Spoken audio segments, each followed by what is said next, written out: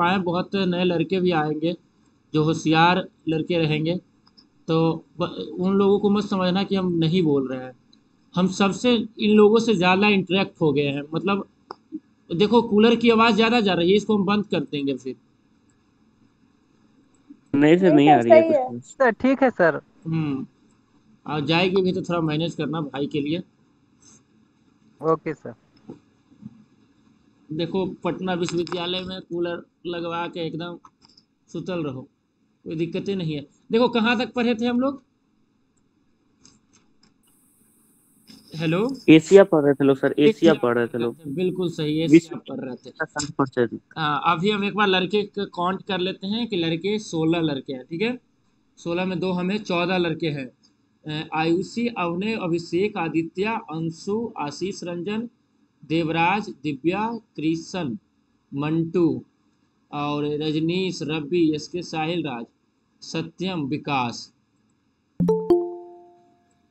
ठीक है? आ जाओ।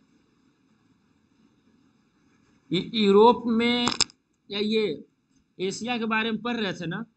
लिखो एशिया। जी सर। एशिया। इसको बंद ही कर देते हैं। रुको एक मिनट रुको।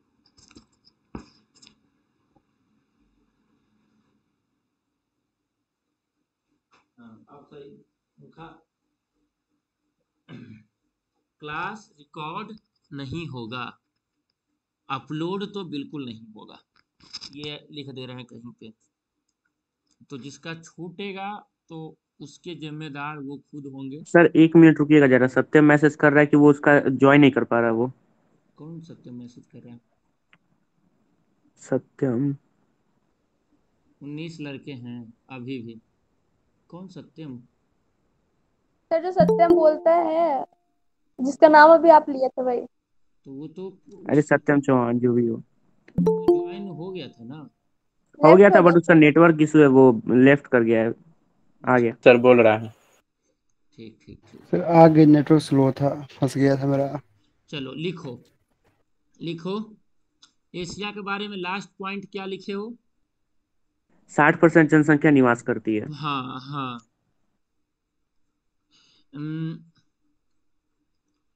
लिखो। अरब प्रायद्वीप अरब प्रायद्वीप अरब। लिखो अरब प्रायद्वीप अरब प्रायद्वीप। विश्व का सबसे बड़ा प्रायद्वीप है। विश्व का सबसे बड़ा प्रायद्वीप है जो एशिया महाद्वीप में स्थित है। जो एशिया महाद्वीप में स्थित है। अरब प्रायद्वीप अरब प्रायद्वीप प्रायद्वीप मतलब? सबसे बड़ा प्रायद्वीप है जो एशिया महाद्वीप में स्थित है। देखो कोर्स खत्म करना है तो तुम्हें पढ़ना होगा। अब पढ़ना होगा तो मेहनत से पढ़ना होगा। ठीक है? यस सर आगे लिखो। पॉइंट बना बना के लिखना। ठीक है? पॉइंट बना बना बना के लिखना। आ, लिखो। एशिया में एशिया में एशिया में एशिया में एशिया में एशिया में विश्व की अरे माइक बंद करो ना। जनसंख्या वाला देश चीन है। एशिया में विश्व की सर्वाधिक जनसंख्या वाला देश चीन है। एशिया में विश्व की सर्वाधिक जनसंख्या वाला देश चीन है। अगला अगला पॉइंट एशिया में क्षेत्रफल की दृष्टि से सबसे बड़ा देश चीन तथा सबसे छोटा देश मालदीव है। मालदीव। हाँ मालदीव मालदीव। एशिया में एशिया में क्षेत्रफल की दृष्टि से सबसे बड़ा देश चीन तथा सबसे छोटा देश मालदीव है। ठीक है? एशिया में क्षेत्रफल की दृष्टि से सबसे सबसे बड़ा जो है सबसे बड़ा है वो आपका चीन है और सबसे छोटा मालदीव है। ठीक है? यस सर और लिखो। विश्व की सबसे गहरी झील बैकाल झील बैकाल झील एशिया में स्थित है। विश्व की सबसे गहरी झील बैकाल झील एशिया में स्थित है। एशिया में स्थित है। अगला लिखना अगला लिखना, विश्व की विश्व की सबसे बड़ी झील कैप्सियन सागर, ना, झील का नाम है, ठीक है? कैस्पियन सागर। कैस्पियन सागर कैस्पियन सागर कैस्पियन सागर एशिया महादेश में स्थित है ठीक है? अब वो सब तो लिखा दिए सबसे ऊँचा पानी का हम्म, विश्व का सर्व अब लिखो विश्व का विश्व का सर्वाधिक समाचार पत्र पढ़ने न्यूज़पेपर पढ़ने वाला देश हांगकांग है। हांगकांग है। विश्व का सर्वाधिक आपको बोले थे क्लास आप ले लिए मुझे पता भी नहीं चला। अच्छा अभी क्लास नहीं हो रहा ज़्यादा नहीं हुआ है। विश्व कुछ भी नहीं हुआ अभी। विश्व का सर्वाधिक समाचार पत्र पढ़ने वाला देश हांगकांग है। हांगकांग है। हाँ अरे तुम लोग को ना जानते हैं तुम लोग रातें में रत जगा करता है फ़ोन चलाता है। ना दिक्कत है तुम लोग ज़रूर सब लोग मैसेज देखा होगा। ये सर सब कुछ अब ये ना पंचायत देख रहे थे बीस तो रात अभी ज़्यादा हुआ है तुम लोग तो एक बात करेगा चैटिंग करेगा। विश्व का सर्वाधिक नहीं सर मैं आपको था, मैंने मोबाइल को स्विच ऑफ़ कर दिया था विश्व का सर्वाधिक डाकघर वाला देश भारत। भारत। विश्व का सर्वाधिक डाक ये सब ये स्टैटिक में नहीं ना लिखवाए हैं? नहीं सर। बस देखो हाफ़ ही आ रहा है इसको। विश्व का सर्वाधिक डाकघर वाला देश भारत है। विश्व का सर्वाधिक डाकघर वाला देश भारत है। विश्व का सर्वाधिक डाकघर वाला देश भारत है। ठीक है? अब Yes, देखो एक बार लिखो। आ जाओ। छोड़ो माउंट एवरेस्ट क्या छोड़ो माउंट एवरेस्ट के बारे में। हम्म, स्टैटिक जीके में लिखवाए हुए हैं माउंट एवरेस्ट लिख दो। आ- आगे आ जाओ। अ, हम्म, लिखो, अब अगला लिखो। लाल सागर, लिखो लाल सागर लाल सागर लाल सागर एवं भूमध्य सागर, लाल सागर एवं भूमध्य सागर भूमध्य सागर, लाल सागर एवं भूमध्य सागर को जोड़ने वाली नहर, को जोड़ने वाली नहर स्वेज नहर सुएज नहर। सुएज नहर है। क्वेश्चन आएगा कि सुएज नहर किस दो सागर से आपका जुड़ती है? तो लाल सागर और भूमध्य सागर को जोड़ती है सुएज नहर। ठीक है? आगे आ जाओ। यस सर देखो विश्व में विश्व में विश्व में विश्व में सिंचाई नहरों सिंचाई सिंचाई सिंचाई करने इरिगेशन इरिगेशन इरिगेशन सिंचाई नहरों का सबसे बड़ा जाल पाकिस्तान में है। पाकिस्तान। विश्व में सिंचाई नहरों का सबसे बड़ा जाल पाकिस्तान में है। पाकिस्तान में है। बस कहानी आपका अफ्रीका। आ जाओ भाई अफ्रीका में। पढ़ोगे ना भाई? जी सर। बिल्कुल सर। भागोगे नहीं ना? सर एशिया इतना जल्दी खत्म हो गया। हाँ देखो अफ्रीका देखो क्या करो ना पानी लो। एक बोतल पानी अपने आ- पास में रखो। पीते जाओ पीते जाओ नींद आए पी नहीं नींद आएगी। है सर। सर दिन भर सोचते नींद तो नहीं करेगा। लिखो विश्व का दूसरा सबसे बड़ा महाद्वीप अफ्रीका है। हम वादा करते हैं तुमसे हम कम से कम तो पढ़ाएँगे अभी तुमको तीन बजे तक। नो प्रॉब्लम सर रिकॉर्ड तोड़िए problem, दीजिएगा ना सर। सर तीन बजे तक पक्का? हाँ हाँ। सर इसका सर इसका पीडीएफ अपलोड कर दीजिएगा। प्रॉमिस ना ज्योग्राफी सर। ज्योग्राफी खत्म हो जाएगा आज। प्रॉमिस है ना? प्रॉमिस सर प्रॉमिस तीन बजे तक आप पढ़िए। सत्यम जी सुन रहे हैं ना? सर बोल रहे हैं तीन हाँ बजे तक हम हैं। हम हैं। ठीक। विश्व का दूसरा पर लड़का वही मिनिमम तीन बजे तक ना मिनिमम कम से कम दस लड़का होना चाहिए जो दस लड़का पढ़े तीन बजे तक। हम दस सर चार को गारंटी हम लेते हैं। एक वो रहता ना पांडे जी। सर अरे मंटू भाई जरा आप उसका रिचार्ज कर दीजिए ना। वो आ जाएँगे। आप। लिखो विश्व का दूसरा सबसे बड़ा महाद्वीप अफ्रीका है। विश्व का दूसरा सबसे बड़ा महाद्वीप विश्व का दूसरा सबसे बड़ा महाद्वीप अफ्रीका है। विश्व का दूसरा सबसे बड़ा दूसरा सबसे बड़ा दूसरा सबसे बड़ा महाद्वीप अफ्रीका है। अफ्रीका है। ठीक है? लिखो अफ्रीका एकमात्र महाद्वीप है। अफ्रीका एकमात्र महाद्वीप है।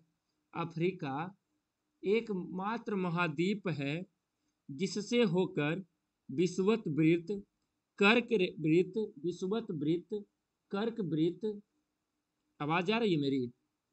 यस सर यस सर विषुवत वृत्त कर्क वृत्त कर्क वृत्त मकर वृत्त और मकर सर विश्वत के बाद? सर विश्वत के बाद? विषुवत वृत्त कर्क वृत्त और मकर वृत्त गुजरते हैं। ठीक है? अफ्रीका एकमात्र द्वीप है। अफ्रीका एकमात्र द्वीप है। अफ्रीका एकमात्र द्वीप है महा महाद्वीप है जिससे होकर विषुवत वृत्त कर्क वृत्त और मकर वृत्त गुजरते हैं। ठीक है? अब देखो अफ्रीका की सबसे वो छोड़ दो। विश्व की सबसे लंबी नदी नील नदी विश्व की सबसे लंबी नदी नील नदी अफ्रीका महाद्वीप में है।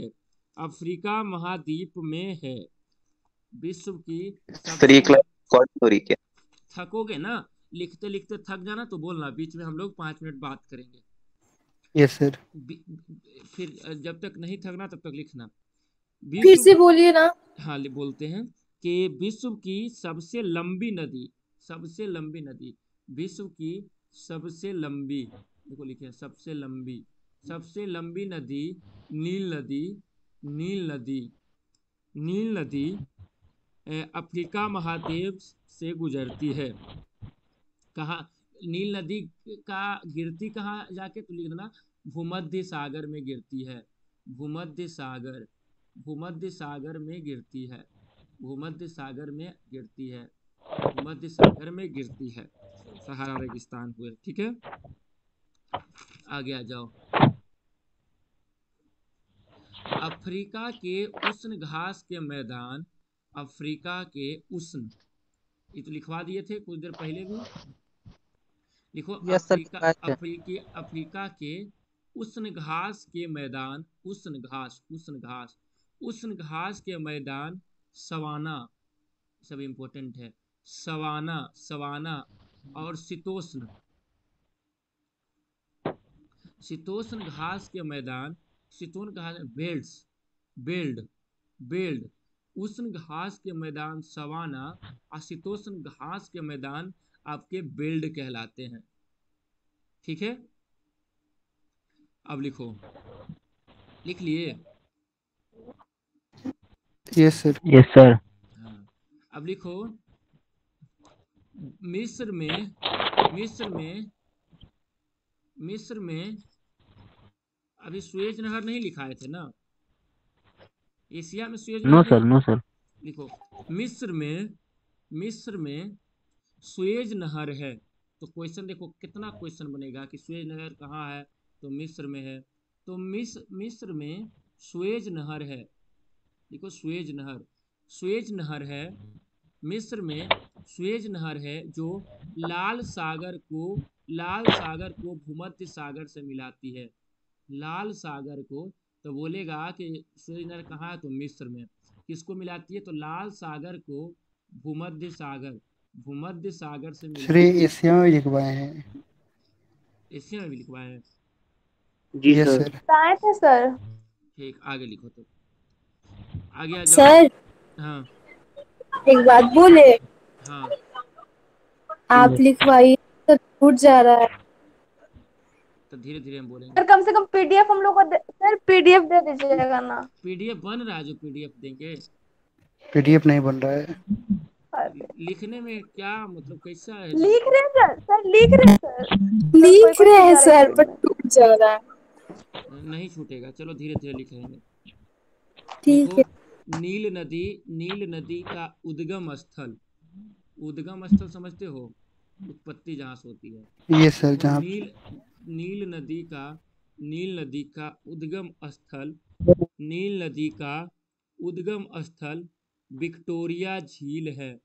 नील नदी का उद्गम स्थल विक्टोरिया झील है। नील नदी का उद्गम स्थल विक्टोरिया झील है। नील नदी का उद्गम स्थल विक्टोरिया झील है। ठीक है? अब आगे आ जाओ। देखो, उत्तरी अमेरिका। नेक्स्ट उत्तरी अमेरिका। उत्तरी अमेरिका। उत्तरी अमेरिका। उत्तरी अमेरिका। लिखो, उत्तरी अमेरिका उत्तरी अमेरिका, विश्व का तीसरा बड़ा महाद्वीप है। उत्तरी अमेरिका, विश्व का तीसरा बड़ा महाद्वीप है। उत्तरी अमेरिका, विश्व का तीसरा बड़ा महाद्वीप है। उत्तरी अमेरिका विश्व का तीसरा बड़ा महाद्वीप है। उत्तरी अमेरिका विश्व का तीसरा बड़ा महाद्वीप है। आगे लिखो।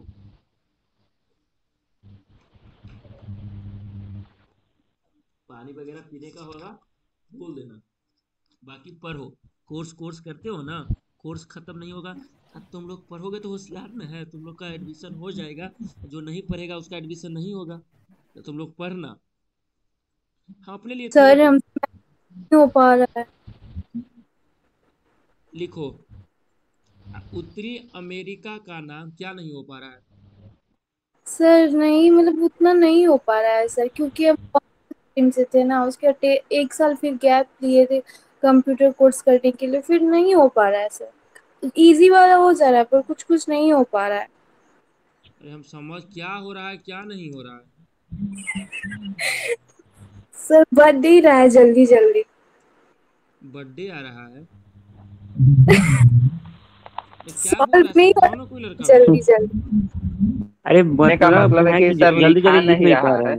लिखा नहीं रहा जल्दी। जल्दी ऐसा कहने का मतलब है। जल्दी जल्दी हैं हैं। इतना धीरे धीरे हम बोल कोई दे देगी और क्या? हम कोई दे देगा सर आपको अरे क्या सुन रहा है? लिखो उत्तर सत्यम जी तेज़ी जल्दी अति जल्दी लिखा रहे हैं जी। नहीं सर लिखा नहीं, जा रहा है। सर हम मैथ्स के बारे में बोल रहे हैं। कम से कम पाँच बार तो बोलते हैं। सर वो कुछ और सर ये टाइमिंग की बात कर रही है। इससे टाइम अरे नहीं। अरे अरे रुक जाओ रुक जाओ। अरे नहीं नहीं। अरे अरे क्वेश्चन सॉल्व करने के टाइमिंग के बाद पढ़ा रहे हैं ना वो समझ नहीं आ रहा है। हाँ। अपना टाइम हैं कि मैथ सॉल्व हमसे जल्दी नहीं होता है। अब समझा? अरे तो हाँ। हम भी तो बोले ना कि टाइमिंग की बात कर रहे हैं। इसके लिए तो प्रैक्टिस चाहिए होगा ना। प्रैक्टिस मेक्स मैन परफेक्ट जल्दी करें। चलो। आ हर सब्जेक्ट का हर टॉपिक का चार सौ पाँच सौ क्वेश्चन बना दिए हो जाएगा। उत्तरी अमेरिका का नाम उत्तरी अमेरिका का नाम अमेरिगो। लिखो उत्तरी अमेरिका का नाम उत्तरी अमेरिका का नाम उत्तरी अमेरिका का नाम अमेरिगो बेस पूसी। अमेरिगो देखो लिख दिया स्क्रीन पर। Amerigo Vespucci Amerigo Vespucci नामक साहसी यात्री के नाम पर पड़ा उत्तरी अमेरिका का नाम, उत्तरी अमेरिका का नाम, अमेरिगो वेस्पूसी अमेरिगो वेस्पूसी जो आपके स्क्रीन पर लिखा हुआ है, उसके नाम पर पड़ा। अब कुछ लड़का जो लिख भी दिया होगा, जो आपके अब लिखो। लिखो, उत्तरी अमेरिका के मूल निवासियों में उत्तरी अमेरिका के मूल निवासियों में, उत्तरी अमेरिका के मूल निवासियों में, उत्तरी अमेरिका के मूल निवासियों में, उत्तरी अमेरिका के मूल निवासियों में red Indian, Eskimo, red Indian red Indian, Eskimo Eskimo Eskimo Eskimo और इन्यूट। इन्यूट आते हैं। इन्यूट बोलेगा कि इन्यूट का कहाँ के निवासी हैं? तो उत्तरी अमेरिका के। कॉपी कलम सब निकाले हुए हैं ना? ये सर लिख भी रहे हैं। लिखो। लिख भी रहे लिखो लिखो। कनाडा की कनाडा की कनाडा की तटीय रेखा की लंबाई कनाडा की तटीय रेखा की लंबाई विश्व में सबसे अधिक है कनाडा की तटीय रेखा की लंबाई कनाडा की तटीय रेखा की लंबाई विश्व में सबसे अधिक है। इसकी लंबाई दो लाख विकास भाई मैक बंद कर लो। कनाडा की कनाडा की तटीय विकास भाई। कनाडा की ठीक है ठीक है ठीक है। कनाडा की तटीय रेखा की लंबाई विश्व में सबसे अधिक है। इसकी लंबाई दो लाख दो हज़ार अस्सी किलोमीटर है। दो लाख दो हज़ार बहुतों को नहीं लिखने आया होगा। आशा ही नहीं मुझे पूर्ण विश्वास है। तो हम लिख दे रहे हैं। किलोमीटर है। कनाडा की तटीय रेखा की लंबाई विश्व में सबसे अधिक है। इसकी लंबाई दो लाख दो हज़ार अस्सी किलोमीटर है। ठीक है? संयुक्त राज्य अमेरिका के, संयुक्त राज्य अमेरिका के, संयुक्त राज्य अमेरिका के दक्षिण पूर्वी तट, दक्षिण पूर्वी तट, संयुक्त राज्य अमेरिका के दक्षिण पूर्वी तट पर चलने वाला चक्रवात, पर चलने वाला चक्रवात, पर चलने वाला चक्रवात, हरिकेन एवं टोर्नेडो कहलाते हैं। हरिकेन हरिकेन एवं टोर्नेडो कहलाते हैं। हरिकेन स्क्रीन पर लिख दिए हैं। हरिकेन और टोर्नेडो टोर्नेडो कहलाते हैं। टोर्नेडो कहलाते हैं टोर्नेडो कहलाते हैं। ठीक है? लिखना ठीक है? लिखना USA USA United State of America विश्व का विश्व का सर्वाधिक मक्का उत्पादित करने वाला देश है। यू यूएसए विश्व का विश्व का सर्वाधिक मक्का उत्पादित करने वाला देश है। तुम लोग तुम लोग एकदम ग्रुप बना कर पढ़ो। चार पाँच लड़का पढ़ो। भाई यस सर एडमिशन ले लो एकदम आगे ये सब ज़िंदगी भर काम देगा। ज़िंदगी भर।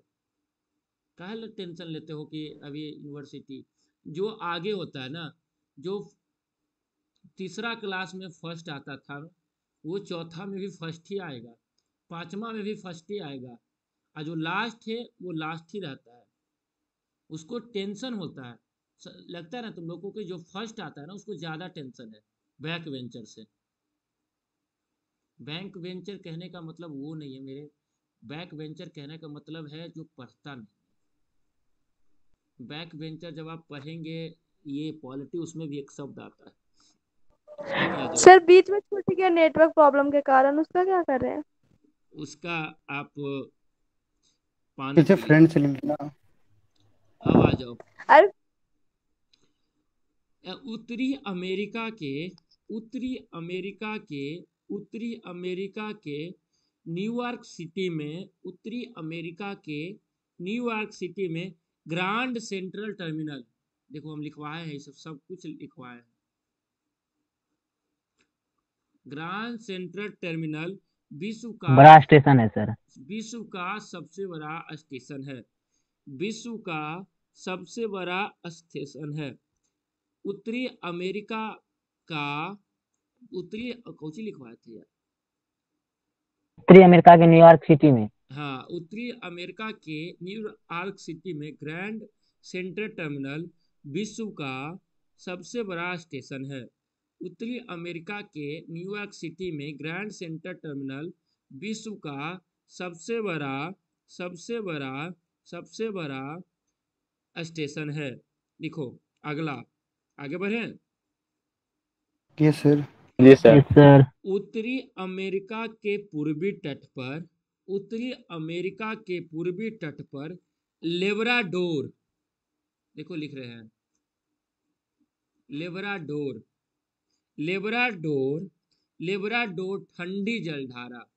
बोलेगा देखो इससे क्वेश्चन से क्वेश्चन तुम लोग को बनाने आता है। बोलेगा लेबराडोर कैसी जलधारा है? गरम ठंडा न्यूट्रल इनमें से कोई नहीं। ठंडा। ठंडा। ठंडा। तो इसलिए क्वेश्चन से क्वेश्चन बनाओ। तो आता है सर। हम्म तो क्या बता रहे थे अभी? उत्तरी अमेरिका के पूर्वी तट पर लेब्राडोर ठंडी जलधारा एवं Gulf Stream Gulf Stream Gulf Stream गर्म जलधारा। एक तो बोलेगा ग, ये गल्फ स्ट्रीम कैसी जलधारा है? तो गर्म जलधारा। गर्म। तो गल्फ स्ट्रीम जलधारा चलती है, बहती है बहती है बहती है। आगे आ जाओ, आगे आ जाओ। आगे आ जाओ।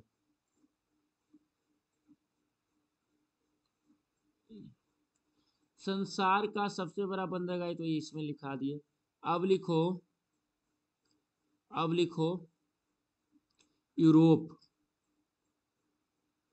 यूरोप हल्का हल्का लिखवाते चले जाते लिखो यूरोप।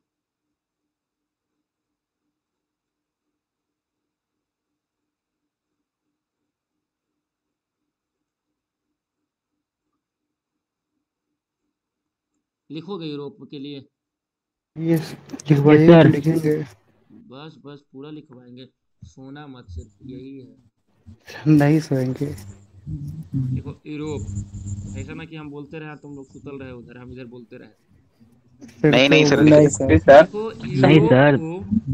पहले लिखो इस महाद्वीप में इस महाद्वीप में इस महाद्वीप में छियालीस देश हैं। इस महाद्वीप में इस महाद्वीप में छियालीस देश हैं। इस महाद्वीप में छियालीस देश हैं। इस महाद्वीप में छियालीस देश हैं। यूरोप को यूरोप को यूरोप को प्रायद्वीपों का प्रायद्वीप भी कहा जाता है। यूरोप को प्रायद्वीपों का प्रायद्वीप भी कहा जाता है। यूरोप को प्रायद्वीपों का प्रायद्वीप भी कहा जाता है। ठीक है? ये सर लिखो यूरोप महाद्वीप का यूरोप महाद्वीप का यूरोप महाद्वीप का सबसे बड़ा नगर यूरोप महाद्वीप का सबसे बड़ा नहर लंदन है। यूरोप महाद्वीप सर नहर या नगर? नगर नगर। सिटी सिटी सिटी यूरोप महाद्वीप का सबसे बड़ा नगर लंदन है, जो टेम्स नदी के तट पर बसा है। यूरोप महाद्वीप का सबसे बड़ा नगर लंदन है, जो टेम्स महा, टेम्स नदी के तट पर बसा है। अब लिखो। लिखो, फ्रांस फ्रांस फ्रांस सूरा और सुंदरियों का देश कहा जाता है। सूरा और सुंदरियों लिख रहे हैं। देखो सूरा और सुंदरियों। सूरा और सुंदरियों। फ्रांस को सूरा और सुंदरियों का देश कहा जाता है। फ्रांस को सूरा और सुंदरियों का देश कहा जाता है। माइक बंद करो ना। लिखो आगे। लिखो यूरोप विकास के- भाई का बंद क्या नहीं कर दे वो आवाज़ आ रहा है उधर से। यूरोप के यूरोप के यूरोप के अच्छा अब लड़कियों को लिखने में प्रॉब्लम नहीं हो रहा ना? नो सर अब ठीक है। यस सर यूरोप के फिनलैंड को यूरोप के फिनलैंड को झीलों का देश कहते हैं। Europe Finland sir. फिनलैंड देखो लिख रहे हैं। यूरोप के फिनलैंड को झीलों का देश कहा जाता है।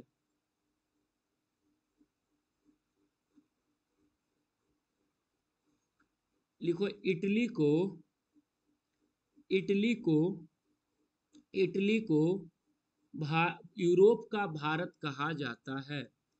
इटली को इटली को इटली को यूरोप का भारत कहा जाता है। भारत कहा जाता है क्यों भारत कहा जाता है? जिसे भारत कृषि प्रधान देश है ना? यस सर भारत जैसे कृषि कृषि प्रधान देश है वैसे ही जो इटली है वो कृषि प्रधान देश है इसीलिए। ठीक है? देखो इंग्लिश चैनल एक मूवी देखे हो? कौन सा मूवी सा अरे ये मूवी था देखो ना बड़ा अच्छा मूवी था भूल गया उसके नाम। उसमें लड़का मिलने के लिए इंग्लिश चैनल को पार करता है फिर प्लेन से लास्ट में जाता है तो प्लेन से गिर के मर जाता है। सिद्दत मूवी मूवी का सर सिद्दत सिद्दत में सिद्दत सिद्दत उसमें यस इंग्लिश चैनल को पार करता है ना? यस सर यस सर तो विक्रम उसको बचा लेता है डूबने लगता है तो। फिर भी तो लास्ट मर ही जाता है। लंदन इंग्लिश चैनल लंदन में है ना? इंग्लिश चैनल फ्रांस को यूनाइटेड किंगडम से अलग करता है। English Channel English Channel France को इंग्लिश चैनल फ्रांस को यूके यूनाइटेड किंगडम से अलग करता है। ठीक है? यूरोप का मरीज़ किसको बोलते हैं?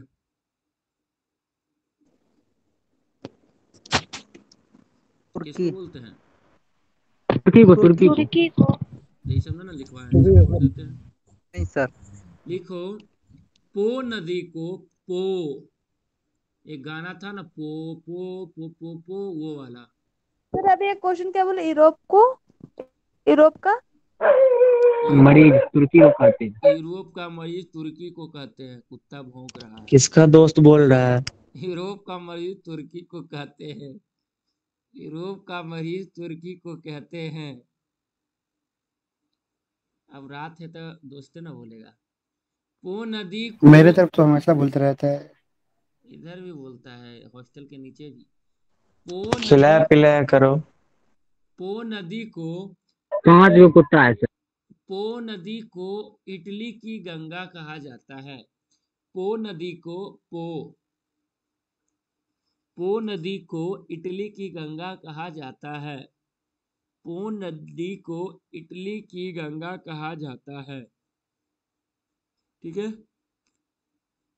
लिखो। फ्रांस की सीन नदी इंग्लिश चैनल में गिरती है। फ्रांस की सीन नदी इंग्लिश चैनल में गिरती है। फ्रांस की सीन नदी इंग्लिश चैनल में गिरती है। थक जाना हाथ सर सर वो जो बोल रहे नदी का नाम सर उधर लिखिएगा स्क्रीन पे नेटवर्क स्लो होगा। मेरा? नहीं सर आपका नहीं। नहीं सर आपका आवाज़ आ रहा है पूरा आ आ रहा। है। इंग्लिश सर सिर्फ़ नदी का नाम सर नदी का नाम लिखिए ना नदी का नाम जो बोले हैं। नदी नेटवर्क प्रॉब्लम हो रहा था सीन नदी सीन नदी। ठीक है। फ्रांस की सीन नदी इंग्लिश चैनल में गिरती है। आवाज़ क्लियर नहीं आ रहा है सर। लेफ़्ट करके फिर से ज्वाइन करो सही आ जाएगा। विकास श्रेया सब इतना है लड़का सबको सब लास्ट तक रहना। एको को को गायब हुआ तो सर। तब पढ़ाएँगे। फ्रांस की सीन नदी फ्रांस की सीन नदी इंग्लिश चैनल में गिरती है। लिखो लिखो अब अंटार्कटिका से सवाल नहीं पूछेगा। हम्म लिखो अंटार्कटिका एक चीज़ इसमें लिखा देते हैं पर इम्पोर्टेंट तुम्हारे एग्ज़ाम से रिलेट तो होना नहीं उतना पर भी लिखवा देते हैं। हम्म, लिखो इम्पोर्टेंट है ये तो बीएससी सबके लिए इम्पोर्टेंट है थोड़ा सा। अंटार्कटिक ये महादेव ही है ना वो लिखवा रहे हैं ना। हाँ अंटार्कटिक में लिखो उतना तो है नहीं। हम्म, लिखो इसमें लिखो।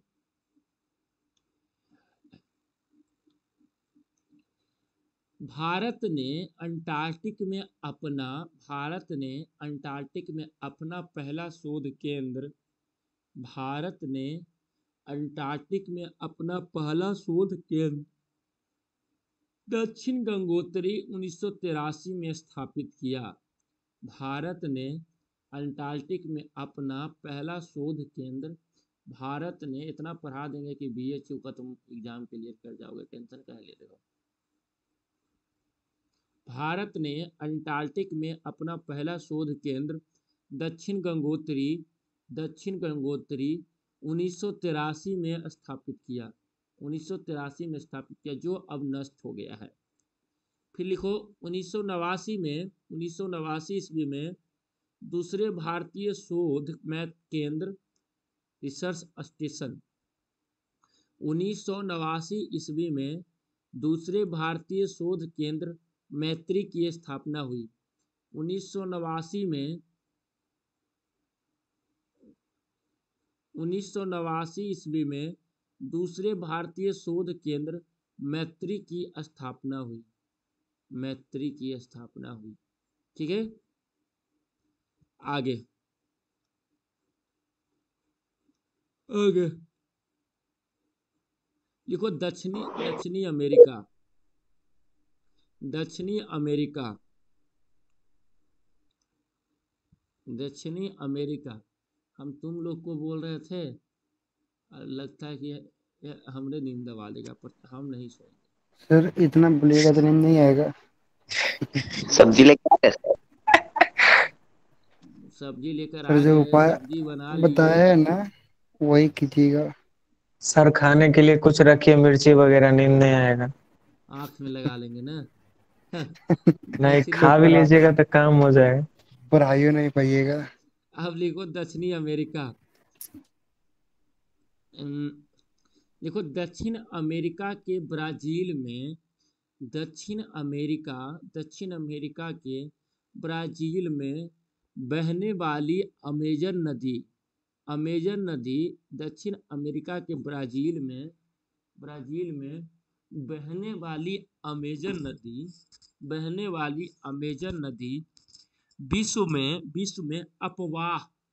अपवाह मतलब समझते हो, बहाव।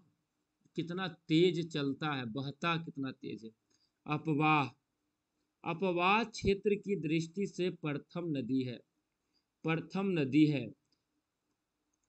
विश्व, दक्षिण अमेरिका के ब्राज़ील में बहने वाली अमेजन नदी विश्व में अपवाह क्षेत्र की दृष्टि से प्रथम नदी है।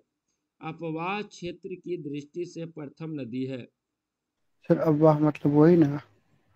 फ्लोइंग रिवर फ्लोइंग फ्लोइंग अब अब आगे आ जाओ।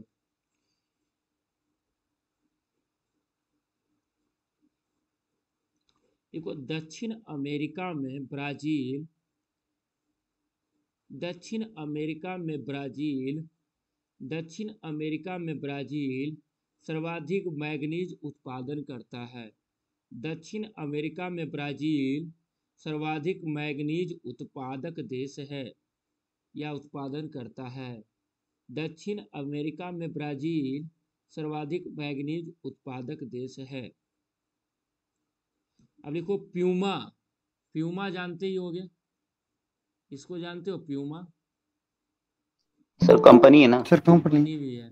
और जैगुआर भी जानते होगे? ये यस सर जी सर सर वो लोगो है उसका। देखो प्यूमा एवं जैगुआर दक्षिण अमेरिका का शिकारी जानवर है। प्यूमा एवं जैगुआर एकदम इम्पोर्टेंट है। प्यूमा एवं जैगुआर दक्षिण अमेरिका का शिकारी जानवर है। प्यूमा तथा जैगुआर लिख दिए हैं दोनों चीज़। दक्षिण अमेरिका का शिकारी जानवर है।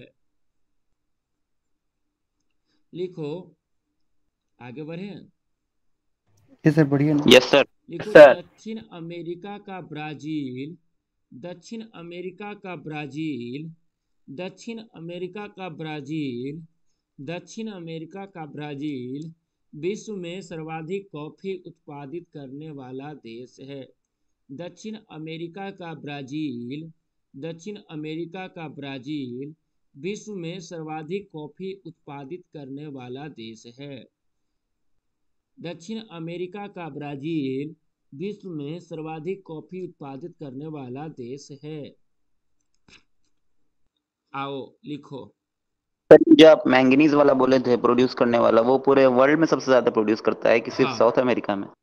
नहीं, ये वर्ल्ड में, में सर, वर्ल्ड में? करता है ऐसे ठीक है। तुम देख लेते हैं।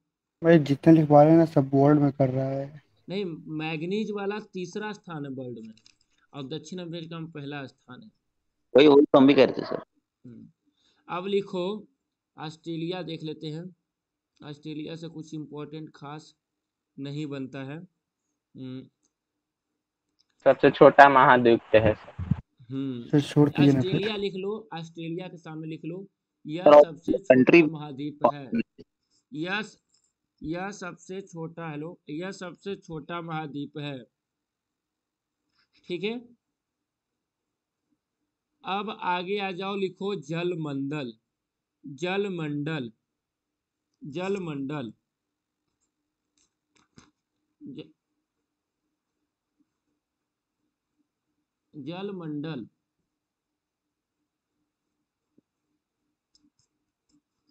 हेलो। जी सर। सर है। हेलो सर सोए हेलो बस सर हाँ सर क्लास में ही है। बस बस। बस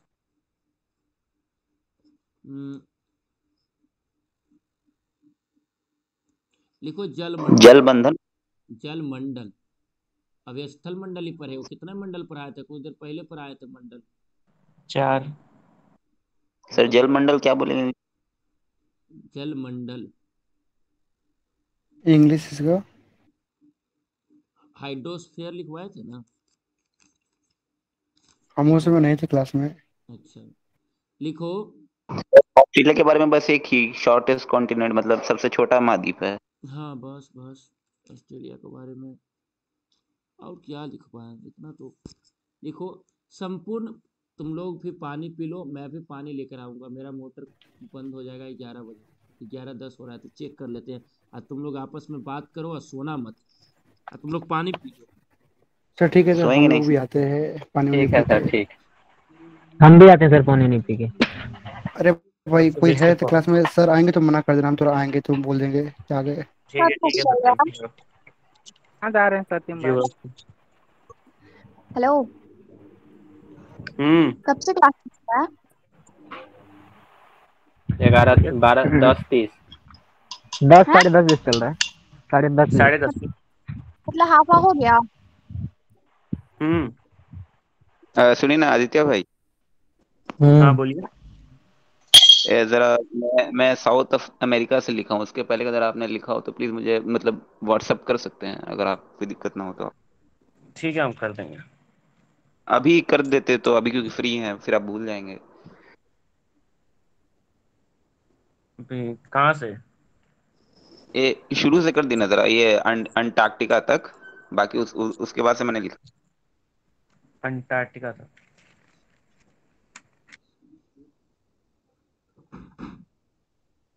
चलो। जो ये का ग्रुप है ना वो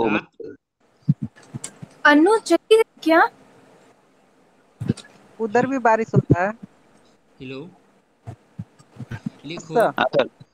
जी सर संपूर्ण जी अच्छा रुकिए मिनट तो रुकिए। थोड़ा सा रुकिएगा सर अब क्या हो गया? थोड़ा देर पाँच मिनट रुकिए। हाँ पी लो पी लो पानी पी लो सब लोग पानी पी लो। बाईस लोग आ गए यार। ये आराम आराम से सब ज्वाइन होता है। बाईस लोग। रात भर जो रहेगा, दुनिया का कोई ताकत उसको एडमिशन करवाने से नहीं रोकेगा। दुनिया का कोई ताकत। मेरा वचन है, हम हम लास्ट में जो हम एकदम लास्ट सेंटेंस लिखाएँगे ना, उसके पहले उस लड़का को देखेंगे कि कितना लड़का क्लास में है। हम बता रहे हैं ना, उसके लिए हम कुछ भी कर देंगे। देखो, फ़ायदा तो है नहीं मेरे को कुछ। तुम पैसा तो दे ही दिए हो ऐसा तो नहीं है कि बारह घंटे क्लास लेंगे तो बारह सौ रुपया और मेरे को आएगा। यूट्यूब देगा यू देगा वो देगा कुछ ना। हम क्यों इतना चिल्लाते हैं पगला की तरह? कि तुम अच्छा करोगे तो अच्छा नाम होगा। अब पानी पी लो पी लिए होगे फिर बैठना फिर बात करेंगे पाँच मिनट फिर पढ़ेंगे फिर बात करेंगे पाँच मिनट कोई लगातार कोई भी नहीं पढ़ सकता। है हाथ आपका भी दर्द करेगा बोलने में। बोलना काम हुआ आपको हाथ आपका चलाना है। आप कोई भी थक जाइएगा बोलिएगा कि भैया पाँच मिनट रुक जाइए हम रुक जाएँगे। पर आप लास्ट तक पढ़िए आप आज कोशिश कीजिए कि अभी तो हम ख़त्म कर देंगे कोशिश कीजिए कि ज्योग्राफी को ख़त्म करें। तो वो तीन बजे चार बजे पाँच बजे छः बजे यदि ज्योग्राफी आपका ख़त्म हो जाता है ना तो फिर आपका पॉलिटी बचेगा बस। यस सर खत्म कर देंगे तो हम टारगेट आज यदि तीन भी बजता है यदि चार भी बजता है तो आपका एक दिन सर एक दिन नींद त्याग दो भाई। क्या होगा? एक दिन नींद त्याग दोगे तो तुम्हारा कौन ऐसा लॉस हो जाएगा? कुछ नहीं लॉस होगा तुम्हारा। सोओगे। सोना नहीं है। बस एक दिन त्याग के मेरे साथ दे दो। कब मौका मिलेगा? हम कल को रहें ना रहें। कब मौका मिलेगा कि दोनों मिलकर बात करेंगे पूरी रात? कितना अच्छा बात है। सर बात सर। तो सही है। सर कल पॉलिटी स्टार्ट होना चाहिए। हाँ सुख दुख सब बात करते जाएँगे। हम हम अपने लाइफ से जुड़ी कल पॉलिटी नहीं होगा पहले इकोनॉमिक्स खत्म होगा। हाँ हाँ इकोनॉमिक्स कर देंगे पहले। अपने अच्छा। लाइफ से अच्छा में जुड़ी सुख दुख सारी बात हम तुमसे शेयर करते रहेंगे बीच बीच में कि तुम्हें बोर न लगे। तुम हर एक एक एक पॉइंट बताएँगे तो जानते हो भाई के जैसा तुमको ट्रीट करेंगे दोस्त के जैसा तुमको बताएँगे। ना हम टीचर के जैसा सर दुख सुनिए ना। सर मैथ का क्या करें सर? मैथ हमसे नहीं हो पाएगा। अरे देखिए जितना भी कोई सब्जेक्ट टॉपिक है ना सबका ना चार चार सौ पाँच पाँच सौ क्वेश्चन प्रैक्टिस कर जब लेके हो जाएगा। ना इसीलिए हम इसको जल्दी कर रहे हैं कि रिवीजन जब हम लाएँगे ना सर आप तो आप बोले थे हर दिन पीडीएफ दीजिए। सुनो ना मेरा भी सुनो ना। बोले क्या कि जितना मेन सब्जेक्ट है ना बीए का सर अगर हम उतना और जीके जितना इंग्लिश हिंदी और रीजनिंग इतना भी कर लेंगे तो नंबर जितना परसेंटेज भी आएगा तो एडमिशन हो सकता है ना? हाँ मैथ को छोड़ देने से भी ज़्यादा लॉस नहीं होगा। लिखो संपूर्ण पृथ्वी का संपूर्ण पृथ्वी का संपूर्ण पृथ्वी का संपूर्ण पृथ्वी का तीन बटा चार भाग तीन बटा चार भाग तीन चौथाई तीन बटा चार मतलब चार भाग में तीन भाग। लगभग इकहत्तर परसेंट पर जल मंडल का विस्तार है। तीन बटा चार भाग, ऐसे करके लिखे, उसके बाद लिखना यहाँ पर इकहत्तर परसेंट लगभग। ऐसे कर देना, ऐसे। तो लगभग जल मंडल का विस्तार है जल मंडल का विस्तार है। देखो, लिखो महासागरीय जल महासागरीय जल। देखो, महासागरीय लिख देते हैं, महासागर के जल। महासागरीय जल के दो गुण होते हैं। महासागरीय जल के दो गुण होते हैं। महासागरीय जल के दो गुण होते हैं। पहला होता है तापमान तापमान, उसका तापमान, और दूसरा होता है लवणता। लवणता समझते हो? नमकीन, खारा, लवणता। हम्म अब लिखो लिखो, पहले लिखो, अगला लिखो, फ़र्स्ट में लिखो। महासागर। लिखो महासागर महासागर महासागर के सामने लिखो महासागर महासागर। लिखो जल मंडल का वह बड़ा भाग जल मंडल का वह बड़ा भाग जिसकी कोई निश्चित सीमा न हो। जल मंडल का जल मंडल का वह बड़ा भाग, वह भरा भाग जिसकी कोई निश्चित सीमा न हो। जल मंडल का वह बड़ा भाग जिसकी कोई निश्चित सीमा न हो। निश्चित निश्चित ऐसे लिखाता है निश्चित निश्चित निश्चित सीमा न हो ओशियन कहलाता है। तो ओशियन कितने हैं? ओशियन जो है आपके वो चार हैं। सॉरी चार। तो पाँच है ना? चार। पाँच चार में बहुत कंफ्यूजन है। ओशियन चार हैं आपका पहला है प्रशांत महासागर। प्रशांत महासागर। दूसरा आपका ऐसे करके लिख देना अटलांटिक। अटलांटिक। दूसरा अटलांटिक। तीसरा जो आपका है वो है हिंद। इंडिया। हिंद महासागर। और, और चौथा जो आपका आर्टिक आर्टिक इतना महासागर है। प्रशांत के नीचे लिख देना प्रशांत महासागर के नीचे लिख देना प्रशांत महासागर के नीचे लिख देना ब्लैक इसको कर देते हैं जरा सा और मज़ा आएगा। प्रशांत महासागर कुछ नीचे दिख ही नहीं रहा सब गायब हो गया। ये कलर अच्छा नहीं है। ब्लैक नहीं कीजिए मज़ा आ गया। प्रशांत पेन कलर चेंज कर प्रशांत महासागर के सामने लिखना सबसे बड़ा महासागर। लार्जेस्ट। अब आगे आ जाओ लिखो। लिखो लिखो समंदर। समुद्र। सर सबसे अटलांटिक ना? क्या? सबसे छोटा? सबसे छोटा अटलांटिक या आर्कटिक? आर्कटिक सबसे छोटा आर्कटिक। Arctic Arctic. अब लिखो ना आगे आएगा तो हम बताते चले जाएँगे चीज़ें धीरे धीरे आएगी। अब आगे आ जाओ। आर्कटिक है बोले ना आर्कटिक। इसके सामने लिख दो ना सबसे छोटा। इसके सामने लिख दो सबसे छोटा। फ़र्स्ट में पैसिफिक सेकंड में अटलांटिक थर्ड में इंडियन फोर्थ में आर्कटिक। अब महासागर से रिलेटेड तो तुमको तुम्हें कुछ नहीं चाहिए। लिखो। हाँ आगे लिखो। सब छोड़ो खारी समुंदर जल समुंदर भी छोड़ो। लिखो सामान्यतः सामान्यतः सामान्यतः सामान्यतः लिखने नहीं आएगा। सामान्यतः नॉर्मली जिसको बोलते हैं ऑफ़ टेन फिर हम सब इंग्लिश में लिख लेते हैं। प्राय सामान्यतः महासागरीय जल का तापमान पाँच डिग्री सेल्सियस से पाँच डिग्री सेल्सियस से तैतीस डिग्री 33 सेल्सियस डिग्री के बीच सेल्सियस। रहता है। सामान्यतः महासागरीय जल का तापमान सामान्यतः चौबीस लड़का लड़का बढ़ कैसे रहा है जी? फिर बाहर है पढ़ने के लिए। सामान्यतः महासागरीय जल का तापमान लगभग पाँच डिग्री सेल्सियस से तैतीस डिग्री सेल्सियस के बीच रहता है। सामान्यतः आज ही देख लेंगे कि कौन कितना चाहने वाला है पढ़ाई को। पटना विश्वविद्यालय से कितना प्रेम है उसको। सामान्यतः महासागरीय जल का तापमान लगभग पाँच डिग्री सेल्सियस से तैतीस डिग्री सेल्सियस के बीच रहता है। अब अब लिखो। अब लिखो, छोड़ो, एकदम उड़ा देते हैं इसके बाद। सब कुछ उड़ा दिया। सब कुछ उड़ा दिया। समा बजट भी उड़ा तो देते हैं। हो खत्म हो गया फिर। क्षोभ मंडल उड़ा देते हैं पवन उड़ा देते हैं तो समीर उड़- उड़ा देते हैं। छोड़ छाड़ के बढ़ते जा रहे हैं। ज़्यादा नहीं हो रहा है सर हम सब उड़ जाएँगे।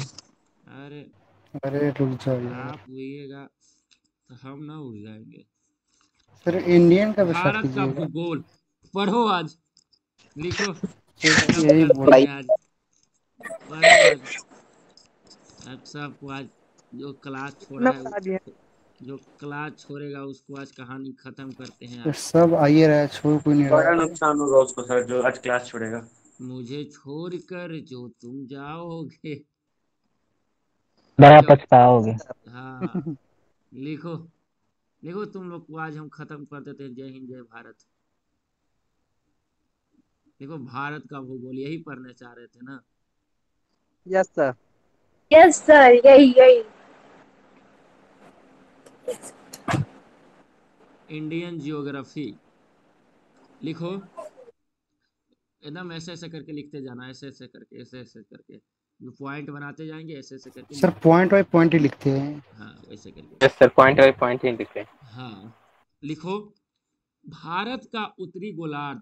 गोलार्ध लिखने नहीं आएगा इसलिए लिख देते हैं।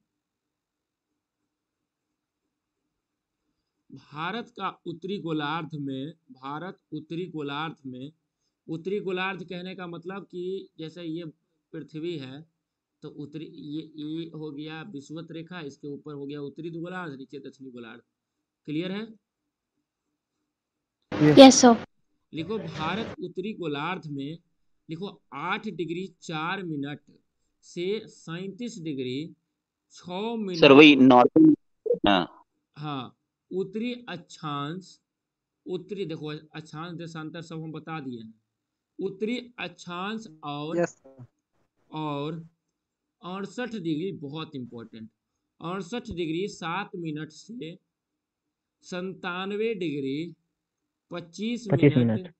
पूर्वी देशांतर पूर्वी देशांतर पूर्वी देशांतर के बीच स्थित है।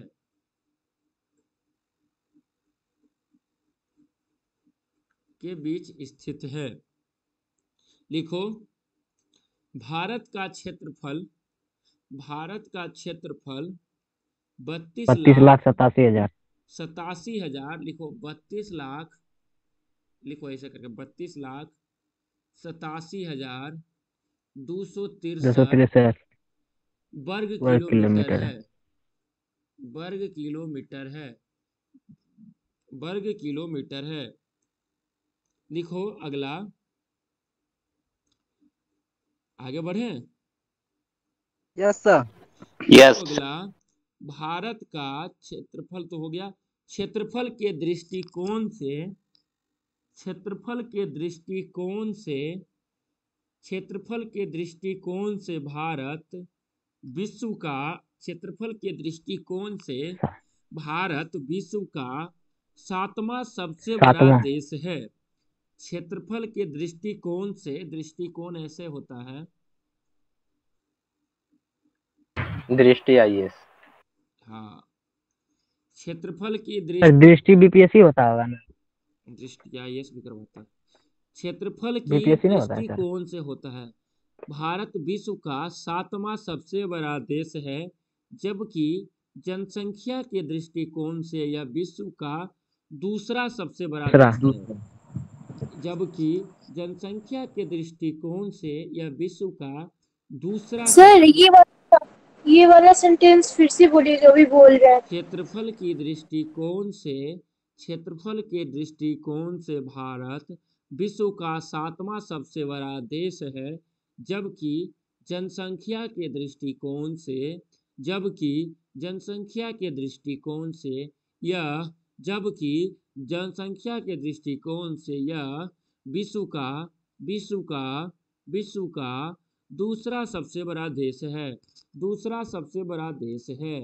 अब लिखो, क्षेत्रफल की दृष्टि से भारत से छह बड़े देश है। कौन कौन है जो लिखवाते हैं? लिखो। सर वो लिखवा दिए हुए हैं जीके में तो इसको छोड़ के आगे बढ़िए। लिखवा दिया रूस तो सर लिखवाए थे सर सर दूसरा और साथ में हैं ठीक है तो लिखो। जी जीके में है। ठीक लिखो भारत सातवां से आगे बढ़ गया है ना इसका ये लिखो भारत का क्षेत्रफल भारत का क्षेत्रफल भारत का क्षेत्रफल संपूर्ण विश्व के क्षेत्रफल का भारत का क्षेत्रफल संपूर्ण विश्व हेलो यस हाँ यस सर टू भारत पॉइंट फोर परसेंट भारत का क्षेत्रफल two point four two percent क्षेत्रफल का दो दशमलव चार दो परसेंट है। दो दशमलव संपूर्ण विश्व के क्षेत्रफल का यदि संपूर्ण विश्व के पास सौ रुपया है तो भारत के पास दो दशमलव चार दो रुपया है। सर ऐसे समझो। ठीक? कि यदि इस पूरे विश्व में सौ रुपया है तो भारत के पास दो दशमलव चार दो परसेंट है। जबकि जबकि इसकी जनसंख्या, जबकि इसकी जनसंख्या, संपूर्ण विश्व की जनसंख्या का, जबकि इसकी जनसंख्या, संपूर्ण विश्व की जनसंख्या का साढ़े सत्रह परसेंट है, जबकि इसकी जनसंख्या संपूर्ण विश्व की जनसंख्या का साढ़े सत्रह परसेंट है। जनसंख्या की दृष्टि से विश्व के आठ बड़े देश हम आपको लिखा दिए हैं। यस सर भारत सर का उत्तर से दक्षिण रूस कनाडा चीन संयुक्त राज्य अमेरिका ब्राज़ील ठीक ठीक ठीक। फिर बांग्लादेश से सीमा कितना बना रहा है सब सब लिखवा दिए हैं। यस सर चार हज़ार लिखवा छियानवे दिए हुए हैं। यस सर अब भारत का दक्षिण point Indira point Indira point है। जी सर इंदिरा पॉइंट लिखो अगला लिखो। हो गया ये सब? लिखो भारत एवं पाकिस्तान के बीच रेड क्लिफ रेखा है। सर हो गया ये लिखवाए हैं सर। ये लिख लो एक बार मनमोहन रेखा सर चीन और भारत। अरे क्या लिखवा रहे हैं जो लिखो ना। भारत और एवं पाकिस्तान के बीच रेड क्लिफ रेखा है। जो 15 अगस्त डेट लिखवाए थे। नहीं सर डेट नहीं लिखवाए तो जो 15 डेट नहीं अगस्त लिखवाए थे उन्नीस सौ सैतालीस ईस्वी को sir C J Radcliffe sir sir C J Radcliffe देखो लिख दिए। सर 15 अगस्त उन्नीस सौ सैतालीस को sir C J Radcliffe के द्वारा निर्धारित की गई थी। निर्धारित ऐसे होता है देखो। हर्षिकार दोनों पर हर्षिकार। निर्धारित की गई थी। लिखो भारत और आगे बढ़े।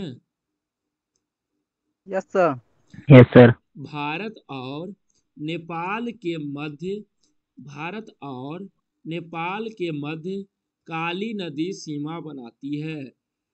भारत और देखो तुम लोग को भी नींद आएगा बारह बजे। यदि बारह बजे तक बर्दाश्त कर लोगे बारह से एक के बीच में नींद आएगा। और वहाँ बर्दाश्त कर लिए तो फिर तुम नहीं नींद आएगा। भारत और नेपाल के मध्य पानी रखे हो ना? जी सर। हाँ। पी लो एक एक बार सब। फिर लिख पी लो पी लो। पी लो सर अभी पी कर आए थे। आप गए सर तो भी क्वेश्चन है। उठो मत उठो मत पियो सिर्फ़ पी लो। बगल में एक बोतल जी सर। क्या? अब मेरे यहाँ तो पूरा बारिश ही हो रहा है सर। बहुत अच्छा तो चले। ये बारिश चले जाओ भाई मौसम उसमें पी लेना। रेड क्लिफ लाइन इधर भेजो रे? बहुत अच्छा मौसम बारिश। पटना का भी मौसम मिजाज बदल रहा है। आ जाओ। सर थोड़ा बारिश का मौसम आया ठंडी आ रहा है। पूरा एक घंटा बारिश हुआ सर। साढ़े दस से साढ़े ग्यारह। मेरा यार हंस रहा है बारिश की जाए। सुने हो या नहीं?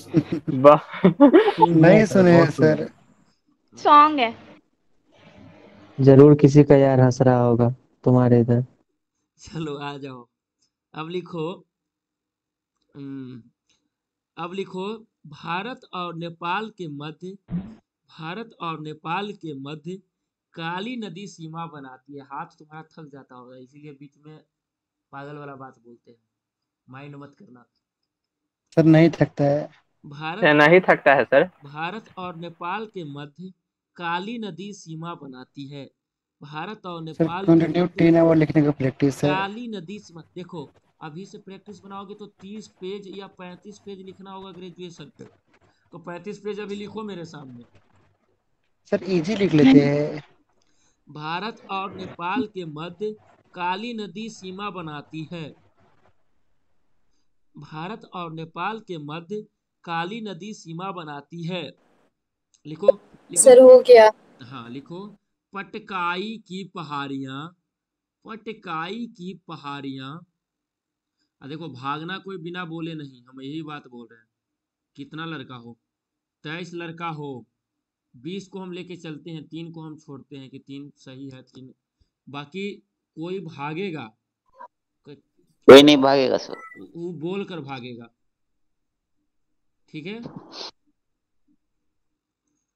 लिखो पटकाई की पहाड़ियाँ पटकाई की पहाड़ियाँ भारत को म्यांमार से अलग करती है।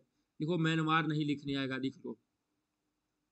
मयान म्यांमार देखो म्यांमार कैसे होगा जानते हो? मयान मयान। यस सर जानते हैं। बोले सर। हाई हुआ लिख लो आधा म या आधा न म। लिखो। लिखो पटकाई की पहाड़ियाँ पटकाई की पहाड़ियाँ पट हेलो पटकाई की पहाड़ियाँ। भारत को म्यांमार से अलग करती है। यस अगला लिखो। लिखो अगला। दक्ष दक्षिण में श्रीलंका दक्षिण में श्रीलंका दक्षिण में श्रीलंका भारत से पाक जल संधि पाक जल संधि पाक जल संधि तथा मन्नार की खाड़ी द्वारा अलग होती है। लिखो। पाक जल संधि के बाद क्या बोले? एवं मन्नार की खाड़ी मन्नार की खाड़ी लिखो बा पाक जल संधि। पाक जल संधि तथा मन्नार की खाड़ी द्वारा अलग होती है। मन्नार की खाड़ी मन्नार की खाड़ी द्वारा अलग होता है। ठीक है? आगे। को पाक ड, पाक जल डमरू भी कहते हैं। हाँ पागल डमरू भी कहते हैं। अब देखो भारत का मानक समय भारत का मानक समय भारत का मानक समय इलाहाबाद के निकट भारत का मिर्जापुर। समय इलाहाबाद के निकट मिर्जापुर। से गुजरने वाली मिर्जापुर से गुजरने वाली साढ़े बेरासी डिग्री सब लिखवा है ना साढ़े बेरासी लिखवाए सर वर्ल्ड ज्योग्राफी में। पूर्वी देशांतर रेखा को माना गया है। साढ़े बेरासी डिग्री पूर्वी देशांतर रेखा को माना गया है। मिर्जापुर के नैनी से ना सर? हाँ, हाँ।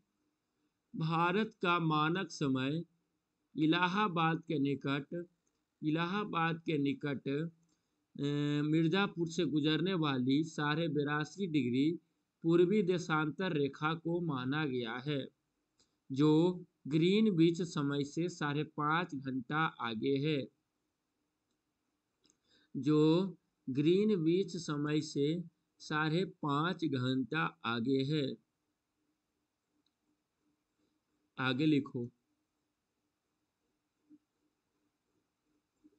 कर्क रेखा कर्क रेखा लगभग भारत के मध्य से गुजरती है। कर्क रेखा लगभग भारत के मध्य से गुजरती है। यह आठ राज्यों से होकर जाती है। राजस्थान, कर्क रेखा लगभग भारत के मध्य से गुजरती है। कर्क रेखा लगभग बाहर देखो कुछ देर के बाद तुम लोग का डाटा भी आ जाएगा ना? यस सर यस सर कर्क रेखा कर्क रेखा क्या बोले भारत के मध्य से गुजरती है यह आठ राज्यों से होकर जाती है। पहला कौन राज्य है? राजस्थान। लिखो राजस्थान कर्क गुजरात। राजस्थान मित्र मध्य प्रदेश छत्तीसगढ़। लिखो झारखंड पश्चिम राजस्थान पहले बंगाल गुजरात है राजस्थान गुजरात गुजरात फिर आपका मध्य प्रदेश एमपी मध्य प्रदेश चौथा छत्तीसगढ़ चौथा छत्तीसगढ़ पांचवा झारखंड लिख ले- बोलेगा कि ना कि निम्नलिखित में कर्क रेखा किन राज्य से गुजरती है? झारखंड पश्चिम बंगाल पश्चिम बंगाल। त्रिपुरा और मिजोरम। लिखो पश्चिम बंगाल त्रिपुरा और आठवां मिजोरम। मित्र पर गमछा झार मित्र पर गमछा झार ठीक है? लिखिए भारतीय उपमहाद्वीप में सम्मिलित देश हैं। भारतीय उपमहाद्वीप में भारतीय उपमहाद्वीप में सम्मिलित देश हैं। भारतीय उपमहाद्वीप में सम्मिलित देश हैं। लिखो एकदम थकोगे तो बोल देना। भारतीय इसका मतलब क्या होगा? उपमहाद्वीप। भारतीय जैसे महाद्वीप होता है ना महाद्वीप। जैसे महाद्वीप कहने का मतलब कि समुद्र से सब कॉन्टिनेंट जो स, स, समुद्र से सटा हुआ जो बहुत बड़ा इलाका तो भारतीय उपमहाद्वीप में सम्मिलित देश हैं भारत पाकिस्तान बांग्लादेश नेपाल व भूटान। भूटान। सर ये भी पूछ सकता है कि भारत का मानक समय किन किन राज्यों से होकर गुजरता है? हाँ तो पाँच राज्यों से होकर गुजरता है। उत्तर प्रदेश मध्य प्रदेश छत्तीसगढ़ उड़ीसा आंध्र प्रदेश। छोड़ो ना लिखवा रहे हैं छोड़ो ना उसको। लिखो। भारत उपमहाद्वीप में सम्मिलित देश कौन कौन है? भारत पाकिस्तान बांग्लादेश नेपाल व भूटान। लिख लिए। भा भारतीय उपमहाद्वीप में सम्मिलित देश हैं भारत पाकिस्तान बांग्लादेश नेपाल व भूटान। अब अगला लिखो। सर्वाधिक राज्यों की सीमाओं से लगा राज्य सर्वाधिक राज्यों की सीमाओं से लगा राज्य उत्तर प्रदेश उत्तर प्रदेश। है। सर्वाधिक राज्यों की सीमाओं से लगा राज्य उत्तर प्रदेश है। ठीक है? लिखिए अगला लिखिए।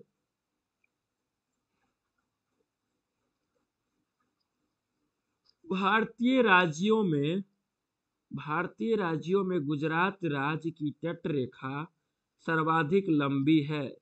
भारतीय राज्यों में hello? Yes sir yes sir भारतीय सोलह राज्यों सौ तिरसठ किलोमीटर है। भारतीय राज्यों में गुजरात राज्य की तट रेखा सर्वाधिक लंबी है। ठीक है? अब लिखो नेपाल के साथ नेपाल के साथ अंतर्राष्ट्रीय सीमा बनाने वाले राज्य हैं। नेपाल के साथ अंतर्राष्ट्रीय सीमा बनाने वाले राज्य है। पहला उत्तराखंड। दूसरा उत्तर प्रदेश। फिर लिखना बिहार। बिहार। फिर पश्चिम बंगाल अरे ऑप्शन नहीं दे रहे हैं लिखवा रहे हैं। नेपाल के साथ अंतर्राष्ट्रीय सीमा बनाने वाले राज्य हैं। उत्तराखंड उत्तर प्रदेश बिहार बिहार बिहार। उसके बाद क्या लिखोगे? पश्चिम बंगाल एवं सिक्किम। सिक्किम।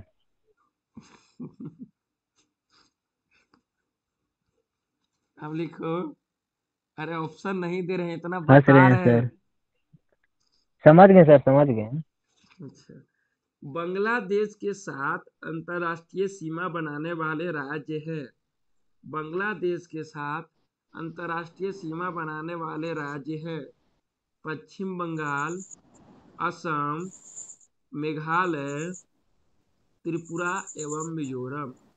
पश्चिम बंगाल, असम, मेघालय, त्रिपुरा एवं मिजोरम। ठीक है? थके नहीं ना? यस सर नो नहीं सर नहीं सर कितना लड़का है अभी? ट्वेंटी थ्री देख देख लीजिए सर त्रिपुरा के बाद? त्रिपुरा के बाद मिजोरम। मिजोरम। हम्म। आ जाओ। आ जाओ। पाकिस्तानी सीमा से लगे तीन भारतीय राज्य हैं। पाकिस्तानी सीमा सीमा से लगे तीन भारतीय राज्य हैं। पहला राजस्थान, गुजरात एवं पंजाब। राजस्थान, गुजरात एवं पंजाब। पाकिस्ती, पाकिस्तानी सीमा से लगे तीन भारतीय राज्य हैं। राजस्थान, गुजरात एवं पंजाब। लिखो। लिख लिए यस सर लिखो लिखो अगला। तीन ओर से तीन ओर बांग्लादेश से घिरा राज्य त्रिपुरा है। तीन ओर बांग्लादेश से घिरा राज्य त्रिपुरा है। अच्छा कितना उस समय से कितना पेज हो गया अभी तक? चार। फोर। चार सर चार। सर मेरे छः मेरा छ सर चार लिखो चार छो लिखवा भी दिए हम। बताओ। Yes sir. सर ये सर छह पेज हो गया। जीरा आगे राज्य आ पूरा है। आगे आ जाओ आगे आ जाओ। वंस मोर फिर से क्या बोले लिखो भारत का भौतिक स्वरूप। तीन। लिखो भारत का भौतिक स्वरूप। घिरा बांग्लादेश का राज्य त्रिपुरा तीन ओर से बांग्लादेश से घिरा राज्य त्रिपुरा है। देखो भारत का भौतिक स्वरूप। भारत का भौतिक स्वरूप। लिखो। लिखो।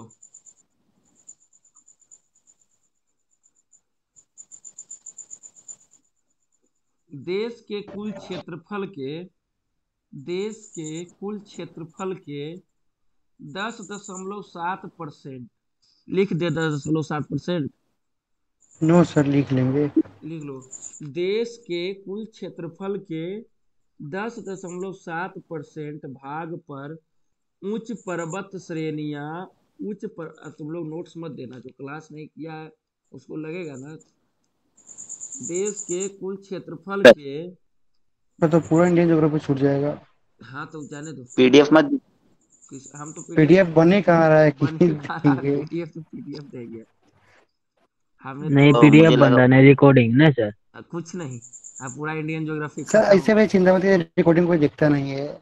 कोई नहीं देखता सही बात है। रिकॉर्डिंग कहाँ कोई देखता है? हम देखते हैं ना। हाँ तो आप देखते हैं तो आप क्लास कीजिए। रिकॉर्डिंग नहीं हो रहा है क्लास एक रिकॉर्डिंग में पाँच सौ रुपया लगता है। तो इसलिए रिकॉर्ड नहीं कर रहे। देश के कुल क्षेत्रफल के दस दशमलव सात परसेंट भाग पर उच्च पर्वत श्रेणियाँ हैं। उच्च पर्वत श्रेणियाँ। आधा लड़की इसको गलत लिखेगी। सर ये लिख देना चाहिए।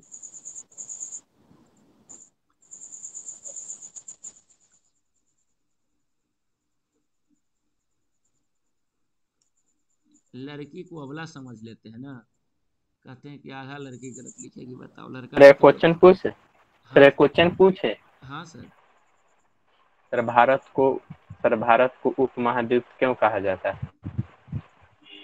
अब भाई ये तो ना पता है कि भारत को समझिए आप भी बता सकते चलो आगे आ जाओ। भाई हमसे एक्सपेक्ट मत करो। चलो ना आगे आ जाओ सब बात बताते हैं रुको आ जाओ ना पहले। ये सब जो पॉइंट वाला सब जो छूट जाएगा तो हमने इम्पोर्टेंट इम्पोर्टेंट सब लिखे हुए लिखो, आगे आ जाओ। लिखो कि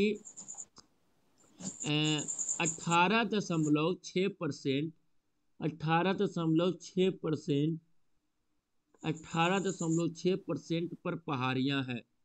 अठारह दशमलव छः परसेंट पर पहाड़ियाँ हैं।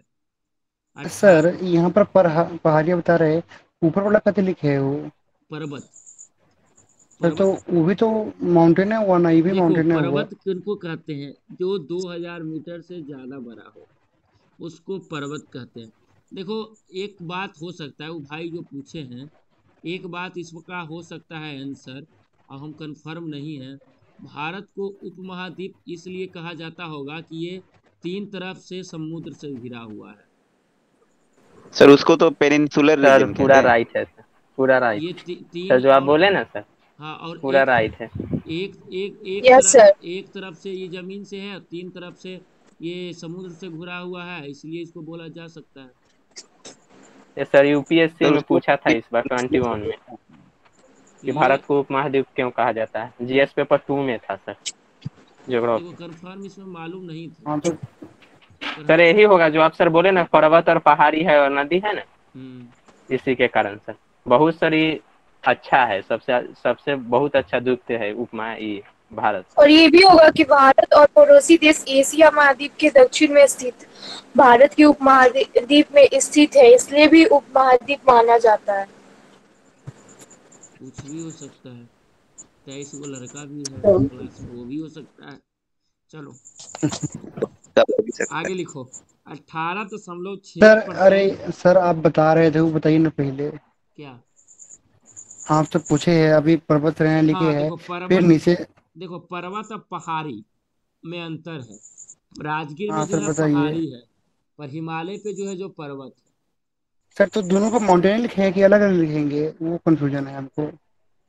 माउंटेन नहीं है लिख लो देखो आगे कुछ बता रहे माउंटेन उसको हाई माउंटेन माउंटेन जो हुआ ऊपर हाई है हुआ दो हज़ार से ऊपर। ये पठार हो गया सर। पठार तो प्लेटिव पठार दूसरा हो गया। प्लेटिव नहीं। अरे सर हम देख लेंगे कोई बात नहीं आगे हिल हिल क्या होता है? हिल हिल सर मतलब माउंटेन में ही होता है। एरिया यानी पहाड़ी एरिया होता है। हाँ तो पहाड़ी एरिया हिल लिखना हिल माउंटेन और हिल में अंतर है ठीक है? तो लिखना है अट्ठारह दशमलव छः परसेंट पे पहाड़ियाँ है और तैतालीस परसेंट पर तैतालीस परसेंट पर भू विस्तृत मैदान का है। तैतालीस परसेंट भूभाग पर विस्तृत मैदान है। तैतालीस परसेंट पर विस्तृत मैदान है। आगे आ जाओ। प्लेन्स ना सर हाँ। अब लिखो। लिखो अगला लिखो। भौतिक रचना तथा धरातल के स्वरूप के अनुसार भौतिक रचना तथा धरातल के स्वरूप के अनुसार भारत को पाँच भागों में बांटा गया है। भौतिक रचना तथा धरातल के स्वरूप के अनुसार अच्छा रत रत भर पाँच पाँच पाँच दिन क्लास ले लेंगे तो तुम्हारा कोर्स तो खत्म हो जाएगा। आराम से। यस ले लीजिए। सर, आराम से। रुको रुको। एक दिन बीच करके ले ले। एक दिन बीच करेंगे, एक फिर लेंगे। एक दिन बीच करेंगे, फिर लेंगे। भौतिक रचना तथा धरातल के स्वरूप के अनुसार भारत को पाँच भागों में बांटा गया है। पहला लिखो, उत्तरी पर्वतीय मैदान, जो गंगा वगैरह है। गंगा नहीं, उत्तरी पर्वतीय मैदान। उत्तरी पर्वतीय मैदान और दूसरा फिर लिखना भारत को अ, कितने भागे में बांटा गया था? छह भाग में ना पाँच भाग में। दूसरा लिखो विशाल मैदान। छह भी देता है विशाल मैदान। दूसरा होता है विशाल मैदान। तीसरा जो है प्रायद्वीपीय पठार।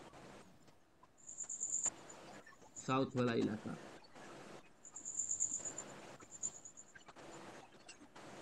इधर इधर भी छत्तीसगढ़ वाला भी इलाका आ जाएगा इसमें। फिर मरुस्थलीय प्रदेश चौथा मरुस्थलीय प्रदेश। तो बोलेगा कि भारत को कितने भागों में बांटा गया? तो पाँच भागों में। और पांचवा जो आपका है समुद्र तटीय समुद्र तटीय मैदान। लग नहीं रहा है कि बहुत अच्छे से मतलब कि डीप में हम लोग चीज़ों को देखते जा रहे हैं अच्छे से। सवाल कहाँ से अब नहीं अब नहीं सवाल बना सकता है कहीं से। सर तीसरा क्या लिख तीसरा लिखे हैं प्रायद्वीपीय पठार। अब आगे आ जाओ। आगे आ जाओ।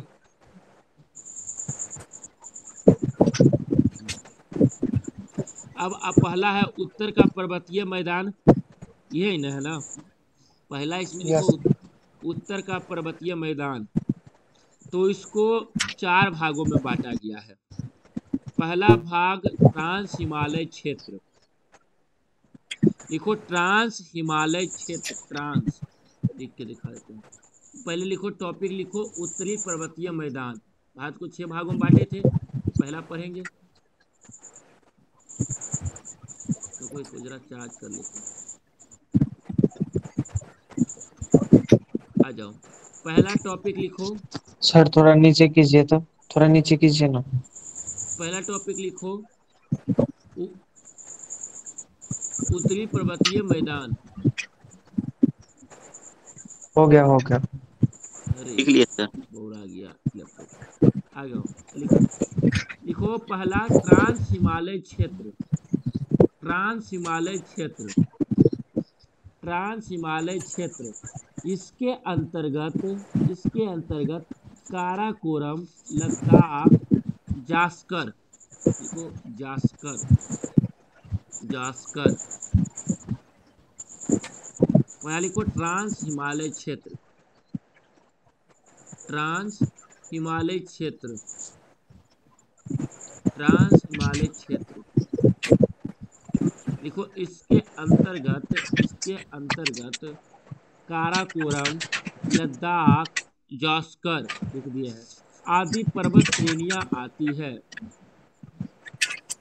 आदि पर्वत श्रेणियाँ आती है। के टू के टू दिव्या माइक बंद करो यार। के के टू अरे लड़का सब अभी तक बताओ तो सोच रहे हैं कि के को भागेगा अभी। के टू या गॉडविन गार्डविन आस्टिज। केटू या गॉडविन आस्टीज काराकोरम की सर्वोच्च चोटी है, जो भारत की सबसे ऊँची चोटी है। केटू या गाडविन आस्टीज काराकोरम की सर्वोच्च चोटी है। काराकोरम की सर्वोच्च चोटी है, जो भारत की सबसे ऊँची चोटी है। लिख लिए ट्रांस हिमालय क्षेत्र। अब अगला लिखो। यस सर अगला लिखो। हिमाद्री। हिमाद्री अर्थात सर्वोच्च या बृहद हिमालय। हिमाद्री। पहला देखो पहले हम लोग क्या पढ़ रहे हैं? पहले क्या पढ़े? भारत का भौतिक स्वरूप। उसमें पाँच भागों में बांटे। उत्तर का पर्वतीय मैदान फिर विशाल मैदान फिर प्रायद्वीपीय पठार पढ़ेंगे फिर मरुस्थलीय प्रदेश फिर समुद्र तट पढ़ेंगे तो अब उसमें पढ़ रहे हैं हम लोग उत्तर पर्वतीय मैदान, उत्तर पर्वतीय मैदान के बारे में। तो हिमालय को बांटते चले जा रहे हैं। तो पहले बांटे ट्रांस हिमालय क्षेत्र में। तो इसके अंतर्गत काराकोरम, लद्दाख, जास्कर आदि प्रवेश श्रेणियाँ आती है।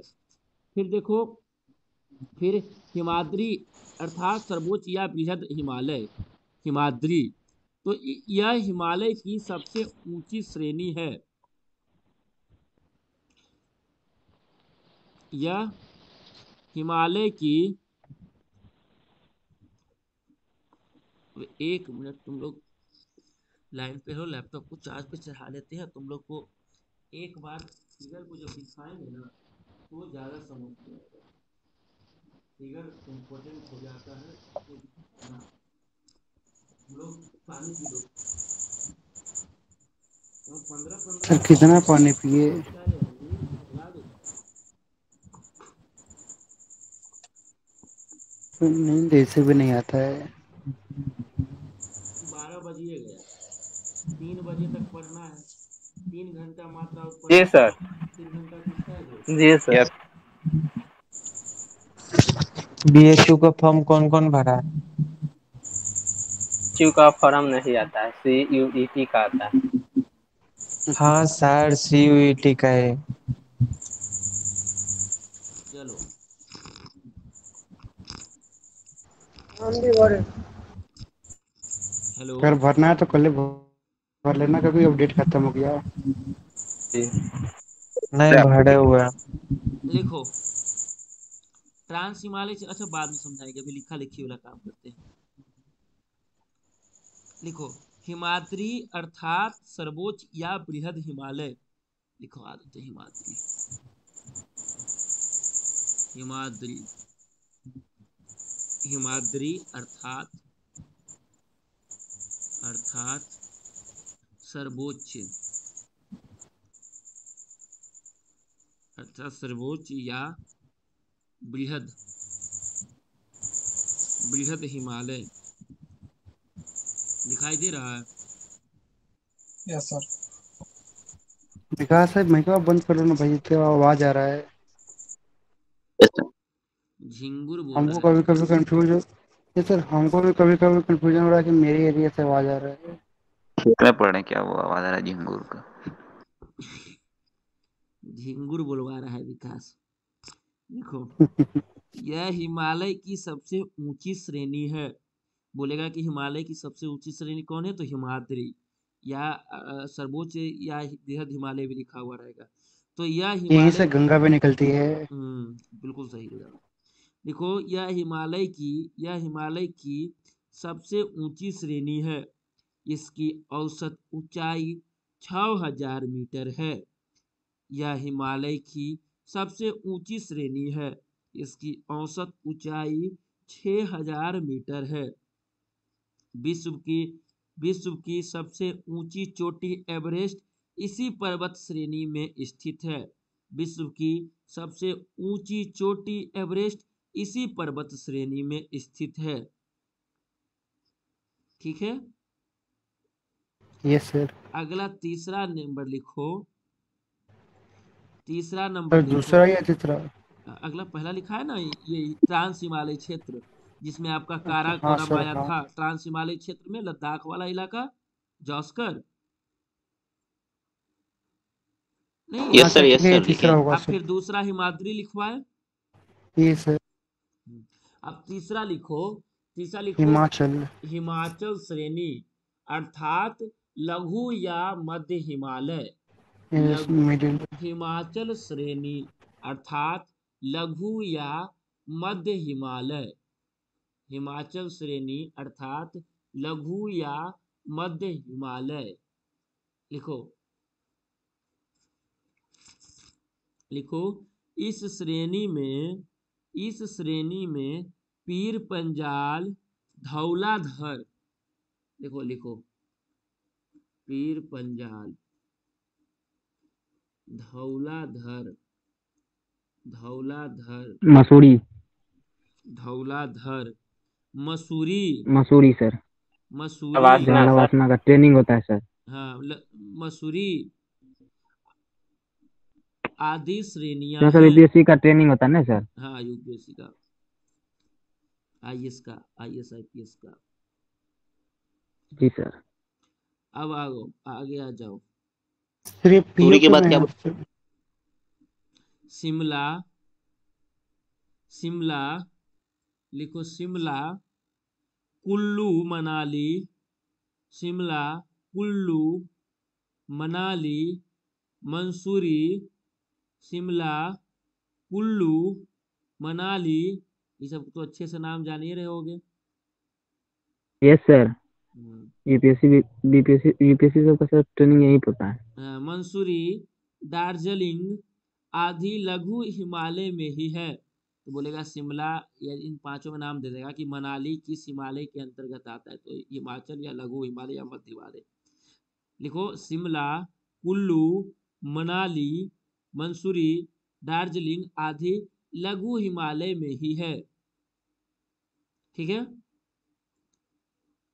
अब देखो लिखो शिवालिक। शिवालिक। लोएस्ट यह हिमालय का यह हिमालय का नवीनतम भाग है। लिखो शिवालिक। ना समझ में आए तो बोलना अब भागे से भी पहले बोल देना कि भैया भाग रहे हैं। ठीक है? लिखो लिखो कि शिवालिक के सामने यह हिमालय का नवीनतम भाग है। नवीनतम भाग है। पश्चिम पश्चिम में इसे दून या द्वार कहते हैं जैसे देहरादून हरिद्वार। ठीक है? आगे बढ़े। हिमालय सर यह हिमालय से हुआ अब एक बार और रिपीट कीजिए तो सर। लिखो यह हिमालय का नवीनतम भाग है।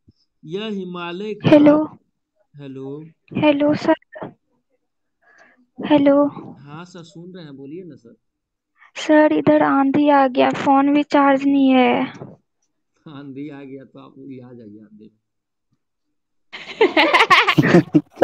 फ़ोन मज़ा आ गया चार्ज सर नहीं लाइट चली गई है।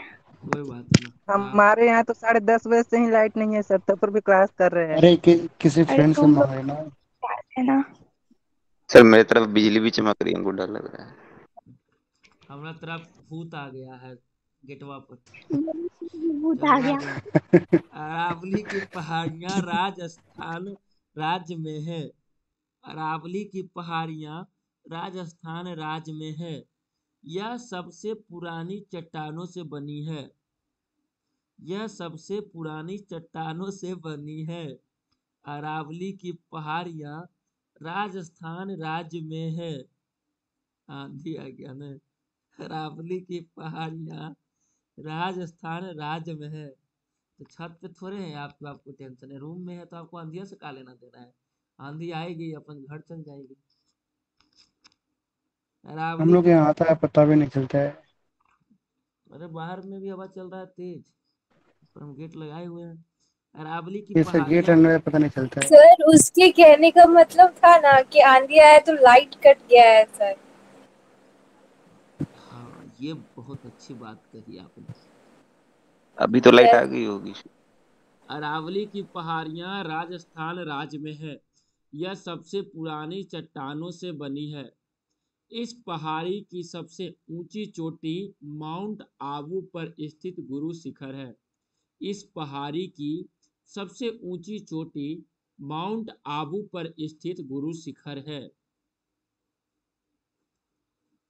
ठीक है? इसकी ऊंचाई सत्रह सौ बाईस मीटर। हाँ। तो हेलो। पता है सर चूटी। हेलो। Sir sir. हेलो। ची चोटी। हेलो। हेलो। हेलो। सर हाँ सर लाइट बोलिए चली गई। फ़ोन चार्ज नहीं है। तो जाइए आप अरे बैटरी सर्वर ऑन करो ना भाई। जाइए आप क्लास से जाइए। बैटरी सर्वर ऑन करो चलेगा आधा एक घंटा। आप जा अरे क्लास आप छोड़ सकते हैं कोई दिक्कत नहीं है। नोट्स ये इसको कोई नोट्स दे देना। ये जानकर क्लास नहीं छोड़ना चाह रहा है कोई छोड़ने का यस सर तो इसको नोट्स दे देना बाकी किसी को मत देना नोट्स ठीक है। अभी बारह ही बजा है तीन घंटा अभी क्लास चलेगा इसको दे देना एक खुशी ना सर।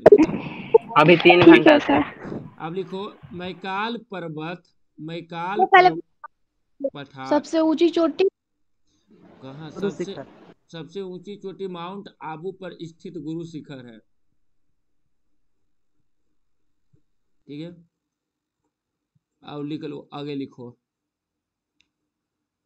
आगे लिखो। मैकाल पठार छत्तीसगढ़ में है। लिखो मैकाल पठार मैकाल पठार छत्तीस, छत्तीसगढ़ में है।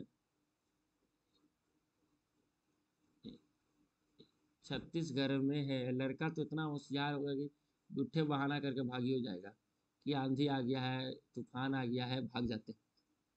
सर मेरे यहाँ तो साढ़े दस नो सर सही में हो रहा है। हाँ। हाँ मंटू भाई है की तरह बहुत सर मेरे तरफ़ भी बारिश हो रही है। अरे हो रहा है हो रहा है। मैं बात मानता हूँ। और उसी टाइम से लाइट इधर क्यों नहीं होती है सर? आगे अब अब नहीं तुम्हारा किस्मत खराब है क्या कर सकते हैं? आगे सत्यम भाई हंसेंगे तब यार हंस रहा है बारिश की जाए। यार तुम हंस। दो अब हम कितना हंसे भाई? सर ये लिखो मैकाल पठार गया है। मैकाल पठार छत्तीसगढ़ में पठार का नाम है नाम है मैकाल पठार। ठीक है? आगे आ जाओ।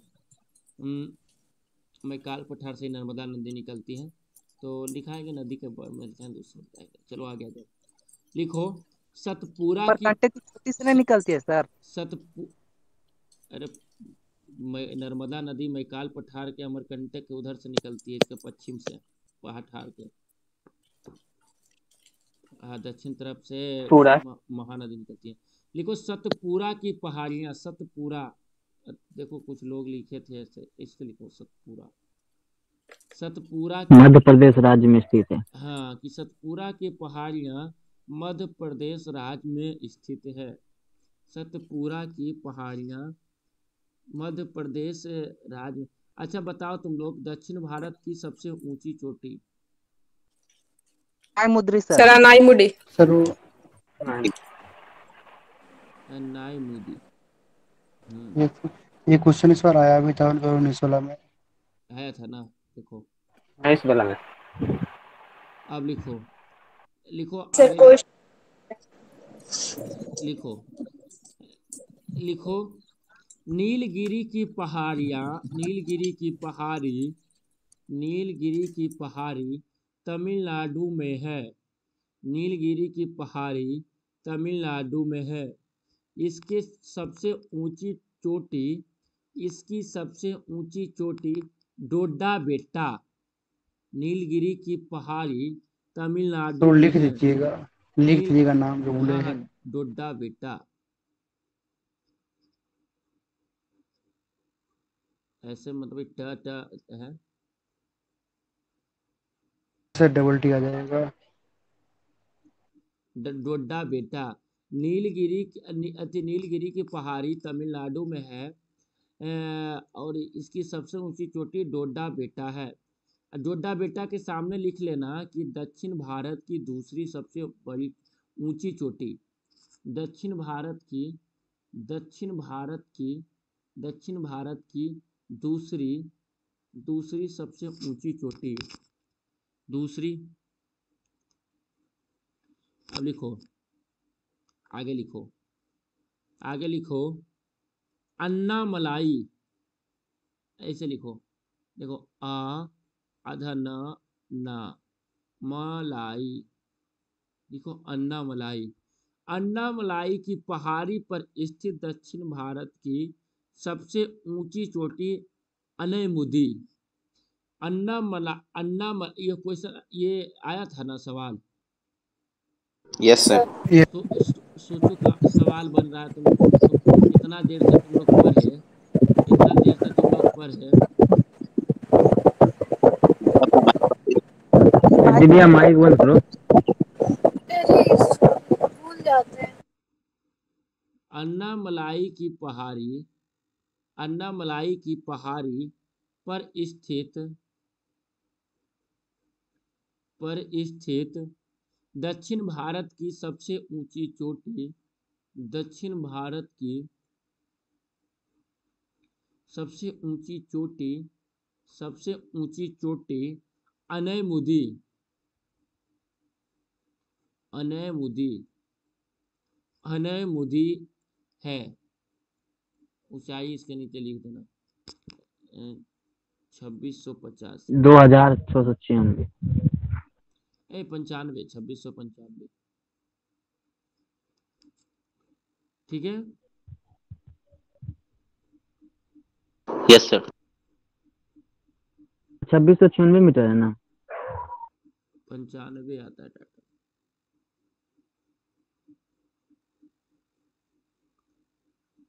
आगे आ जाओ। आगे आ जाओ।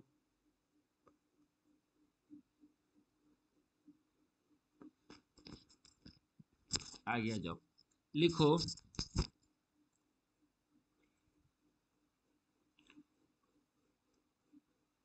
हो गया।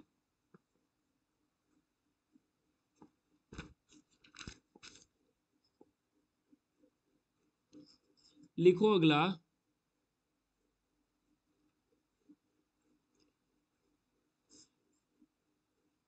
देखो, भारत के दो द्वीप समूह हैं। लिखो। भारत के दो है दो द्वीप समूह हैं। भारत के दो द्वीप समूह हैं। अब लिखो। पहला लिखो। अंडमान निकोबार द्वीप समूह। पहला लिखो अंडमान। ये का ये कैसा? ये खराब है। ये भी खराब है। इसको लो। अंडमान निकोबार द्वीप समूह पहला क्या लिखो है सर? सर रुक गया है। ग्रुप है क्या? क्या? सर रुक गया है। रुक गया? हाँ अब चल रहा है। अब चल रहा है सर अब चल रहा है। सर अब चल रहा है। पता नहीं वो कैसा गोल गोल हो गया था। गोल और कुछ अजीब टाइप का हो गया था। देखो अंडमान निकोबार अंडमान निकोबार और दूसरा जो आपका है लक्षद्वीप। लक्षद्वीप। लक्षद्वीप। अब लिखो। अंडमान निकोबार द्वीप समूह अंडमान निकोबार द्वीप समूह बंगाल की खाड़ी में स्थित है। अंडमान बाईस लड़का है अभी ना। तुम लोग लिख रहे हो? बीस कोई है। बीस को है बीस तो दिन कोई निकल गया। आदित्य अभिनय अभिषेक आदित्य अमित अंशु दिव्या फ़र्ज़ गुलशन मंटू मोनिका पूजा प्रकाश रजनीश गुप्ता देवराज चला गया sir Devraj. Riya Ruhi S K Satyam Shreya महिला सशक्तिकरण बहुत तेज चल रहा है ना?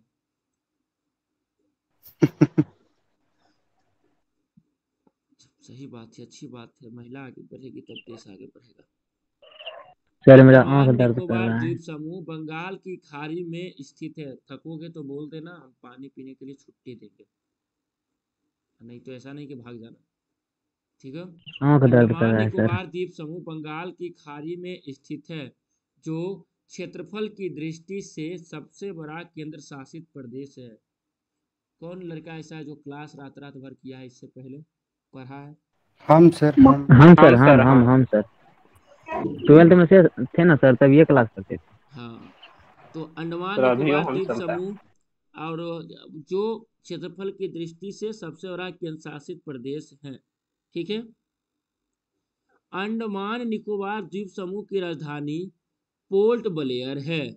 अंडमान निकोबार द्वीप समूह की राजधानी पोर्ट ब्लेयर है।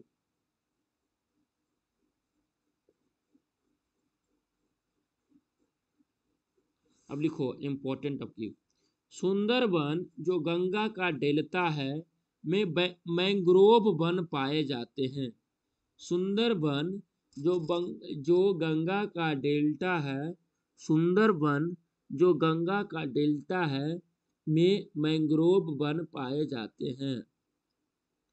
सुंदरबन जो गंगा का डेल्टा है में मैंग्रोव वन पाए जाते हैं। अच्छा सब लड़का ना बोलेगा ये बात की सर गलती की है आप आप बिना पढ़ा दिए। क्या चीज़?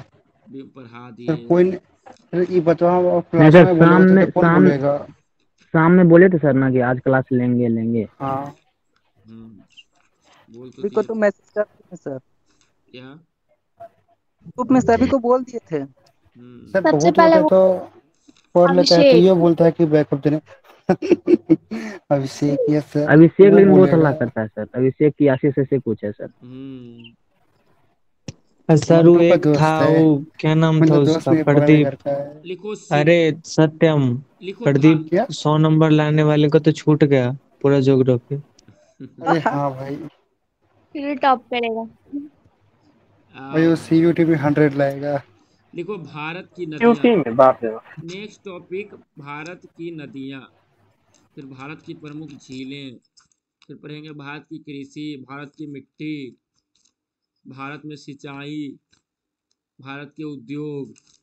छोटा छोटा बात करते जाएँगे। फिर भारत में परिवहन। भारत की जनगणना 2021 तो पढ़ा दी 2011 पढ़ा दी इसको छोड़ देंगे पूरा टॉपिक को। कहानी खत्म। पूरा पढ़ा नदी का नाम नदी का नाम से लिखाइएगा। अब लिखो पहले कैसे कैसे लिखना है तुमको हम बता दे रहे हैं और उससे उससे तुम ढांचा बना लो देखो ढांचा बनाओ।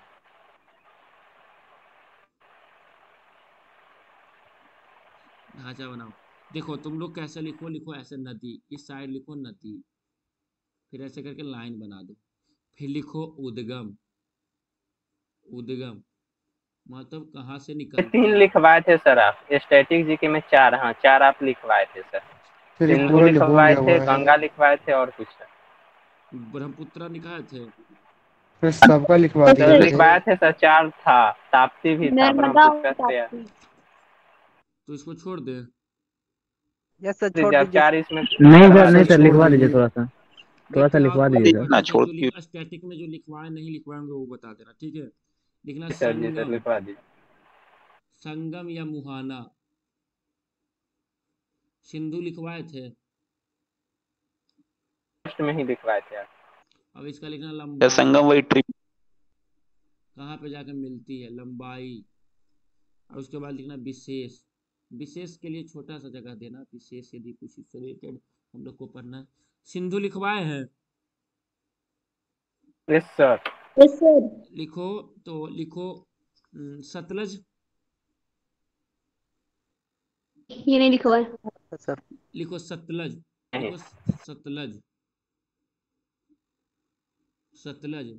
उद्गम के सामने लिखना तिब्बत के तिब्बत में मानसरोवर झील के समीप स्थित राकसताल तिब्बत में मानसरोवर झील के समीप स्थित राकसताल राकसताल। तिब्बत में मानसरोवर झील के समीप स्थित राकसताल। संगम या मुहाना है, जो संगम होती है इसकी ब्यास नदी से। ब्यास नदी। ठीक है? भारत लंबाई कितनी है? पंद्रह सौ। भारत में दस सौ पचास किलोमीटर में। आगे आ जाओ। आगे आ जाओ। गंगा यमुना। यमुना लिखवा दिए ना? यमुना नहीं नहीं नहीं। नहीं सर नहीं सर नहीं। लिखो यमुना। यमुना लिखा बंदर पूंछ बंदर पूंछ देखो लिख दिया, ये इसने बंदर पूंछ। बंदर पूंछ के पश्चिमी ढाल पर स्थित यमुनोत्री हिमानी। बंदर पूंछ के पश्चिमी ढाल पर स्थित, पश्चिमी ढाल पर स्थित यमुनोत्री हिमानी। यमुनोत्री भी याद कर लोगे तो आ जाएगा यमुनोत्री यमुनोत्री यमुनोत्री हिमानी। संगम कहाँ होता है? प्रयाग, लिखो इलाहाबाद में गंगा नदी। प्रयाग, इलाहाबाद में गंगा नदी।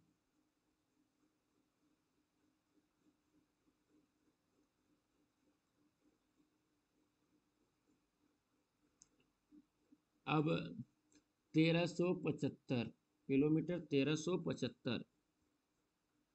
आगे आ जाओ। लिखो, शारदा। शारदा को लिखो कि काली गंगा के नाम से जाना जाता है। ये सब नहीं देखो गंडक लिखवा है गंडक। सर। लिखो गंडक गंडक। उद्गम लिखो नेपाल गंडक का उद्गम लिखो नेपाल। संगम या मुहाना के सामने लिखो पटना के समीप गंगा नदी। इम्पोर्टेंट है गंडक। गंडक का लिखो नेपाल उद्गम नेपाल। पटना के समीप गंगा नदी। थके नहीं हो ना? ठीक। अब लिखो। भारत में 425 भारत में 425 सब बहुत डीप है। फिर भी लिख रहे हैं तो लिखने में क्या पढ़ना खराबी पढ़ाई थोड़े खराबी करता है। लिखो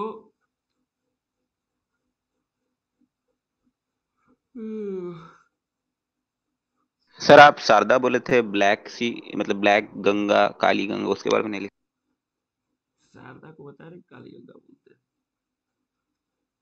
सबको अच्छा।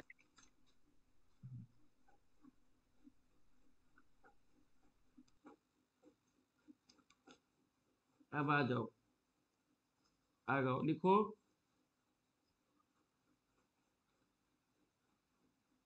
लिखो, धौली और विष्णु गंगा का संगम कहाँ होता है? गंगा नदी कैसे बनती है वो हम आपको बताते हैं।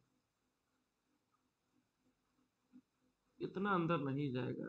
लिख लो, धौली और विष्णु गंगा का संगम। धौली और विष्णु गंगा का संगम विष्णु प्रयाग में। धौली और विष्णु गंगा का संगम। विष्णु है तो विष्णु प्रयाग। विष्णु प्रयाग में अलकनंदा और पिंडार का संगम कर्ण प्रयाग में। अलकनंदा और पिंडार, प, हर्षिकार, अंशवाल, डा पिंडार।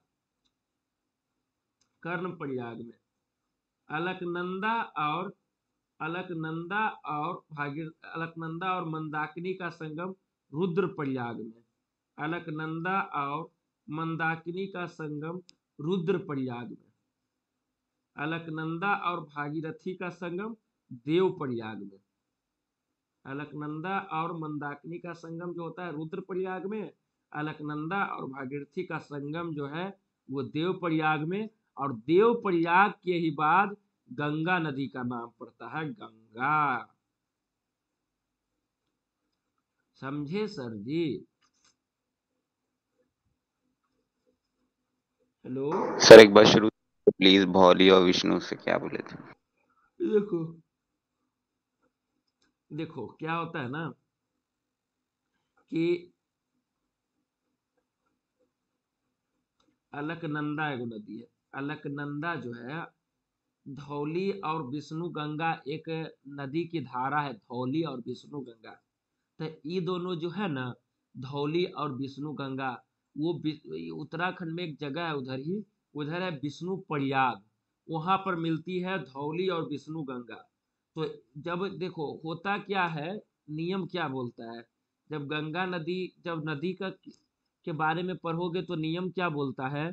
कि जब बड़ी नदी में, जब बड़ी नदी में छोटी नदी आकर मिलेगी तो छोटी नदी का नाम क्या हो जाएगा? ट्रिब्यूटरी लुप्त। जैसे यमुना नदी इलाहाबाद में आकर मिलती है तो यमुना नदी वहाँ पे समाप्त हो जाती है? यस सर हो जाती है ना? ऐसा तो नहीं यस पनिया भी यमुना नदी का समाप्त हो जाता है। तो गंगा में मिलती है?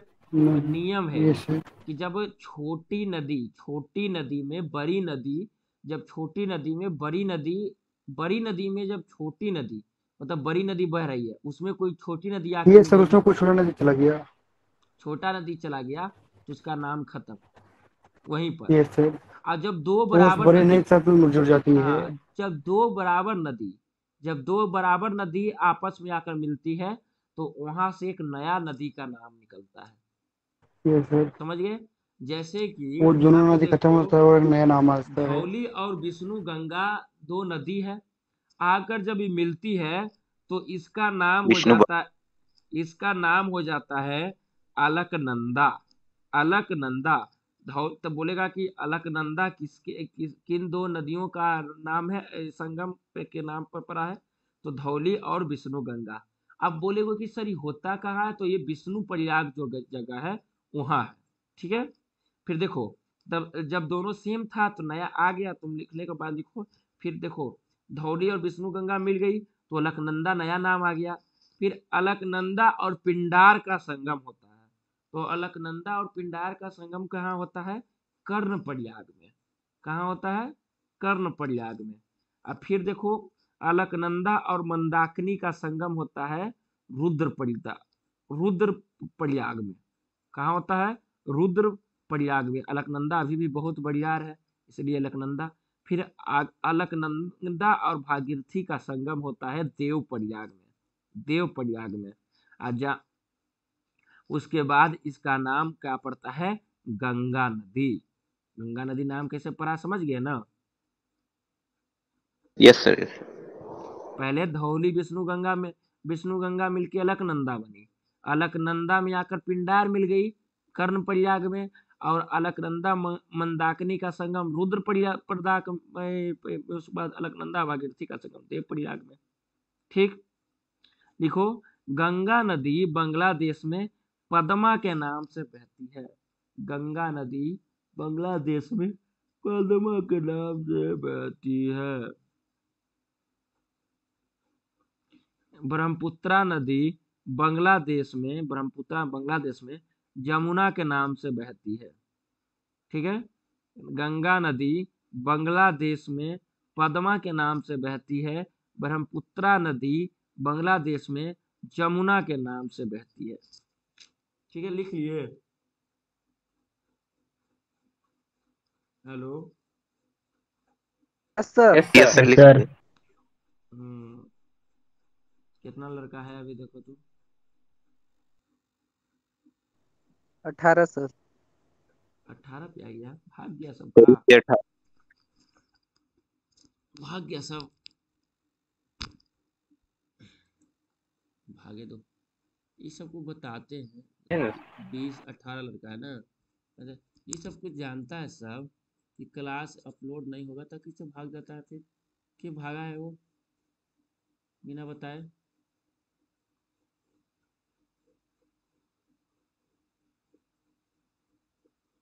आ जाओ। आ जाओ। क्या लास्ट पॉइंट लिखे हो?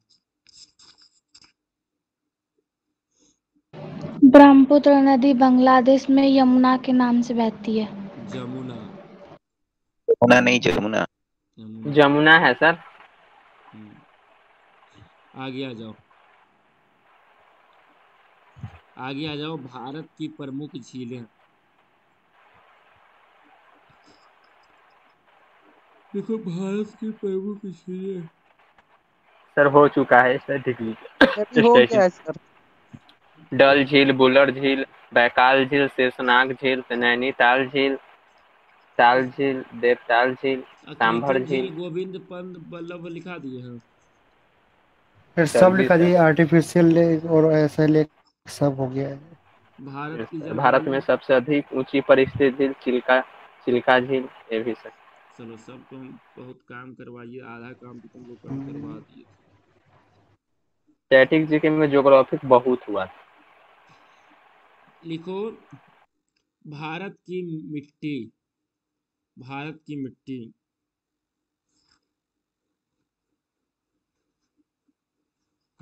भारत इसमें क्या मिट्टी। लिखवाइएगा? लिखो ना लिखो। पहला जलोढ़ मिट्टी। ब्लैक सॉइल है एलुवियल सॉइल यही सब। लिखो जलोढ़ मिट्टी। फिर भारत की मिट्टी भारत की कृषि। कृषि के बाद कुछ और सा देखेंगे इम्पोर्टेंट उसके बाद खत्म इसको कर देंगे भारत के उद्योग में छोटा छोटा बात पढ़ेंगे उद्योग के बाद परिवहन एकदम खत्म कर देंगे आज परिवहन आज तुम तुम लोग खत्म कर दो मेरे ख्याल से। हैं? जी सर सर। जाते नहीं है। जी सर खत्म आज कर दीजिए। तो बढ़िया बात रहेगा ना खत्म कर दोगे तो फिर ज्योग्राफी कहानी खत्म पॉलिटी बचेगा पॉलिटी दो रात में खत्म कर देंगे। क्या? यस सर यस पॉलिटी दो रात में पॉलिटी दो रात में खत्म कर देंगे। बीस लड़का है अभी बचा हुआ अठारह लड़का। कोई बात नहीं है। अब पॉलिटी दो रात में खत्म कर देंगे। और उसके बाद तो तुम लोग दो मिनट रेस्ट करोगे पानी पियोगे। नहीं सर सर ठीक। पी लो पी लो पी लो। हम भी पी लेते हैं ज़रा सा। थोड़ा सा थोड़ा सा रेस्ट हाथ को दो। दो मिनट दो। ऐसे ऐसे। देखो तेज़ी में नहीं चलता ठीक है सर कोई बात नहीं है कोई बात नहीं है। आराम आराम से। दो घंटा हुआ तो सर पाँच हम्म। मिनट दीजिए ना दूध रोटी सर ये हो जाने के बाद पॉलिटी खत्म हो जाएगा उसके बाद मैथ को रिपीट कर दीजिएगा। मैच को रिपीट कर देंगे। हाँ सर अब हाँ सर अभी याद आया। आप बोले थे हर दिन पीडीएफ दीजिएगा क्वेश्चन बनाने के लिए देते नहीं है। यस सर एक दिन दिए दो पीडीएफ दिए थे ना दो दिन के लिए।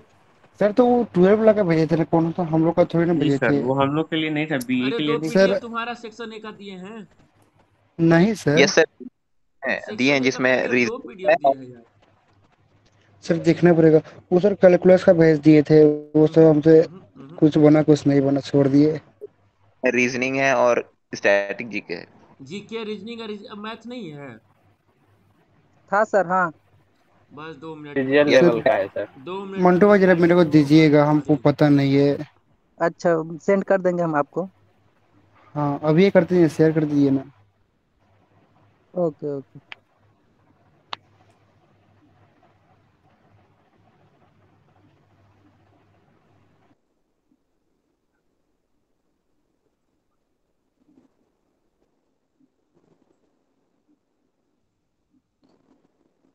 सर आप बोल रहे थे कि दस नंबर मैथ दस नंबर रीजनिंग और बीस नंबर जीके ऐसे चालीस नंबर तो हिंदी इंग्लिश भी तो आएगा हिं, ना।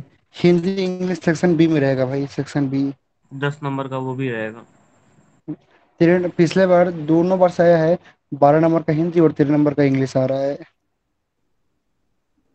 पच्चीस नंबर? हम्म। और बाकी का तुम्हारा रहेगा ज्योग्राफी इकोनॉमिक्स और हिस्ट्री पॉलिटी से। मैथ दस नंबर का नहीं आएगा मैथ तीन चार पाँच ही नंबर का है। नहीं ज़्यादा नंबर का आएगा। हाँ उसमें थोड़ा मेंटल एबिलिटी जुड़ जाता है ना तो कम मार्क्स हो जाता है।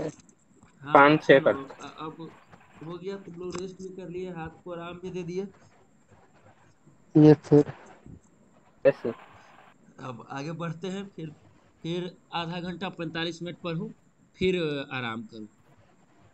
ये फिर हाँ, देखो आराम आराम से काम करो। कितना पेज अभी लिखवा दिए हम? आठ। लिखो। चेक करते। I can't explain. लिख नहीं रहे क्या?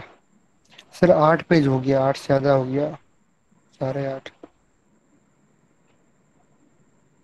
आ जाओ लिखो। जिसका छोटा है वो माए बाप करेगा कल। ना?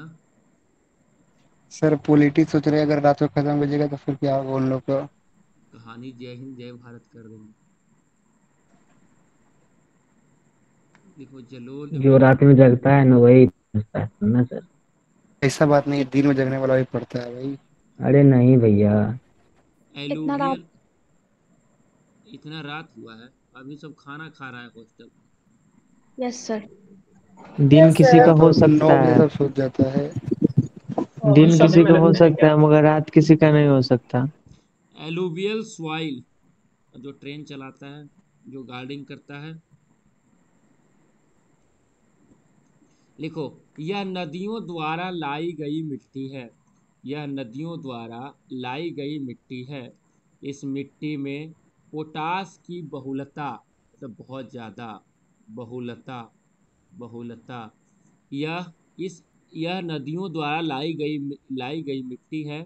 इस मिट्टी में पोटास की बहुलता होती है, ठीक है? लेकिन नाइट्रोजन, फास्फोरस एवं ह्यूमस की कमी होती है। लेकिन नाइट्रोजन, फास्फोरस एवं ह्यूमस की कमी होती है। यह भारत की सबसे उपजाऊ मृदा है।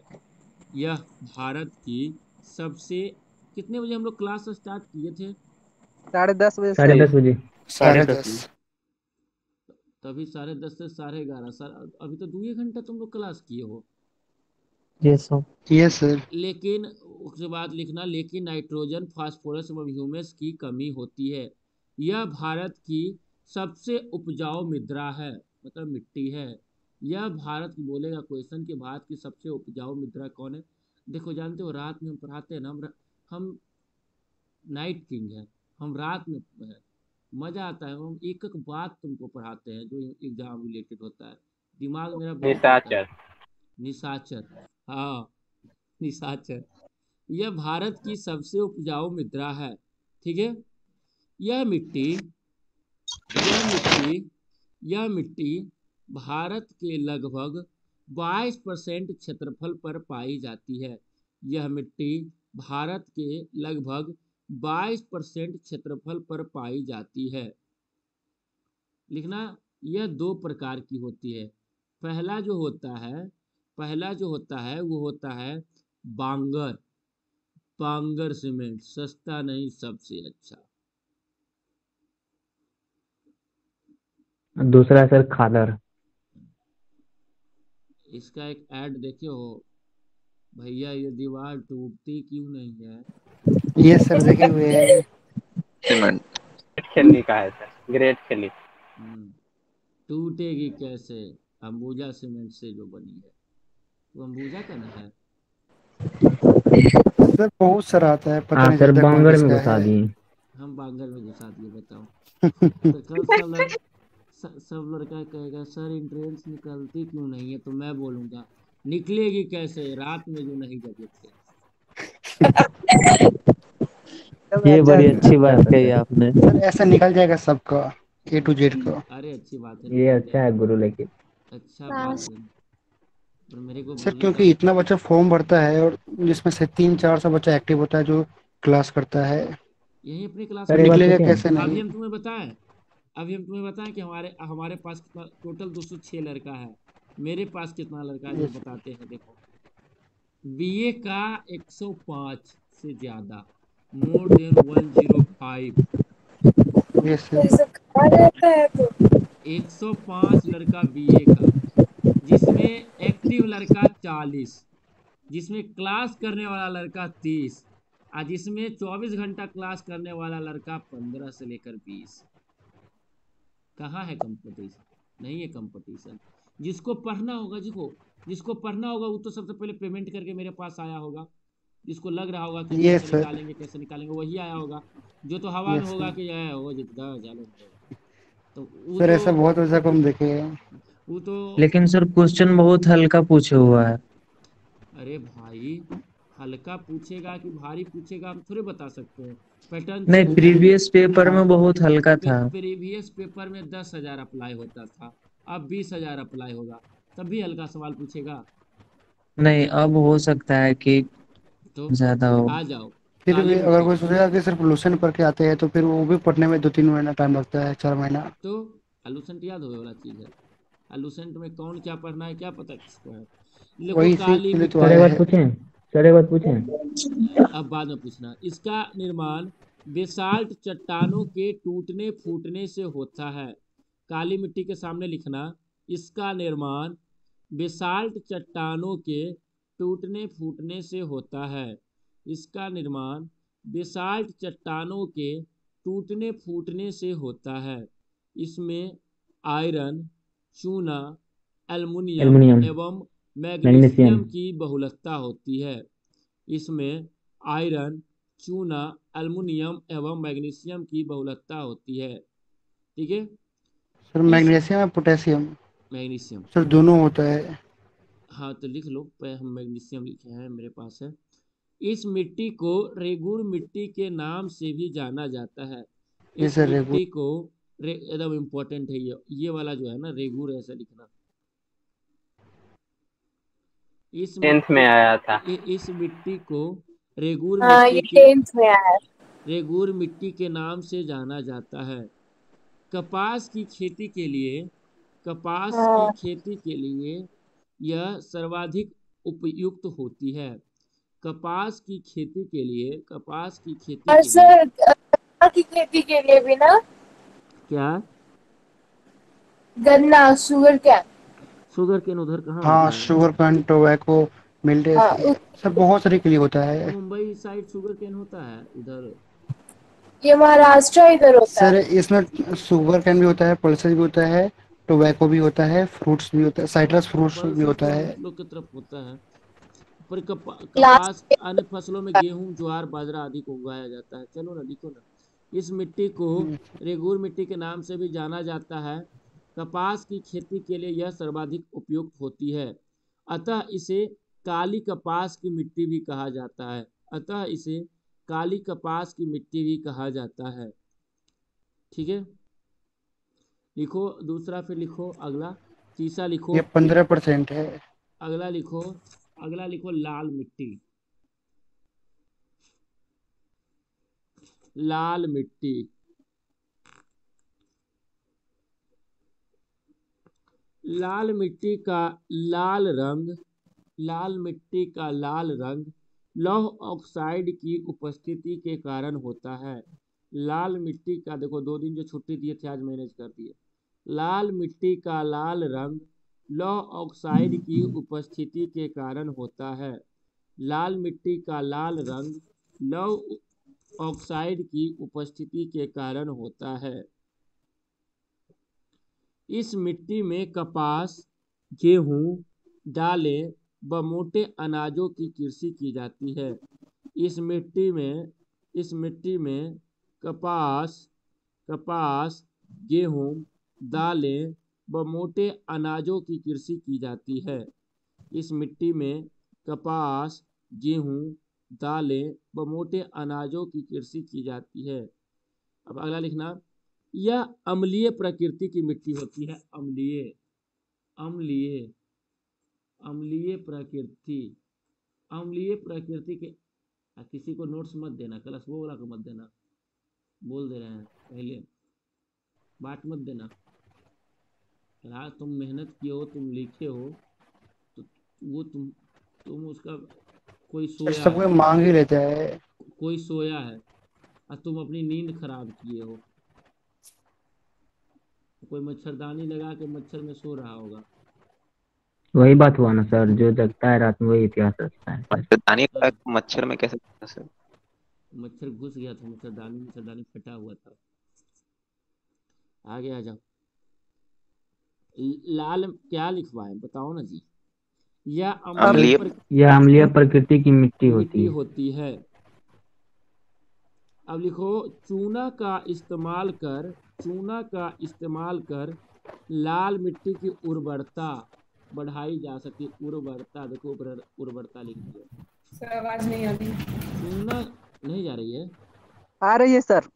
और आ रहा है सर। चूना का इस्तेमाल कर लाल मिट्टी की उर्वरता बढ़ाई जा सकती है। बढ़ाई जा सकती है। अब लिखो लिखो लेटेराइट मिट्टी लेटेराइट मिट्टी। लेटेराइट मिट्टी। लिख लिए लेटेराइट। यस सर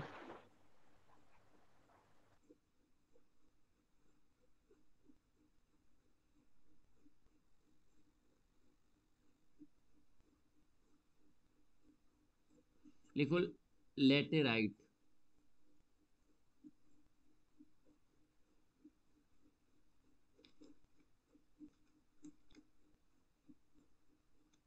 लिखो लेटेराइट मिट्टी। लिखो लेटेराइट मिट्टी लेटेराइट मिट्टी, चाय, लेटेराइट मिट्टी, चाय, इलायची एवं काजू की खेती के लिए सर्वाधिक उपयुक्त होती है। लेटेराइट मिट्टी, चाय चाय, इलायची एवं काजू की खेती के लिए सर्वाधिक इक्कीस लड़का फिर हो गया हो कौन बढ़ गया?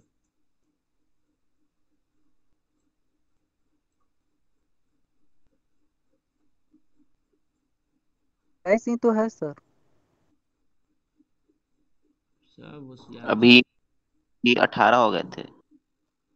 लाल मिट्टी लेटेराइट लाल लेटेराइट मिट्टी चाय इलायची एवं काजू की खेती के लिए सर्वाधिक उपयुक्त होती है। अब लिखो अगला टॉपिक खत्म। अगला टॉपिक लिखो। अगला टॉपिक लिखो भारत की कृषि। भारत की कृषि। लगता है खत्म हो जाएगा ना जी। यस सर हो जाएगा सर। जी सर। यही टारगेटे किए थे कि रात हो दिन हो। रोज रोज का झंझट से एक दिन का अथी वाला। एक दिन में सारा जय हिंद जय भारत कर देंगे।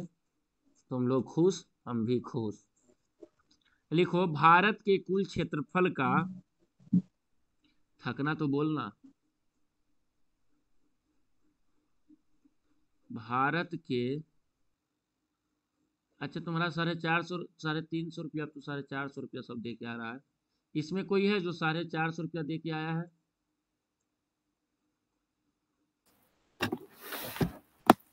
हम सर हम। इक्यावन परसेंट आप लेट हो गए थे तो आप क्या कीजिएगा? फ़ीस तो साढ़े तीन सौ था। इससे हमको कोई दिक्कत तो नहीं है। कोई दिक्कत नहीं होता है भाई। इक्यावन परसेंट भाग पर कृषि चार परसेंट भूभाग पर चार परसेंट भूभाग पर चारागाह पढ़ने में मज़ा आ रहा है। बहुत मज़ा आ रहा है सर। सर पाँच सौ देकर आईपीएल देखते हैं ये तो बहुत कम है। है इक्कीस परसेंट भूमि पर वन अब सत्यम ये होगा दिमाग खोल दिए फ़ीस सब बढ़ाना पड़ेगा आईपीएल बराबर कर देंगे। चौबीस परसेंट भूमि बंजर ये बढ़ाइए इसमें सर कुछ बढ़ाइए ठीक है। हम्म हम्म छो सौ करते हैं रुको अब। सर सबको देखते हैं सबको देखता है जो चलो। हम्म।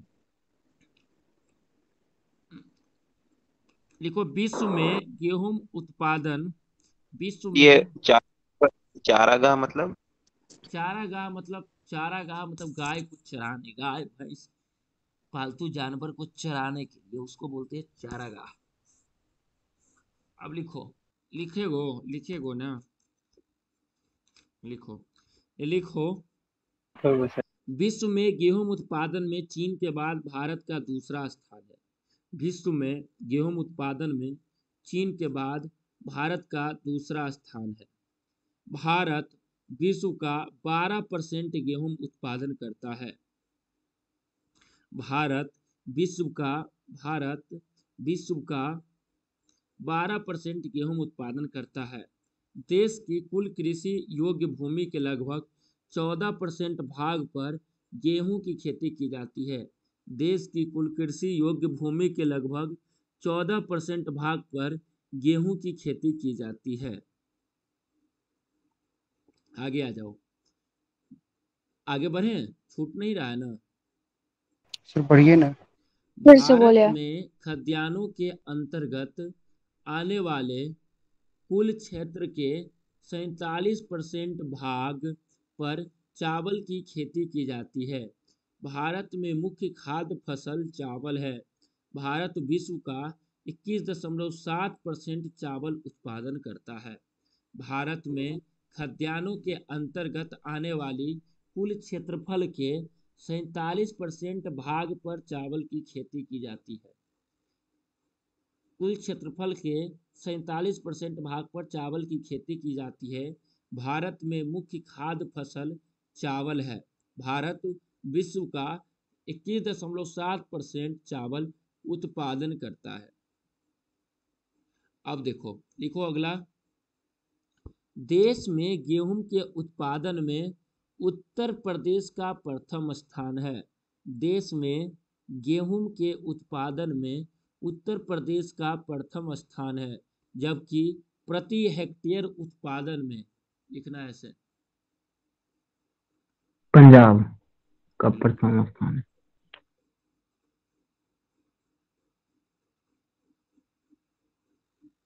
जबकि प्रति हेक्टेयर प्रति हेक्टेयर उत्पादन में पंजाब का स्थान प्रथम है। पंजाब का स्थान जो है सो प्रथम है। आगे आ जाओ। हरित क्रांति का हरित क्रांति का सबसे अधिक प्रभाव गेहूँ तथा गेहूँ पे पड़ा था। चावल की कृषि पर पड़ा। हरित क्रांति का सबसे अधिक प्रभाव गेहूँ और चावल की कृषि पर पड़ा है। परंतु चावल की तुलना में गेहूँ का उत्पादन अत्यधिक वृद्धि हुई। परंतु चावल की तुलना में गेहूँ का उत्पादन अत्यधिक वृद्धि हुई। एक बार और बोल दीजिए। एक बार आओ। देखो हरित क्रांति का सबसे अधिक प्रभाव गेहूँ और चावल की कृषि पर पड़ा है। परंतु परंतु चावल की तुलना में गेहूँ के उत्पादन में अत्यधिक वृद्धि हुई है। लिखो।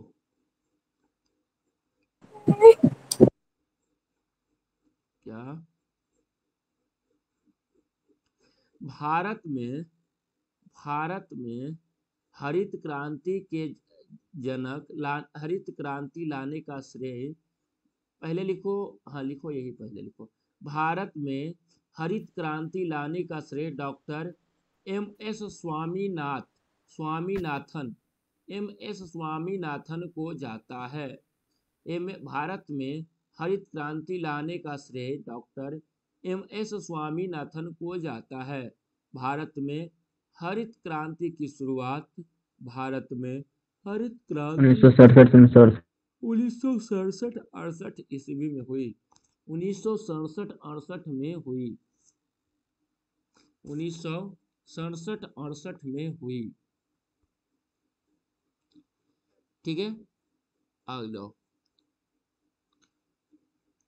भारत में श्वेत क्रांति के जनक डॉक्टर बी कुरियन को माना जाता है।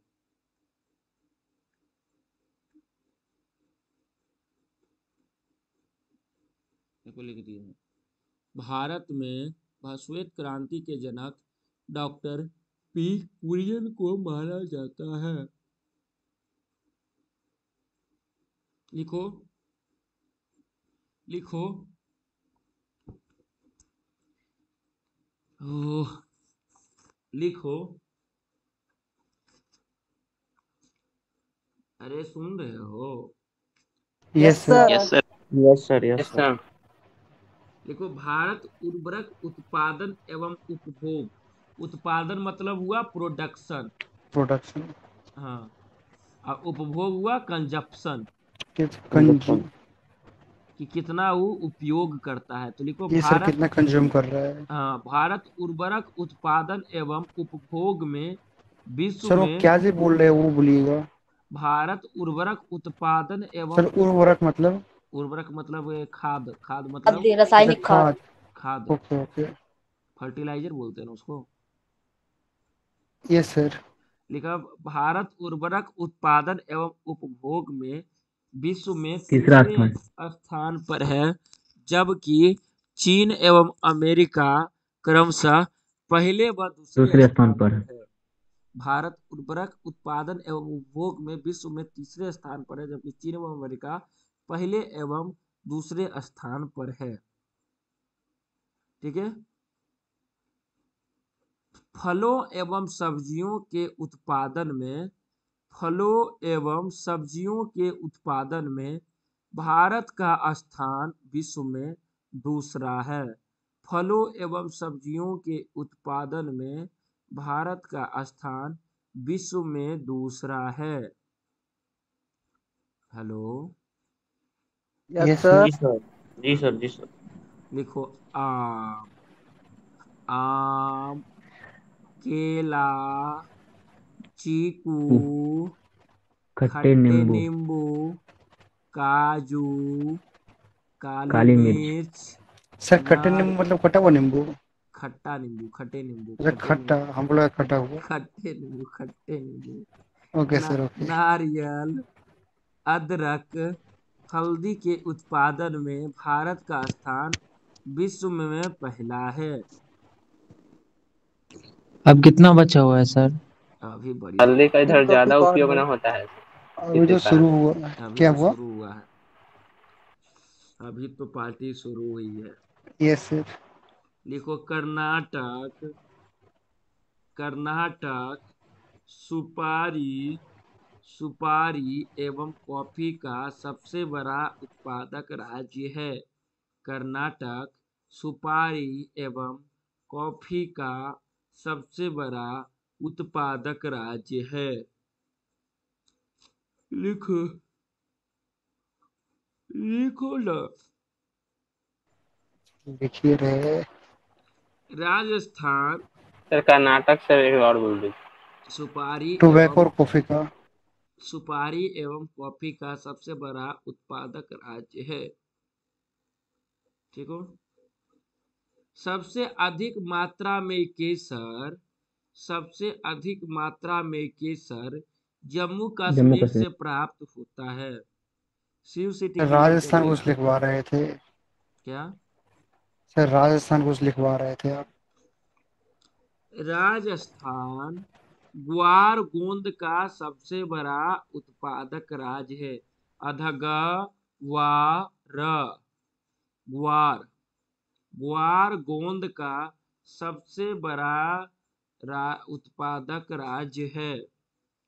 अब तो अब अब यहाँ से इम्पोर्टेंट अब यहाँ से जो भी है जो जो आपके एग्ज़ाम में सीधा टकराएगा। सीधा टकराएगा आपके एग्ज़ाम में। इसलिए यहाँ से कितना लड़का है सर? सर उन्नीस वो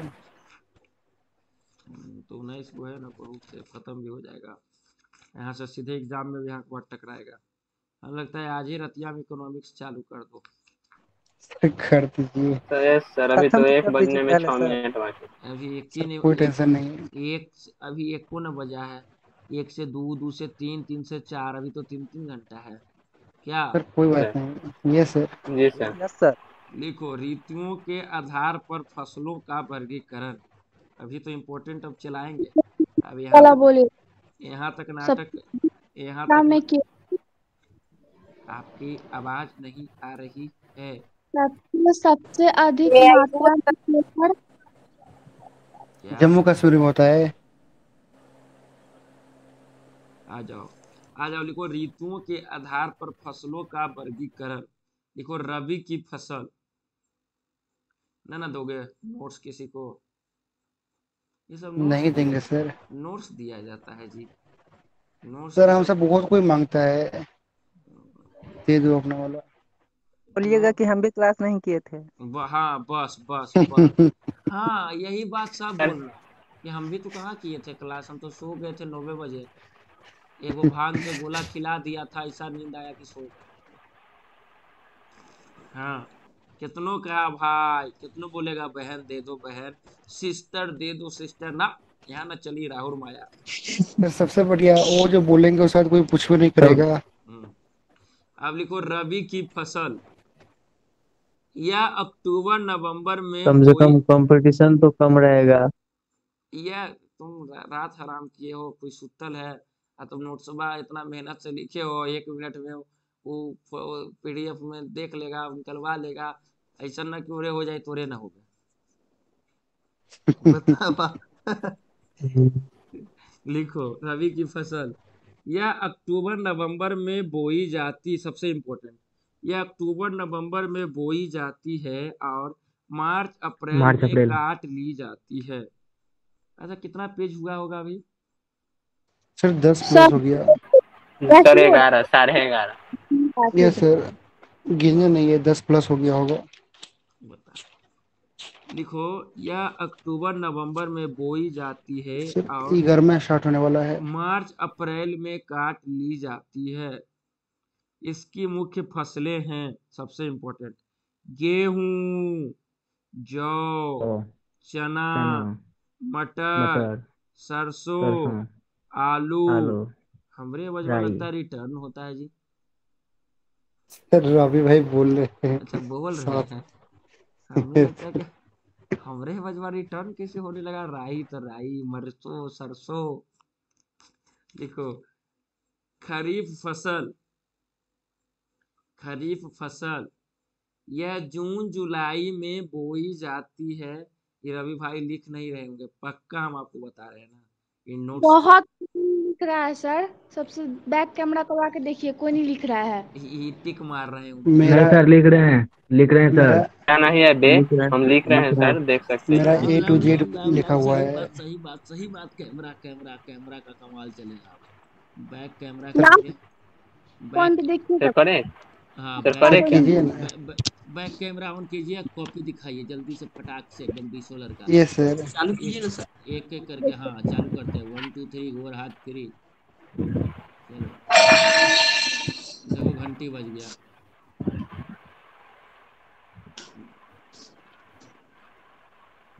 अरे सर बैक कैमरा कहे है सर? हाँ देखो ये लड़का लिख रहा है। अच्छा देखो ये भी लिख रहा है। देखो ये भी लिख रहा है। ये भी लिख रहा है। और बाकी सब सूत गया है लगता है। देखो कितना अच्छा से लड़का देखें सर। देखिए सर लिख रहे हैं। सत्यम भाई आपका नहीं आ रहा है कुछ। सर बैक कैसे होगा हमको समझ नहीं आ रहा है। ऊपर में ऊपर में जाइए ऊपर में जाइए और ऊपर जाइए ना। रोल का इसमें कैसे? अपने जरा मेरे को बताना। सब सब ऊपर जो माइक का ऑप्शन है ना एयरफोन का ऑप्शन है उधर है। देखो एक उसके बगल में। एक इसका साहिल। राज है कितना ज़बरदस्त सेटअप है इसका देखो। साहिल राज का। बताओ वाह भाई वाह। सक्सेस तुम्हारी कदम चूमेगी वेरी गुड देखो ये रजनीश गुप्ता का भी सही है। सब सही है सब सही है। ऑल गुड सर माइ ये खोले लेकिन वो, वो चेंज कहाँ से- वाह देखो इतना सब लड़का है। ओह। सत्यम। मन खुश कर दिया सब। ऊपर माइक पर जाइए ना। सत्यम चेक करो माइक चेक करो भेजा है। वहीं से चेक होगा। चेंज एक मिनट हम देखते हैं एक सेकंड एक हाँ सेकंड। व्हाट्सएप अच्छा चेक करो वहीं बाकी सब पढ़ रहा है सब पढ़ रहा है सब पढ़ रहा है। अच्छा हॉरिजेंटल में चेंज होगा। एक सेकंड एक सेकंड सर श्रेया भी देखो अच्छा की है लिखी है। देखो वहाँ पे रोटेशन का होगा। स्पीकर का जस्ट बहुत सही। देखो इसको यहाँ पे लाते हैं इसका इसका बंद कर देखो। यहाँ पे ला दिया ना बड़ा बड़ा किया। बड़ा मेहनत हो रहा है सर निकलना चाहिए। देखो फिर अमित सोनी का है देखो इसको पिन करते हैं। Sir now you can check my notes. Hello. कहाँ है सर? आप सत्यम भाई का देखो ओहो। सत्यम भाई का देखो आ गया। यही आपका ही चल रहा है ना आगे स्क्रीन पर? यस सर बताओ यार अरे सुंदर है सुंदर सुंदर। देखो ये इंग्लिश में देखो, इसके साहिल राज लुसेंट भी बगल में निकाले हुए, इसका देखो भाई देखो, वाह भाई वाह वेरी गुड और देखा है, विकास का दिखाते हैं। देखो देखो, ये विकास का है।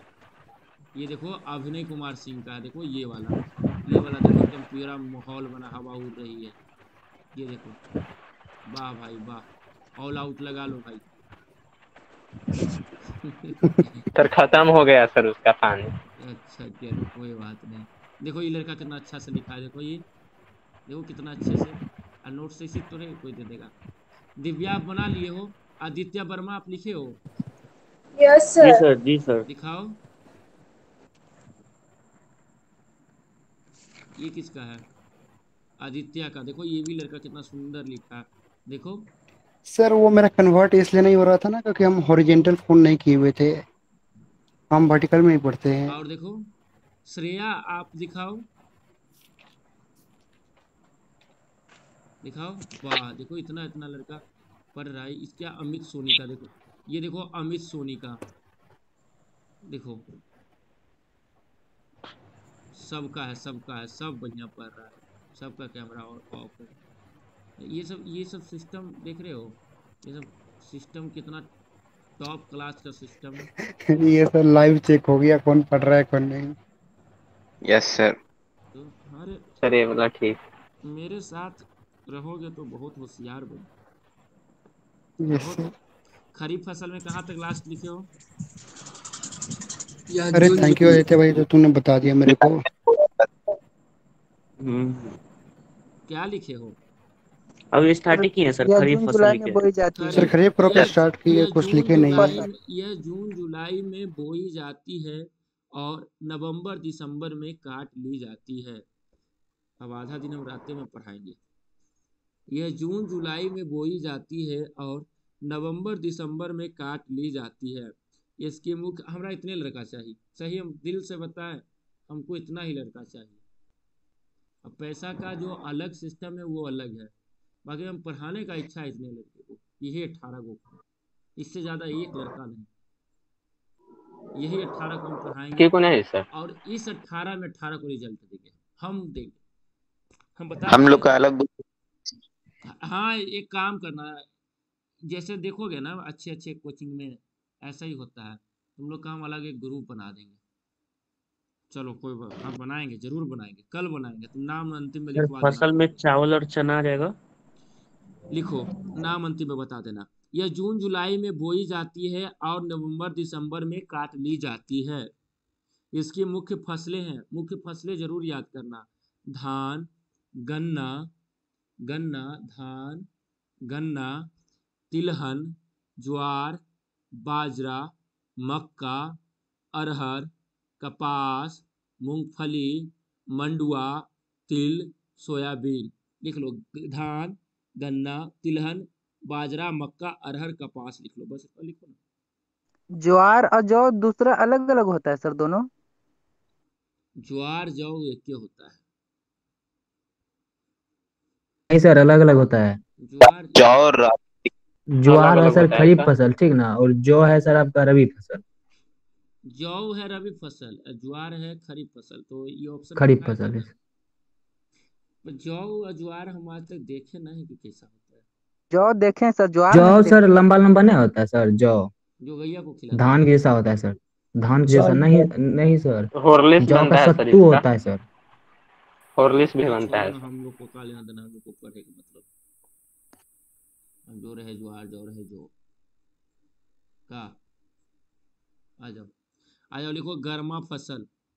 गर्मा फ़सल। गर्मा फ़सल। लिखो यह मई जून में बोई जाती है। यह मई जून में बोई जाती है। एक दिन ऐसे ही करोगे पूरा मैथ का रिवीजन रात भर। Sir math yes sir yes sir करेंगे। मैथ का रिवीजन रात भर करेंगे कोई पढ़े ऐसे तो उसका बहुत ज़्यादा प्रैक्टिस किए हैं लेकिन करेंगे। हम लेके आएँगे क्वेश्चन तरह तरह का। पूरी रात बैठ कर एक एक क्वेश्चन बनाएँगे अनु क्लास कर रही हो। कौन? अनु से पूछ रहे हैं सर कौन है अनु? अनु नाम की तो कोई है ही नहीं। हाँ कर रही हूँ। हाँ कर रही हूँ। नाम से कर रही हूँ। कहाँ कोई है अनु? बोल रही है। आँसू है। अंशु है ना? एक अन्नू भी है तुम्हारे क्लास में। यस सर यह मई जून में बोई जाती है और जुलाई अगस्त में काट ली जाती है। यह मई जून में बोई जाती है और जुलाई अगस्त में काट ली जाती है। ठीक है? Yes sir hmm. आगे आ जाओ। आगे आ जाओ। अब लिखो जन्म स्थान भारत में सिंचाई इसको उठा लेते हैं। ऐसे ही खनिज संसाधन उठा लेते हैं। हम्म, इसमें फ़सल नहीं है क्या? और फ़सल खत्म। फ़सल सर गर्मा फ़सल का मुख्य फ़सलें क्या होगा? जूट। इसमें सब्ज़ी। राई मक्का ज्वार।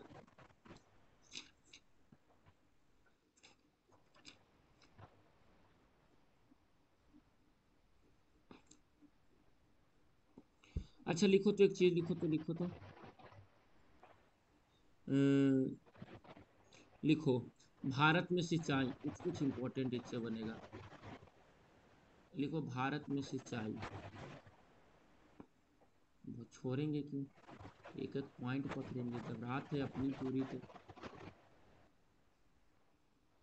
भारत में सिंचाई। लिखो ये सब छोड़ो, क्या बिज़नेस सिंचाई ये सब छोड़ो, ये सब छोड़ो।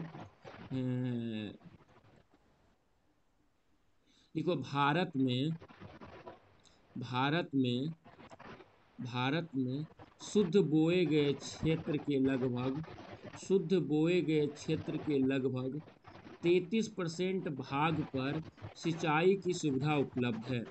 भारत में शुद्ध बोए गए क्षेत्र के लगभग 33 परसेंट भाग पर सिंचाई की सुविधा उपलब्ध है।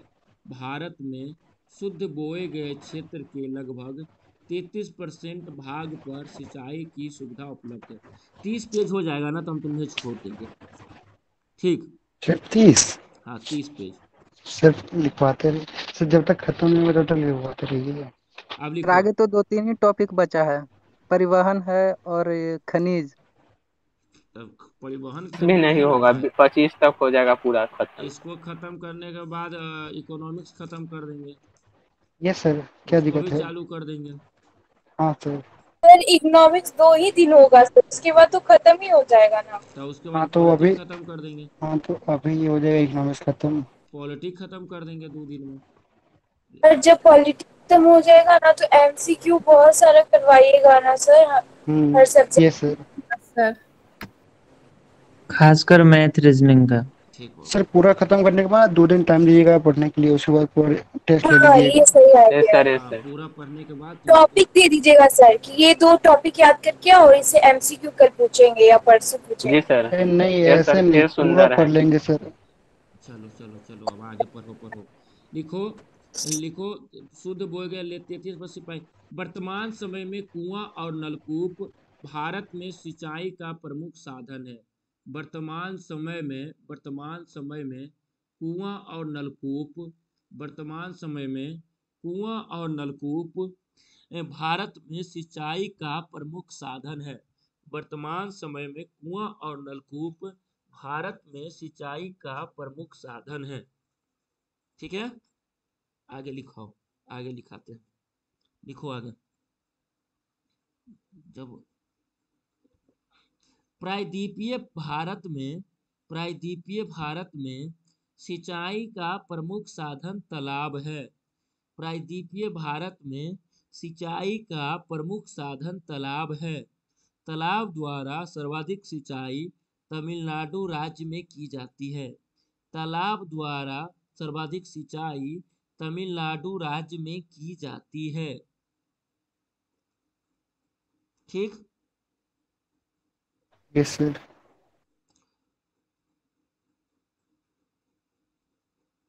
लिख रहने दो सब आ जाओ। देखो, भारत के उद्योग, अंतिम टॉपिक नहीं, भारत का उद्योग अंतिम नहीं है। भारत का परिवहन, बारहवा नंबर, तेरहवा जनगणना, और उसके बाद कहानी खत्म। बाकी सब तो इसमें लिखा दिया है। नहीं विश्वास था कि खत्म कर। सर जनगणना हो गया है सर। जनगणना हो ही गया है। जनगणना पूरा सर केरल भारत ये सब पूरा हो गया बढ़िया हो गया। भाई दो टॉपिक है। भाई मेरे दो टॉपिक जी सर करा दीजिए करा करा दो दीजिए दो उड़ाइए आज सबको। उड़ा एकदम उड़ा देते हैं। सबको बहुत आज दुख होगा कि क्यों नहीं उस रात को हम भी जागे थे। सर सर जनगणना ज़्यादा दो हज़ार ग्यारह की बात करते हैं। हाँ। हाँ दो हज़ार ग्यारह का। हाँ सर। बोले सबसे ज़्यादा दुख पांडे को होगा सर। हाँ खोल जाएँगे।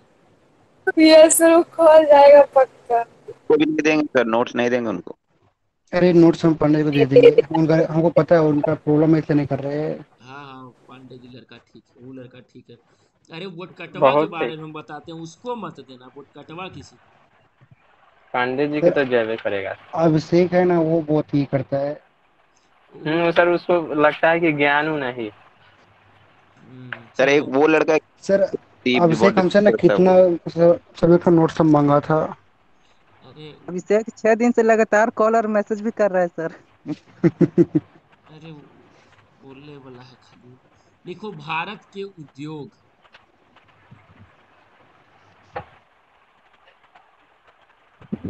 सब सोया होगा मन से सुबह जाएगा तो बोलेंगे कि आपका पूरा ज्योग्राफी खत्म हो गया। सबको शॉट मार देगा। हम रात में मैसेज कर देंगे सर। सर आठ सौ चालीस वोल्ट का झटका लगेगा। ये कब हो गया। लौह इस्पात उद्योग। भारत में पहला लौह इस्पात कारखाना पहला लिखो भारत के उद्योग में लौह इस्पात उद्योग।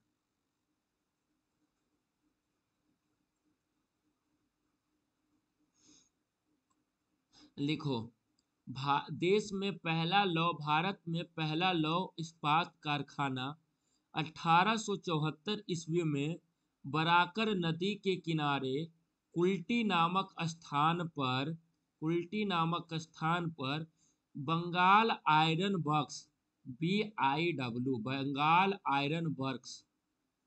देखो बंगाल आयरन वर्क्स। के रूप में स्थापित किया गया था। भारत में पहला लौह इस्पात कारखाना 1874 ईस्वी में बराकर बराकर नदी के किनारे कुल्टी नामक स्थान पर बंगाल आयरन वर्क्स के रूप में स्थापित किया गया था।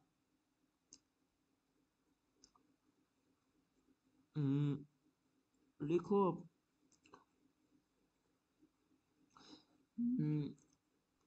कुल्टी नामक स्थान पर? स्थापित किया गया। कुल्ती नामक स्थान पर बंगाल आयरन वर्क्स के रूप में स्थापित किया गया। एक लिखो। देश के सबसे पहला बड़े पैमाने का कारखाना। देश में सबसे पहला बड़े पैमाने का कारखाना। अच्छा तो जो, डेली नहीं पढ़ता होगा उसके पेरेंट्स तो आज देख रहे होंगे। बड़ा खुश होंगे कि चलो बेटा आज रात रात भर पढ़ रहा है। पेरेंट्स भी सब लोग हैं सर सर ये नॉर्मल है इसलिए कुछ बोलते नहीं है। नहीं कि, जिसका जिसके पेरेंट्स नहीं देखते होंगे पढ़ते वो आज यदि पढ़ रहा होगा तो हाँ सर वो बहुत खुश होंगे। देश में सर सर मेरी मम्मी आपके बारे में बोल रही थी। क्या? कि देखो कितने अच्छे जो अभी तक बच्चा का सिलेबस खत्म करवा रहे पढ़ो। लिखो बोल रहे बताओ, मम्मी को मेरा प्रणाम बोलना। देश में सबसे पहला बड़े पैमाने का कारखाना, इहो बात बता देना कि मात्र साढ़े तीन सौ रुपया में इतना कुत्ता के जैसा भौंक रहा है। देश में सबसे पहला बड़े पैमाने का कारखाना 1907 ईस्वी में तत्कालीन बिहार, तत्कालीन कहने का मतलब उस समय बिहार था, अब हो गया झारखंड। तो तत्कालीन बिहार राज्य में स्वर्ण रेखा नदी की घाटी में साक्षी अब साक्षी मत लिख देना एम एस धोनी वाला साक्षी है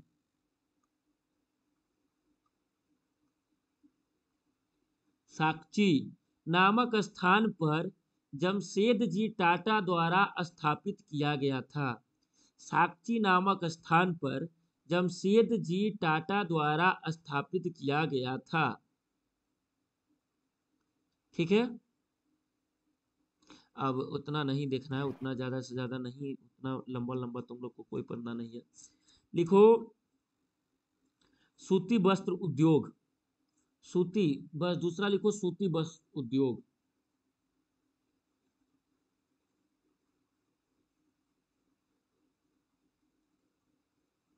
हेलो? यस सर बोलिए सर बोलिए। यस सर बोलिए। आधुनिक ढंग से सूती वस्त्र की पहली मिल की स्थापना आधुनिक अठारह में। आधुनिक ढंग से सूती वस्त्र की पहली मिल की स्थापना 1818 ईस्वी में कोलकाता के समीप फोर्ट ग्लास्टर में की गई थी। आधुनिक ढंग से सूती वस्त्र की पहली मिल की स्थापना 1818 ईस्वी में कोलकाता के समीप Fort Gloster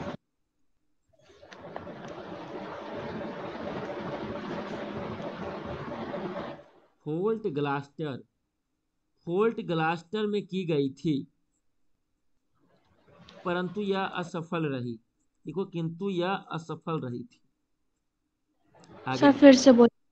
आधुनिक ढंग से सूती वस्त्र की पहली मिल की स्थापना 1818 ईस्वी में कोलकाता के समीप फोर्ट ग्लास्टर में की गई थी। लिखा दिए आगे, देखो, फोर्ट ग्लास्टर में की गई थी। फोर्ट ग्लास्टर में की गई थी। परंतु परंतु यह क्या असफल रही? परंतु यह असफल रही। अब लिखो। परंतु यह असफल असफल रही। अगला लिखो। सबसे पहला सफल आधुनिक सूती कारखाना सूती कपड़ा कारखाना सबसे पहला सफल आधुनिक सूती कपड़ा कारखाना अठारह ईस्वी में बम्बई में कवा सजी डाबर द्वारा। कवा सजी लिखना कवा सजी ये किसका चल रहा है? सर कि, कितना टाइम बोले हैं? सर फिर से। अठारह सौ चौवन।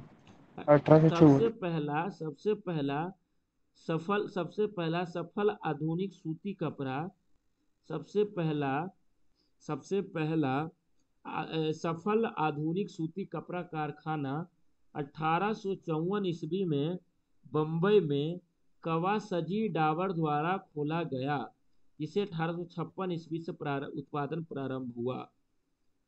अब लिखो यहाँ से। लिखो, मुंबई को मुंबई को मुंबई को भारत के सूती वस्त्रों की राजधानी के उपनाम से जाना जाता है। मुंबई को भारत के सूती वस्त्रों की राजधानी के उपनाम से जाना जाता है।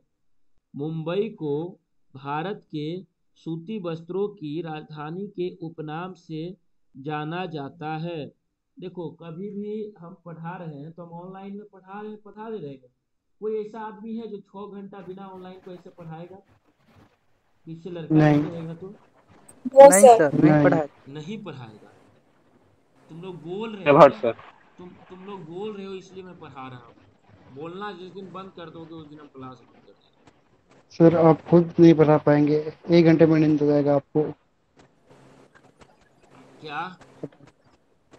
सर आप नहीं पढ़ा पाएँगे ऐसे बिना बोले। ऐसे एक घंटा के अंदर आपको ही खुद नींद आ जाएगा। हाँ बोलना तो है ही ना। पानी भी मेरा खत्म हो गया एक उन्नीस। लेकर आइए और सारा। जाकर नीचे जाकर मोटर चालू करना पड़ेगा। ओ। यहाँ नीचे भूत रहता है। हम जा नहीं सकते। सर मंटू भाई को ले जाइए। सर मेरा बैटरी उनको डर नहीं लगता है। आ जाओ आ जाओ आ जाओ।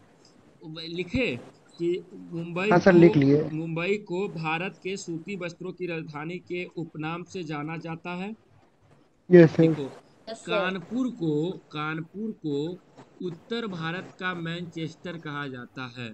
कानपुर को कानपुर को उत्तर भारत का मैनचेस्टर कहा जाता है। कानपुर को उत्तर भारत का मैनचेस्टर मैनचेस्टर ऐसे लिखना ये किसका लिख और चेस्टर लिख देंगे। हाँ। अब लिखो अहमदाबाद को ये सब ये सब जानते हो ये सब स्टैटिक में दिया आएगा पर कितना स्टैटिक पढ़ा है यार? संभव है? अहमदाबाद को अहमद अब बोले ना कि अब तुम लोग को तुम लोग का भी नींद खत्म हो गया होगा अब नींद नहीं आ रहा होगा हल्का भी नहीं आ रहा होगा। नहीं आ रहा है। बोले बारह से एक ये ये जो टाइम ये जो टाइम होता है ना बारह से एक ये नींद का टाइम होता है। यदि एक तक तुम जग गए ना तो तुम पाँच छः बजे तक जग जाओगे। कल दिन ज़्यादा लेट तक सोए रहोगे तो मम्मी पापा गलियाएँगे तुमको भी गलियाएँगे हमको अहमदाबाद को भारत का मैं तो सिर्फ़ गाली खाऊँगा तुम तो मारो खा जाओगे। बोस्टन कहा जाता है। अब क्या पता वो तो सो गए होंगे। उनको क्या पता कि बेटा रा, रात भर पढ़ाई कर रहा था। चलो। तो फिर भी सुबह पाँच बजे उठना ही पड़ता है। लिखो वो सब लिखो रोज़गार प्रदान करने की दृष्टि से बहुत अंदर अंदर तक हम बातों को लिखवा रहे हैं। रोज़गार रोज़गार प्रदान रोज़गार प्रदान करने, कल संडे भी तो है। करने की दृष्टि से दृष्टि से कृषि के बाद, कृषि के बाद, कृषि के बाद बाद वस्त्र उद्योग दूसरा सबसे बड़ा क्षेत्र है। वस्त्र उद्योग उद्योग दूसरा सबसे बड़ा क्षेत्र है। दूसरा सबसे बड़ा क्षेत्र है।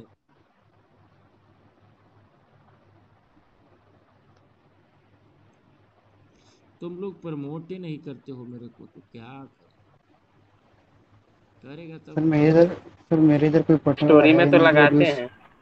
हाँ एक भाई है जो स्टोरी में लगाता है। ये सब भाई है जो सपोर्टिव है। सर हम तो लगाएँगे तो कोई इंस्टाग्राम पता नहीं मैं क्योंकि किया था कोई भी तो नहीं लेगा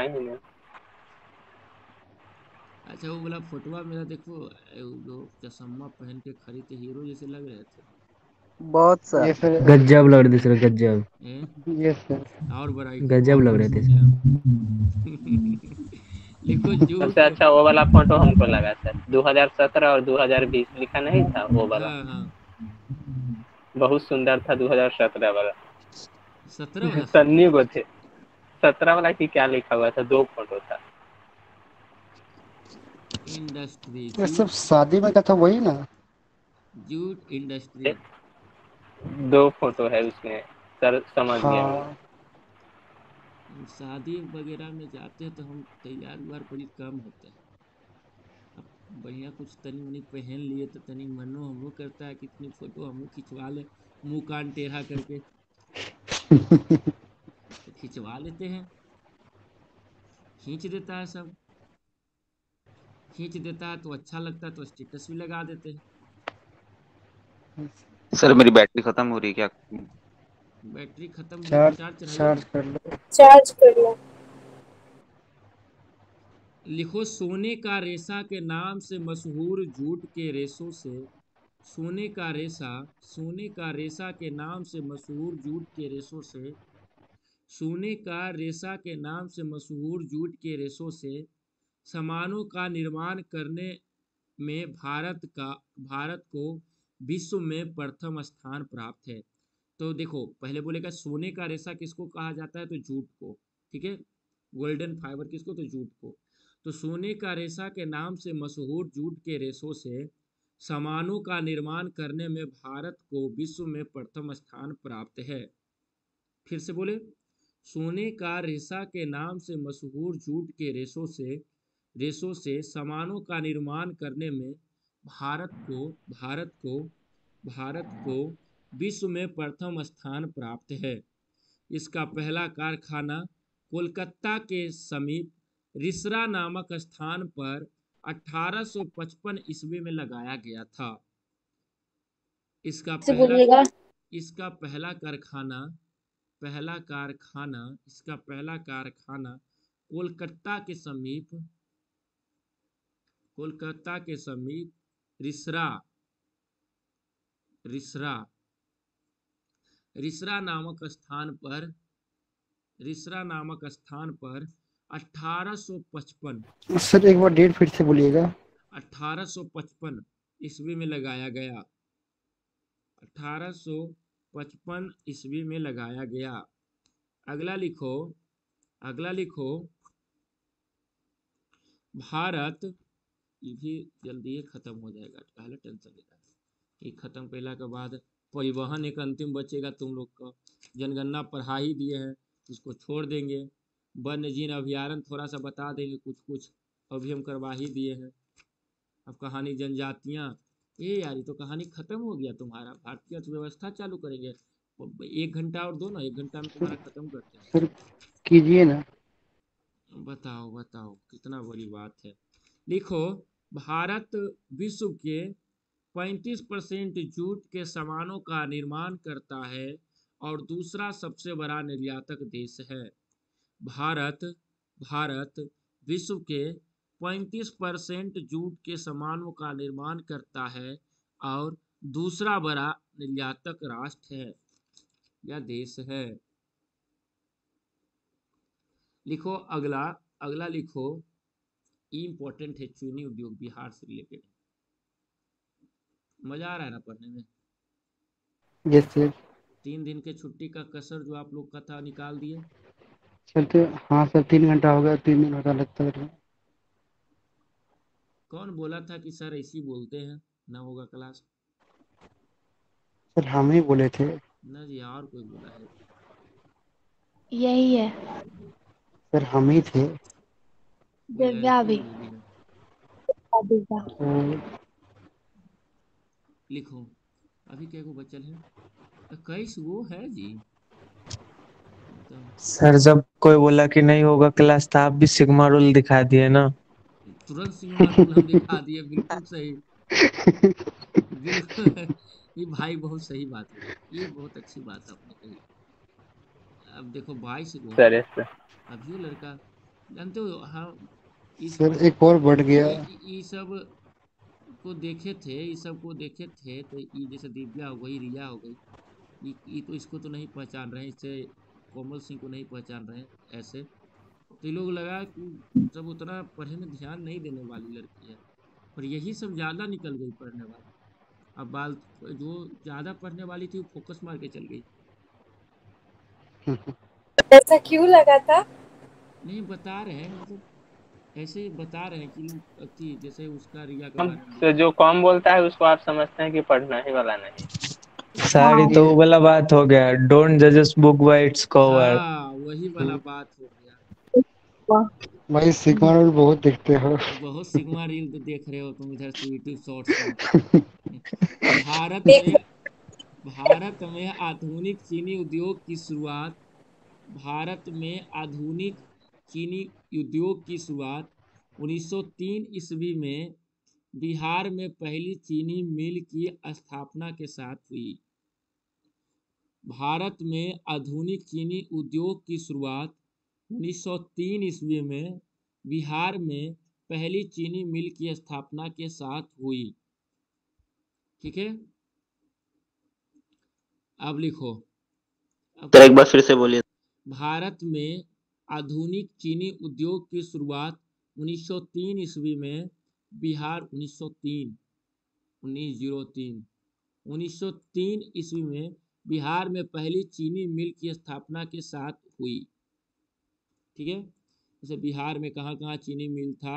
डालमिया नगर बोलेगा डालमिया नगर किसके लिए, बिहार में डालमिया नगर किसके लिए विख्यात थे? तो चीनी मिल उद्योग के लिए। लिख लेना बिहार का तो तीन लिख दो, जो आ जाए पूछ दे, होशियार ज़्यादा है यूनिवर्सिटी डालमिया नगर। ये चीनी उद्योग के लिए है। मुजफ्फरपुर मुजफ्फरनगर मुजफ्फरनगर तो वहाँ दरभंगा चंपारण। अच्छा तुम लोग बीस लड़के हो कौन कौन से डिस्ट्रिक्ट से हो जरा देख लेते हैं। मुजफ्फरपुर। रुक जाओ तो रुक जाओ तो पहले पूछते जाए कौन है। भाई मुजफ्फरपुर से मतलब दूसरा आदित्य फिर से बोलना। हो? मुजफ्फरपुर सर आदित्य कृष्णा मुजफ्फरपुर। अभिनय? हाजीपुर आपके बगल में वैशाली है हाजीपुर। वाह वाह वाह। आदित्य? वेस्ट चंपारण। वाह वाह वाह उतना तो, तो मेरी आवाज़ वहाँ पहुँच रही है ना कैसे चंपारण बिल्कुल सर। अमित सोनी? छपरा से। छपरा वाह वाह बहुत बहुत। अंशु?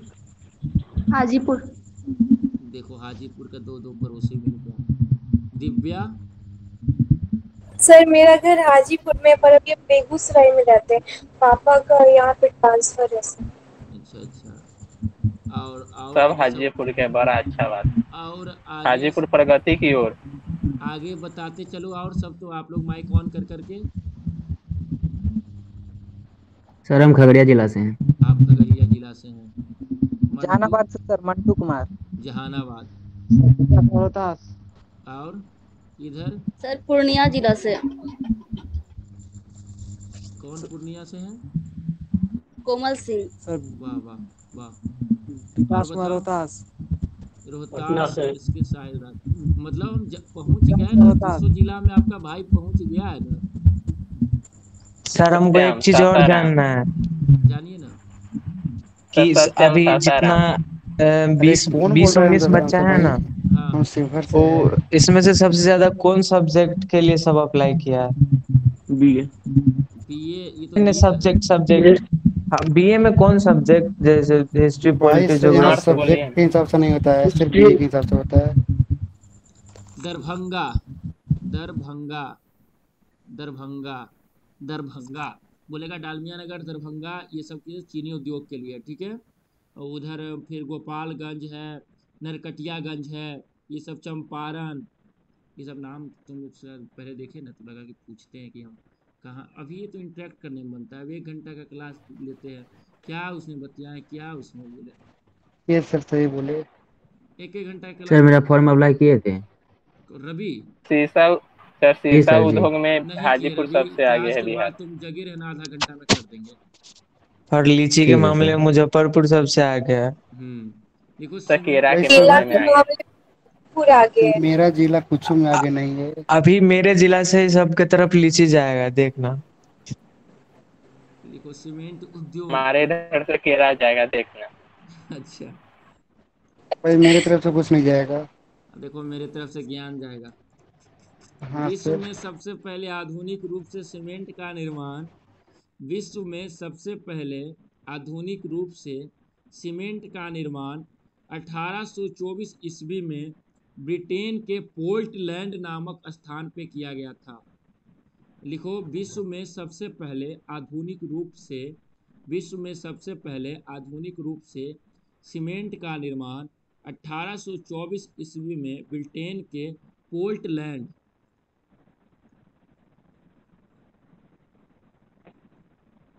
तुम लोग टिकटॉक बनाते हो, हम देखते हैं। पोर्टलैंड नामक स्थान पर किया गया था। सर नहीं बनाते हैं कोई नहीं बनाता है। बोल रहे हैं वो नहीं सर हम लोग नहीं बनाते हैं। बोल रहे हैं सब समझ गया। भारत में आधुनिक ढंग से सीमेंट बन अब कल से क्या कर देगा हाइड कर देगा। भारत में आधुनिक ढंग से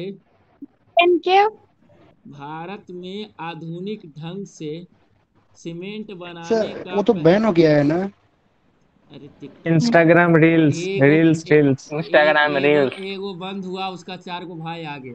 YouTube shorts yes sir Instagram reels MX मौजी जोशी टिक्की वो हूँ भारत में आधुनिक ढंग से सीमेंट बनाने का पहला कारखाना 1904 ईस्वी में मद्रास में लगाया गया था जो असफल रहा। भारत में आधुनिक ढंग से सर असफल वाला भी पूछेगा। लिख लो ना। बोरा बौरा बौराहा बन जाएगा तो पूछ लेगा। भारत में आधुनिक ढंग से सीमेंट बनाने का पहला कारखाना 1904 ईस्वी में मद्रास में लग जो सफल रहा। अब लिखो 1912-13 की अवधि में 1912-13 की अवधि में इंडियन सीमेंट कंपनी लिमिटेड द्वारा 1912-13 की अवधि में इंडियन सीमेंट कंपनी लिमिटेड द्वारा हैं? ये मुझे क्लास करने आ रहा है ही सर सर वो मेरा बैटरी लो हो गया ना मैं दूसरे अकाउंट से ज्वाइन कर रहा हूँ अच्छा अच्छा अच्छा अच्छा आप हैं प्लीज़ उसको इन कर दीजिए हम्म, हम्म, हम्म। हम देखे कि ये एक बज के पैंतीस मिनट रात में कौन आ रहा है सर आपको आपको शौक दे दिया। शौक दे दिया। मद्रास के कारखाने के बाद 1912-13 की अवधि में 1912-13 की अवधि में इंडियन सीमेंट कंपनी लिमिटेड द्वारा गुजरात के पोरबंदर नामक स्थान पर कारखाने की स्थापना की गई। ठीक है? कहाँ पहली बार सफल रूप से? गुजरात के पोरबंदर में, जहाँ एमजी गांधी महात्मा गांधी जहाँ जन्म लिए थे। सर सर उसे इन किया आपने सर जो मैंने हो गया सब हो गया। लिखो कागज़ उद्योग। अगला लिखो कागज़ उद्योग। कागज़ उद्योग। Hello? Yes yes sir yes sir नींद नहीं आ रहा यस सर नींद किसी नहीं, सर बाकी है। क्या? उद्योग कितना और बाकी है? अच्छा नींद आ रहा है आपको सर।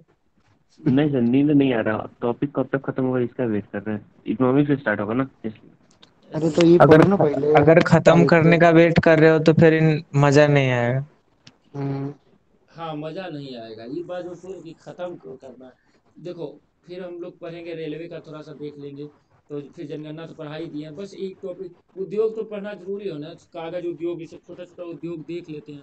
आ जाएगा तो जी सर जी पढ़ाइए। लिखो रेलवे का मुख्यालय हाजीपुर में देखो हम छोड़ भी सकते हैं उद्योग बहुत सा पर यदि आ जाएगा तो तुम्हारे लिए फिर प्रॉब्लम है इसलिए इम्पोर्टेंट कुछ कुछ लिखवा दे रहे हैं। कागज़ का पहला सफल कारखाना अठारह सौ उनासी एटीन सेवेंटी नाइन अठारह सौ उनासी में लखनऊ में लगाया गया। यहाँ से कुछ कुछ इम्पोर्टेंट है जो बता देते हैं बस।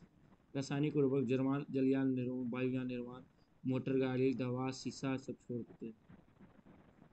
चित्रंजन वाला रेल उपकरण वाला बता देते बस। बिजली के सामान, टेलीफोन टेलीफोन वाला एक बता देते रेशम उद्योग देख लेते उसके बाद भारत में परिवहन आ जाते हैं। चलो आ जाते हैं तुरंत। कागज़ का पहला सफल कारखाना अठारह सौ उनासी में लखनऊ में लगाया गया।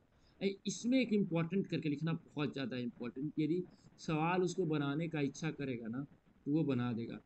और आप दोनों जो हैं, तीनों चारों वो लोग एकदम टेंशन फ्री रहें आपका इसमें भी हो जाएगा पीडब्ल्यूसी में भी। यदि आपके पिताजी के पास पैसा है तो पी में चले जाइएगा। मध्य प्रदेश के नेपानगर नेपानगर में अखबारी कागज़।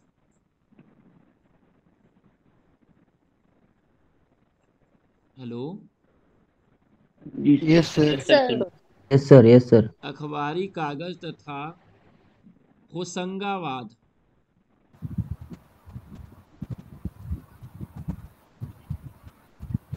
होशंगाबाद में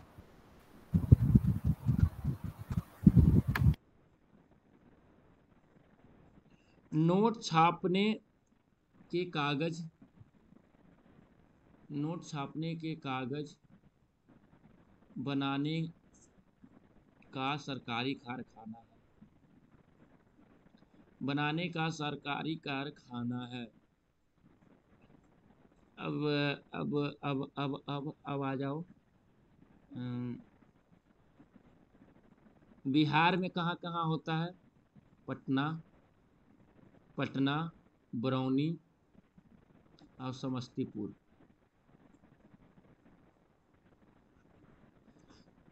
अब आ जाओ। हम्म, आ जाओ आ जाओ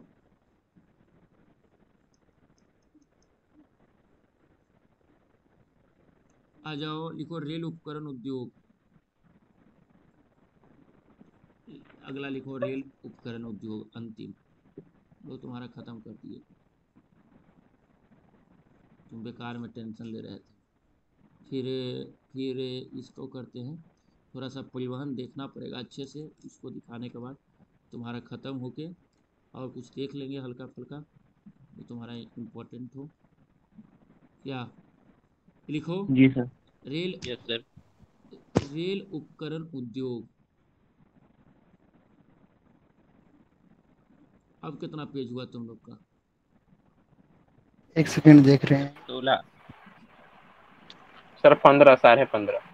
तीस नहीं पहुँचेंगे लगता है क्या कितना टाइम हुआ? एक पूरा सर पढ़ाएँगे इकोनॉमिक भी अगर ऐड किए चौदह ये को हुआ। एक चालीस हुआ है ना? अभी कितना देर क्लास हुआ है? कितने बजे एग्जैक्ट कितने बजे हम ज्वाइन किए थे? सर दस दस पैंतीस। दस पैंतीस से तीन छत्तीस घंटा दस दस पैंतीस सर। तीन घंटा में बातचीत के दौरान बोरिंग नहीं लगा सर। नहीं लगा ना? मज़ा आ गया सर लेकिन आज पढ़ने इंटरेस्टिंग उल्टा इंटरेस्टिंग हो गया। हम्म, हाँ दस उन्नीस में हम दिए थे। दस तीस तक हम ज्वाइन किए होंगे दस उन्नीस में हम लिंक यस सर रेल उपकरण उद्योग। लिखो कि चित्रंजन।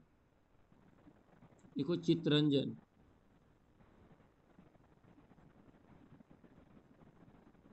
लिखो चित्रंजन।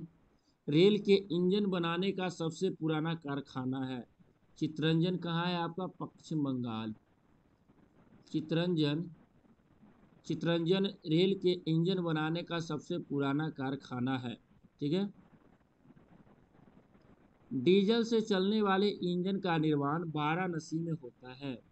डीजल से चलने वाले, डीजल से डीजल से चलने वाले इंजनों का निर्माण वाराणसी में होता है। जैसे तुम कर लिए ना क्लास बोलते बोलते लाइव में Yes, आप बोल नहीं पाते ना तुम टाइप करने का होता तो तुम नहीं कर पाते। Yes sir diesel sir D, diesel से चलने वाले इंजनों का निर्माण बारह वाराणसी में होता है। डीजल से चलने वाले इंजनों का निर्माण बारह वाराणसी में होता है। अब लिखो। आगे बिहार के मढ़ौरा। देखो इम्पोर्टेंट है थोड़ा सा देखो मढ़ौरा लिख दिए देखो बिहार के मढ़ौरा में डीजल इंजन व मधेपुरा में विद्युत इंजन कारखाना लगाया जा रहा है। बिहार के मढ़ौरा में, बिहार के मढ़ौरा में मढ़ौरा में डीजल इंजन व मधेपुरा में मधेपुरा में विद्युत इंजन कारखाना लगाया जा रहा है।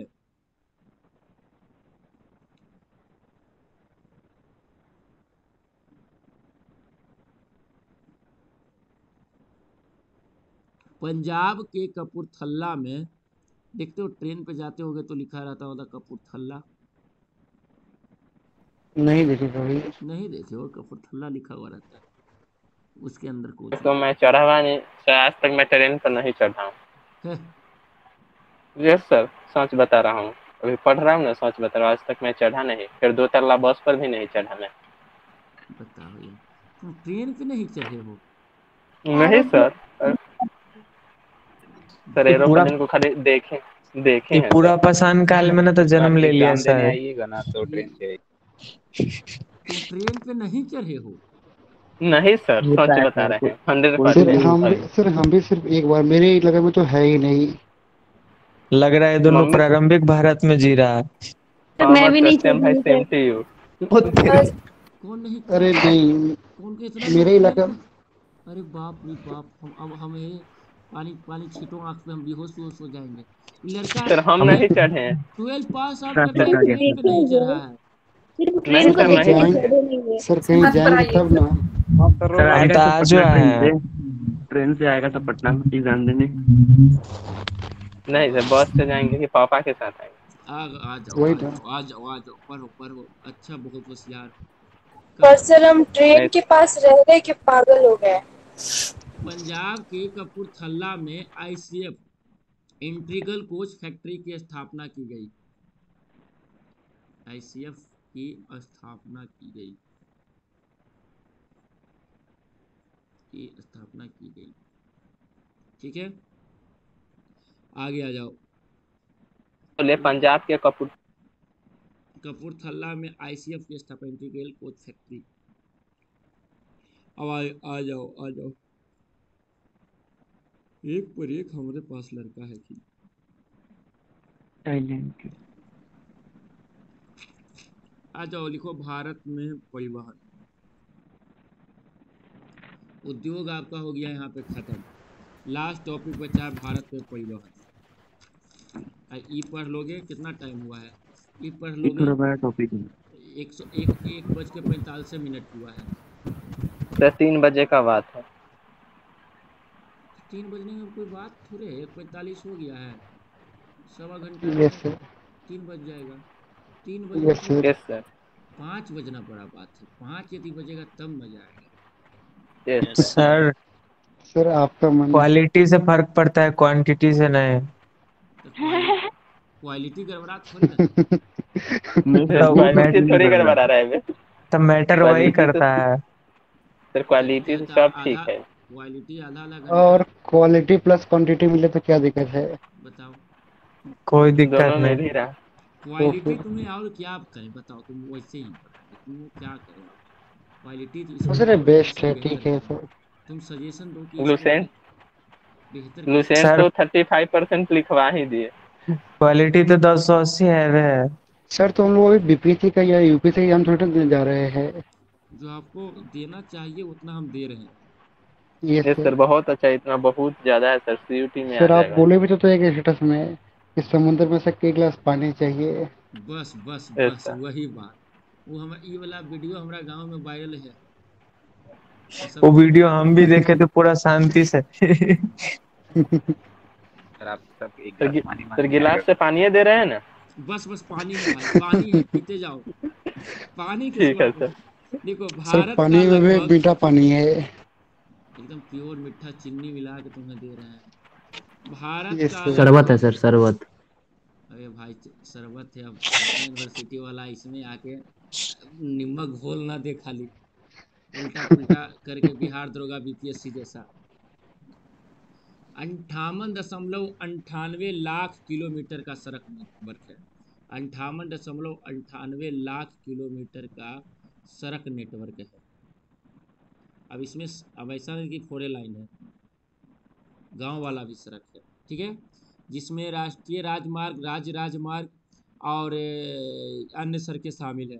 पहला लिखो पहला लिखो, राष्ट्रीय राजमार्ग।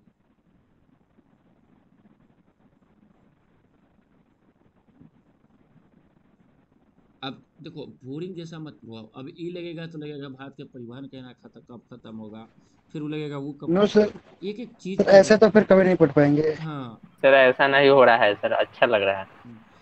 लिखो राष्ट्रीय राजमार्ग। लिखो इसके निर्माण प्रबंधन एवं रख रखाव की ज़िम्मेदारी भारत सरकार द्वारा निभाई जाती है।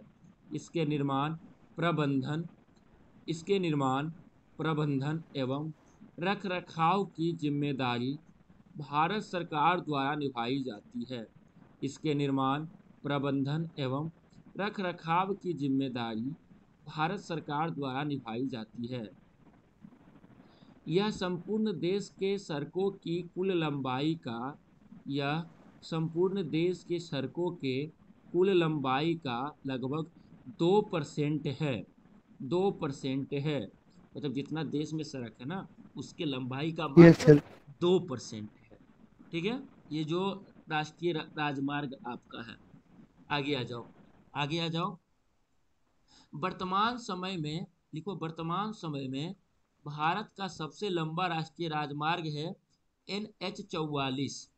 एन एच चौवालीस, वर्तमान समय में, वर्तमान समय में भारत का सबसे लंबा राष्ट्रीय राजमार्ग है एन एच चौवालीस।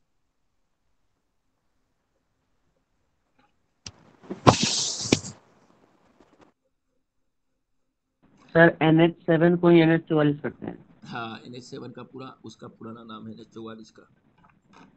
एन एच चौवालीस यह देखो लिखो श्रीनगर कहाँ से कहाँ तक जाती है? कश्मीर से कन्याकुमारी। कन्याकुमारी लिखो ना ऐसे ऐसे लिखो ऐसे लिखो। एन एच चौवालीस के नीचे लिखना एन एच चौवालीस के नीचे लिखना कश्मीर से कन्याकुमारी। ये गाना सुने हो कश्मीर में तू कन्याकुमारी। चेन्नई एक्सप्रेस सुने सर। हाँ, सब सर गाना और फ़िल्म बहुत दूर रहते हैं। देखो हम भी दूर रहते हैं पर दूर रहना नहीं चाहिए। कश्मीर तो से कन्याकुमारी। हैं। श्रीनगर से कन्याकुमारी है ठीक है? अब आगे आ जाओ। देखो पुराना राष्ट्रीय राजमार्ग संख्या एक और दो को पुराना राष्ट्रीय राजमार्ग संख्या एक और दो को सम्मिलित रूप से जीटी रोड कहा जाता है ग्रैंड ट्रैंक रोड कहा जाता है। सर ये फिर से बोलिएगा दोबारा से। पुराना राष्ट्रीय राजमार्ग पुराना ओल्ड नेशनल हाईवे संख्या वन एंड टू को पुराना राष्ट्रीय राजमार्ग संख्या एक और दो को सम्मिलित रूप से ग्रैंड ट्रैंक रोड कहा जाता है। हम पहले बोले थे ना सब मेरे पे है हम चाहेंगे तो कोर्स दो दिन में खींच के ख़त्म कर देंगे। यस सर पहले बोले थे बात तो तुम लोग हड़बड़ा गए थे। यार हम है तो क्या गम है प्यारे हर बात सिलेबस के लिए कभी नहीं बोले हम जीटी रोड का निर्माण शेरशाह सूरी शेर ससुरी। हाँ। करवाया था। जीटी शेरशाह रोड सूरी का तो इसका मरम्मत करवाया था ना सर का निर्माण करवाया था सर ही निर्माण करवाया था मरम्मत तो सरकार करवा रहा है। नहीं शेरशाह सासुरी सूरी उस टाइम में मरम्मत करवाया था। शेर सासुरी मरम्मत भी करवाया था। देख। सर तो निर्माण करवाएगा तो मरम्मत नहीं करवाएगा। यो बात सही है। जब निर्माण करवा रहा है तो मरम्मत करानी की क्या ज़रूरत है? भाई तो खराब नहीं होगा रोड बन जाए तुम्हारे गाँव तो में तो खराब नहीं होता है। आगे बढ़ो फिर देखते हैं उस बात के बाद सर अगला मार्ग भारत पे आइए। भारत का सबसे छोटा राजमार्ग सबसे छोटा एन एच अट्ठारह और एन एच पाँच सौ अड़तालीस है। भारत का सबसे छोटा राजमार्ग एन एच एक सौ अट्ठारह और एन एच पाँच सौ अड़तालीस है लंबाई पाँच किलोमीटर दोनों का। भारत का सबसे छोटा राजमार्ग राष्ट्रीय राजमार्ग एन एच एक सौ अट्ठारह और एन एच पाँच सौ अड़तालीस है। एन एच एक सौ अट्ठारह सर एक सौ अठारह या सीधे अठारह? एक सौ अठारह। और पाँच सौ? पाँच सौ अड़तालीस। एन एच एक सौ अट्ठारह जो है इसके नीचे लिखना झारखंड। और एन एच पाँच सौ अड़तालीस जो है वो महाराष्ट्र महाराष्ट्र। महाराष्ट्र। होशियार देखो लड़का। ठीक है? अब लिखो। लिखो स्वर्णिम चतुर्भुज योजना इम्पोर्टेंट है। बहुत इम्पोर्टेंट हमारे लिए। सर इंग्लिश में भी बोल दीजिए।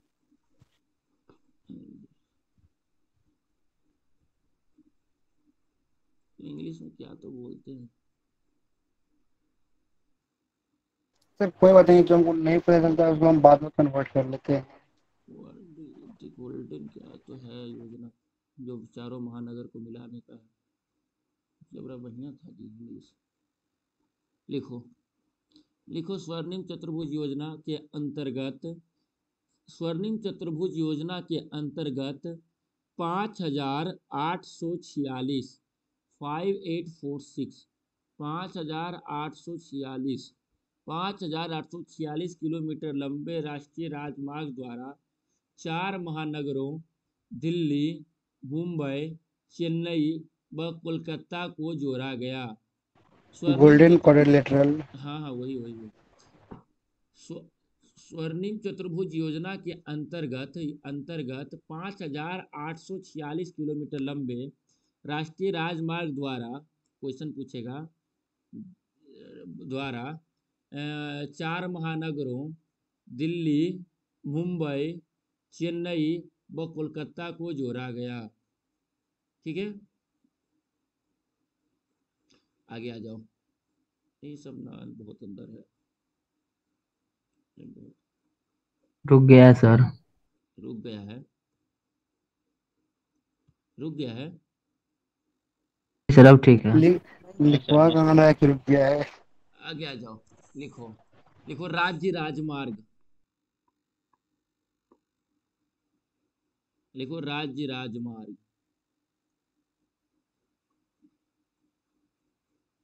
राज्य राजमार्ग।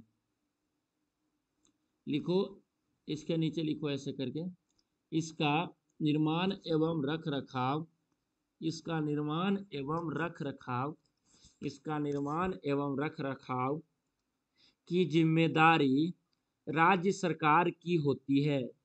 इसका निर्माण एवं रख रखाव की जिम्मेवारी राज्य सरकार की होती है।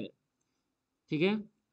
राज्यों के राजमार्ग की लंबाई वर्तमान में वर्तमान में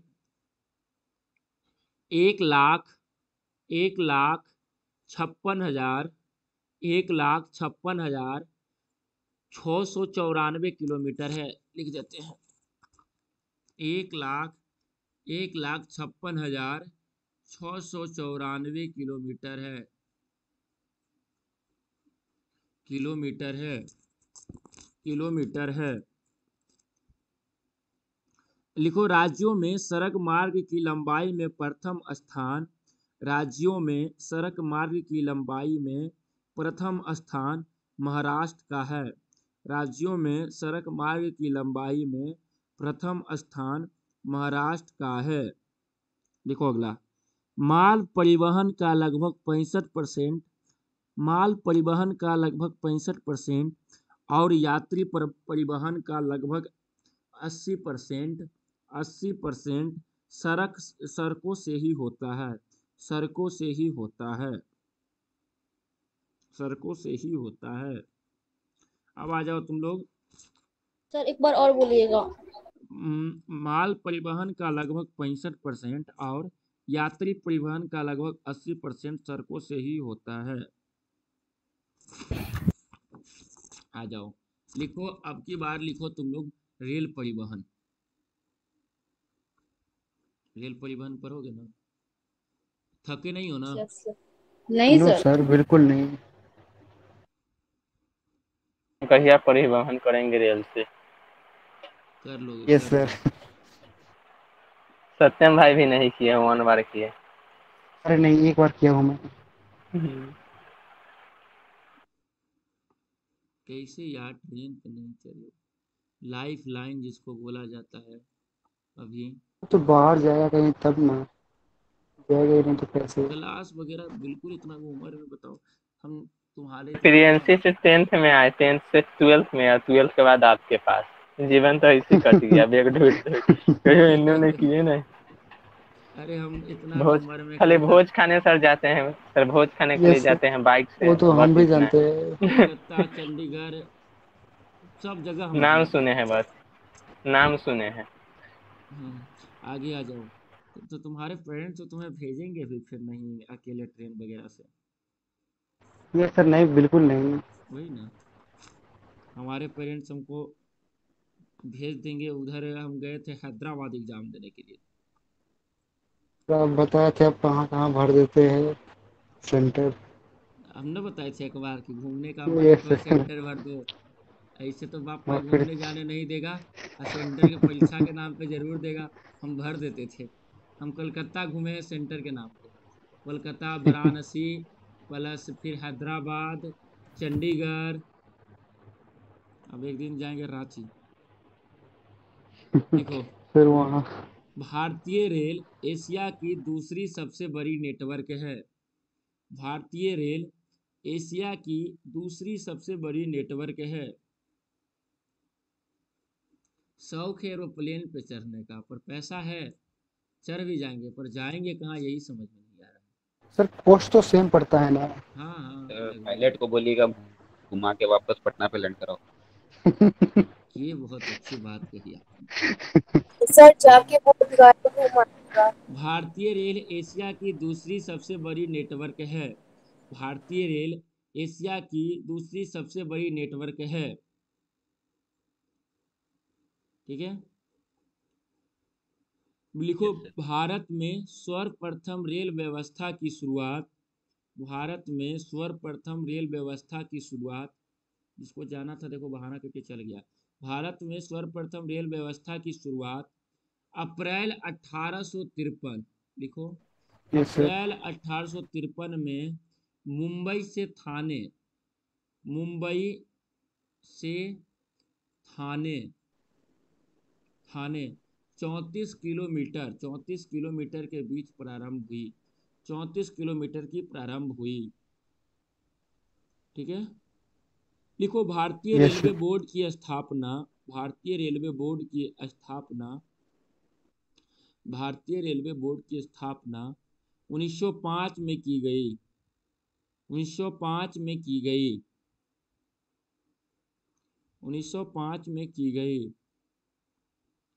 आ जाओ। आ जाओ।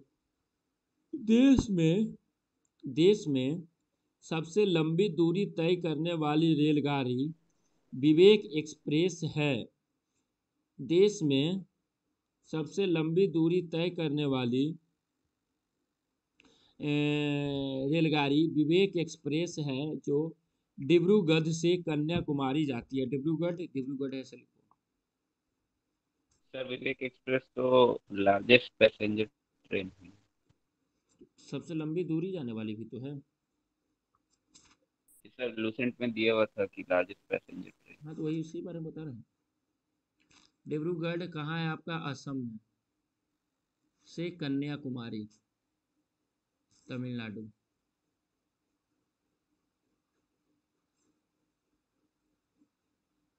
लिख लिए। यस सर और बोल दीजिए चार हज़ार दो सौ छियासी किलोमीटर। ठीक है? अब लिखो चल छोड़ो।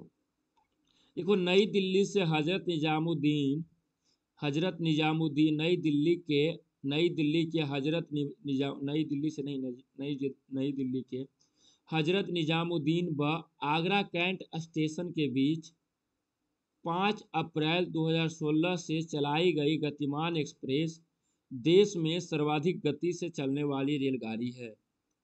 नई दिल्ली के हज़रत निजामुद्दीन व आगरा कैंट स्टेशन के बीच 5 अप्रैल 2016 से चलाई गई गतिमान एक्सप्रेस देश में सर्वाधिक गति से चलने वाली रेलगाड़ी है।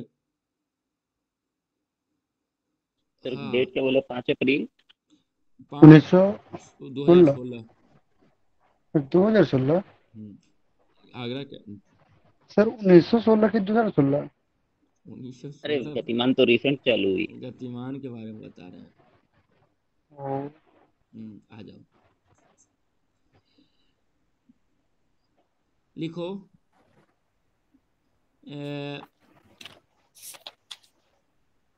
बिजली से चलने वाली प्रथम सवारी गाड़ी बिजली से चलने वाली प्रथम सवारी गाड़ी डेक्कन क्वीन थी। बिजली से चलने वाली प्रथम सवारी गाड़ी डेक्कन क्वीन थी, जो बम्बई से बम्बई एवं पुणे के मध्य चली थी। बिजली से चलने वाली प्रथम सवारी गाड़ी डेक्कन क्वीन थी, डेक्कन क्वीन थी, जो जो डेक्कन क्वीन थी, जो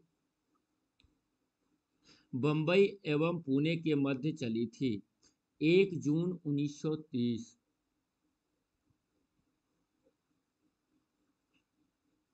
आगे आ जाओ। लिखो भारत और पाकिस्तान के बीच इम्पोर्टेंट ट्रेन से यही है। सबसे ज़्यादा वाला इम्पोर्टेंट यही है। आहा। समझौता एक्सप्रेस। समझौता। आ जाओ। लिखो लिखो भारत और पाकिस्तान के बीच चलने वाली समझौता एक्सप्रेस आवाज़ आ रही है। Hello yes sir yes sir आ रहा है आ रहा है। चलो। यस सर लिखो, भारत और पाकिस्तान के बीच चलने वाली समझौता एक्सप्रेस। समझौता एक्सप्रेस। लाहौर अटारी के मध्य। लाहौर और अटारी। लाहौर पाकिस्तान में, अटारी इंडिया में। है लाहौर अटारी के मध्य एवं थार एक्सप्रेस, मुनाबाओ। मुनाबाओ जो है आपका बाड़मेर राजस्थान में। और खोखरा पार खोखरा पार सिंध के मध्य चलती है। सेकेंड ब्लॉक थर्ड ब्लॉक फिर से बोलिएगा। भारत और पाकिस्तान के बीच चलने वाली समझौता एक्सप्रेस लाहौर अटारी के मध्य एवं थार एक्सप्रेस मुनाबाओ बारमेर कोस्ट में बारमेर। लिखना खोखरा पार देखो खोखरा पार लिख के दिखाते हैं। देखो साइड में यहाँ पर। खोखरा पार। खोखरा पार। खोखरा पार। सिंध के मध्य चलती है। ठीक है? हम्म आ जाओ। मैंने मेट्रो रेल छोड़ो। खत्म करो रेल को। आ जाओ। लिखो वायु परिवहन वायु परिवहन वायु परिवहन। लिख लिए। ये सर लिख लिए। लिखो वायु परिवहन में भारत में वायु परिवहन की शुरुआत भारत में वायु परिवहन की शुरुआत 1911 ईस्वी में हुई। भारत में वायु परिवहन की शुरुआत 1911 ईस्वी में हुई जब इलाहाबाद से नैनी इलाहाबाद से नैनी के बीच विश्व की प्रथम जब इलाहाबाद से नैनी के बीच विश्व की प्रथम विमान डाक सेवा का परिवहन किया गया। जब इलाहाबाद से नैनी के बीच बोले थे एक बजे के बाद नींद नहीं आता। हाँ तो नींद थोड़ी आ रहा है। कुछ और आ रहा है।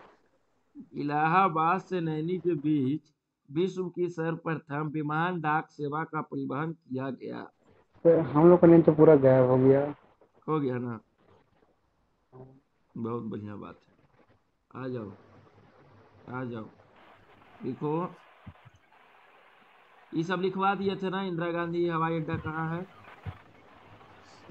यस सर यस इसको छोड़ देते हैं, लिखवा दिए याद लिखो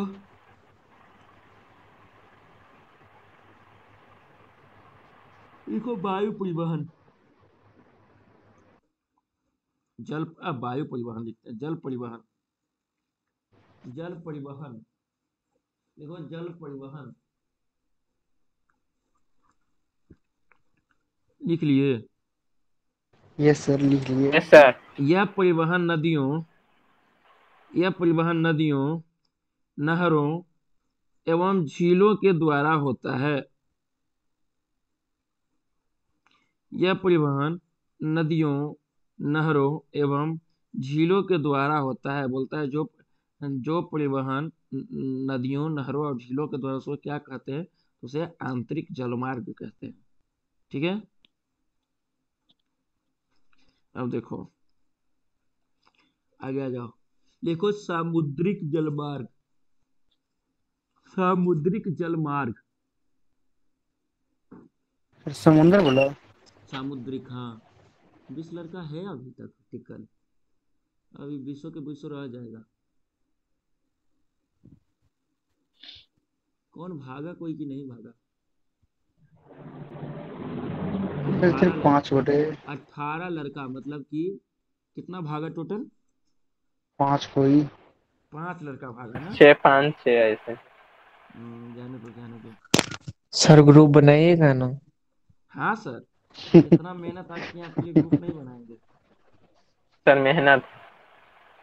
सर मेरा बैटरी तो दम दो परसेंट बच रहा है सर। तो चार्ज पे चढ़ाइए ना जी पावर सॉकेट बगल में नहीं। लाइट नहीं है सर उसके यहाँ दस बजे से लाइट नहीं है। बारिश हो रहा था ना सर तो दस बजे से ही लाइट नहीं है। करो बिजली ऑफ़िस वाले को फ़ोन।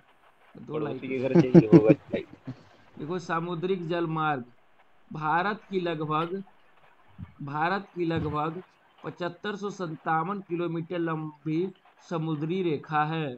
भारत की लगभग पचहत्तर सौ सत्रह पचहत्तर सौ सत्रह क्या बोल दिए थे अभी?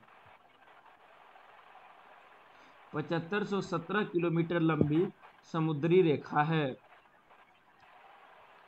भारत में भारत में बारह बड़े भारत में बारह बड़े और थोड़ा सा और यदि तुम पढ़ लोगे ना तुम्हारा ही ज्योग्राफी खत्म हो जाएगा।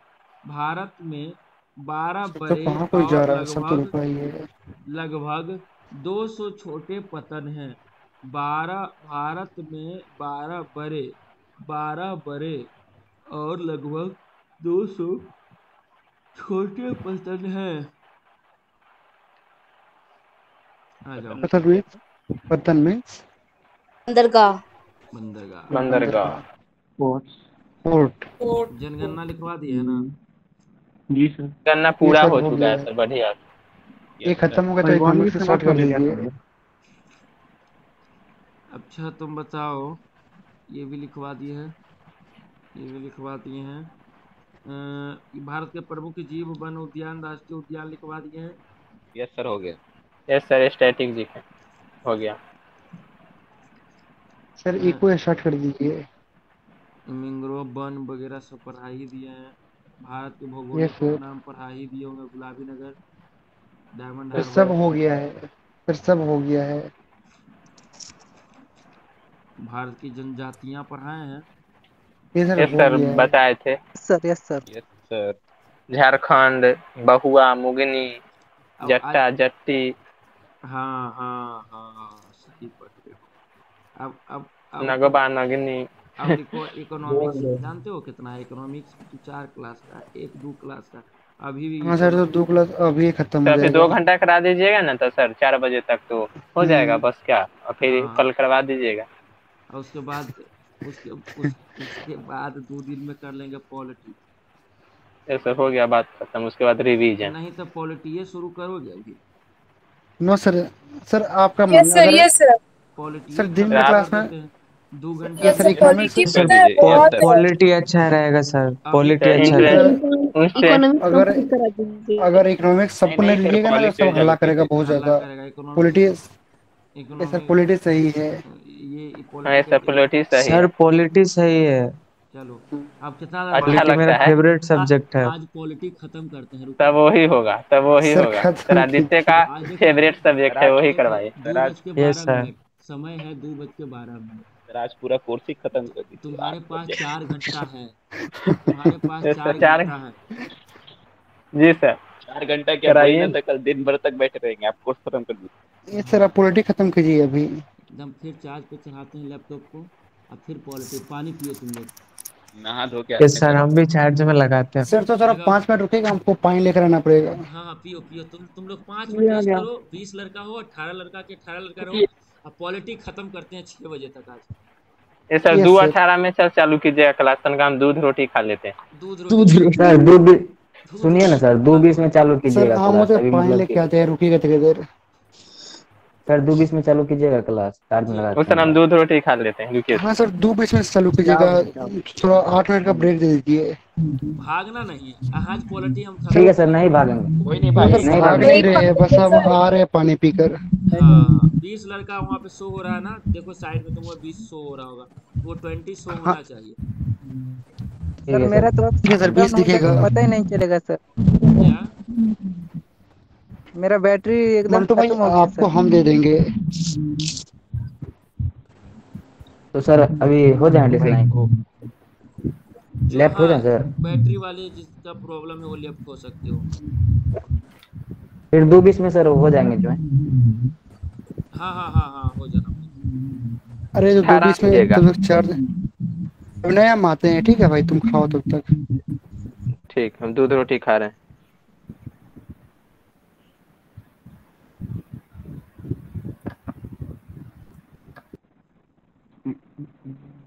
अब तुम लोग जाना मत हम हम हैं हम हैं हम दूध रोटी खाने नहीं जा रहे हैं बोलते रहेंगे। ऐसा नहीं कि लेट जाना लेट जाओगे तो नींद आ जाएगी। नहीं सर बैठे हैं। हाँ बैठे रहो। सर सबसे सस्ता सबसे सस्ता परिवहन जल परिवहन है ना? हाँ हाँ, वो आगे पढ़ाते हैं। सबसे सस्ता जल परिवहन। सड़क परिवहन तो है सड़क परिवहन तो और सस्ता है रेल परिवहन भी सस्ता है। नहीं लंबे दूरी के लिए। लंबी दूरी के लिए सबसे सस्ता जो है वो रेल है। भाई दो मिनट में हम भी आते हैं पानी लेकर। कहीं दोस्त ठीक है? सर हमें बचे हैं।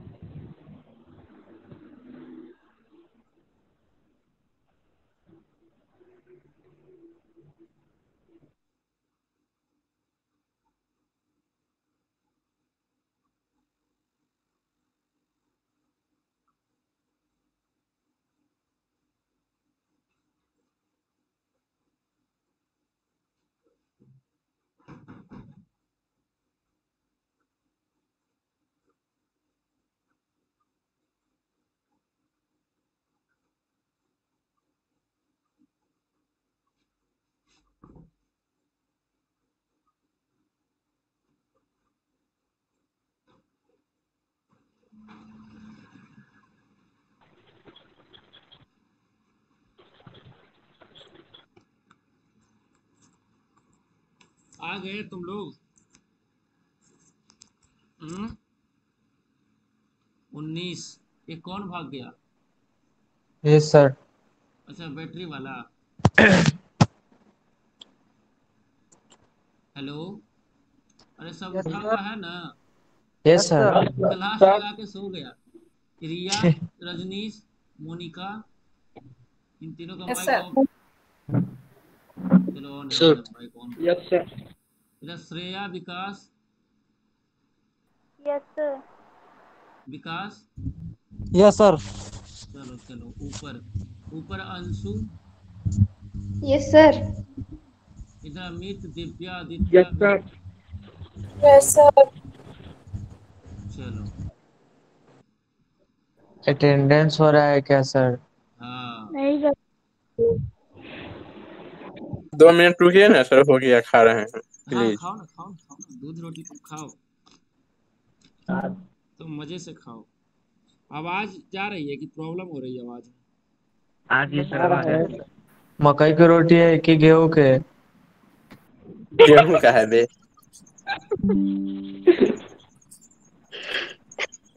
हेलो। हाँ सर। हेलो। सर आ गया पानी पीकर अरे मकई का होता था और मज़ा आता। कभी खाए हो? कभी क्या रोज खाते? हैं रबी मकई- फ़सल है? मकई का चावल का आटा गेहूँ का सबका खाए हुए है भाई। चलो हम लोग नया टॉपिक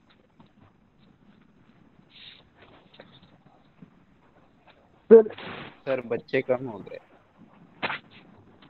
अरे एक जो गया है वो आएगा बोला है बीस में आएगा।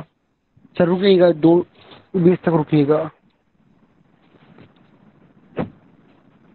अच्छा पहले ये बताओ कि भारतीय संविधान में जो अंग्रेज़ लेकर आया उसको हम करते जाएँ कि जो हमारा ये भारतीय संविधान सभा से पढ़ा है सर, हमको रोलेक समझ नहीं रोलेक आया। टेक्स्ट से पढ़ाइएगा कि संविधान सभा। वही तो अरे टेक्स्ट क्या बोला गया? रेगुलेटिंग एक्ट सर वो regulating act sir. Regulating act उल्टा बोला गया। सर रेगुलेटिंग एक्ट तो को पढ़ाना ही पड़ेगा उससे तो रेगुलेशन के आता है वो। नहीं सर वो बाद में भी पढ़ा सकते हैं ना।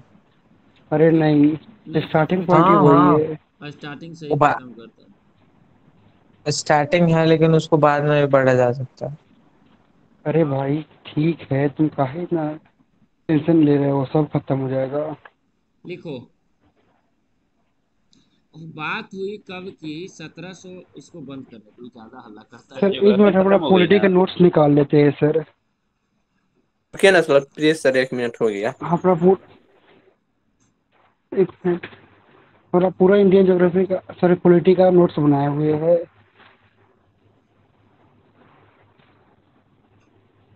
आज सर ज्योग्राफी खत्म हो गई चार घंटा पाँच बजे छः बजे सात बजे तक क्लास लगा देंगे। का सात बजे के बाद दिक्कत नहीं होगा।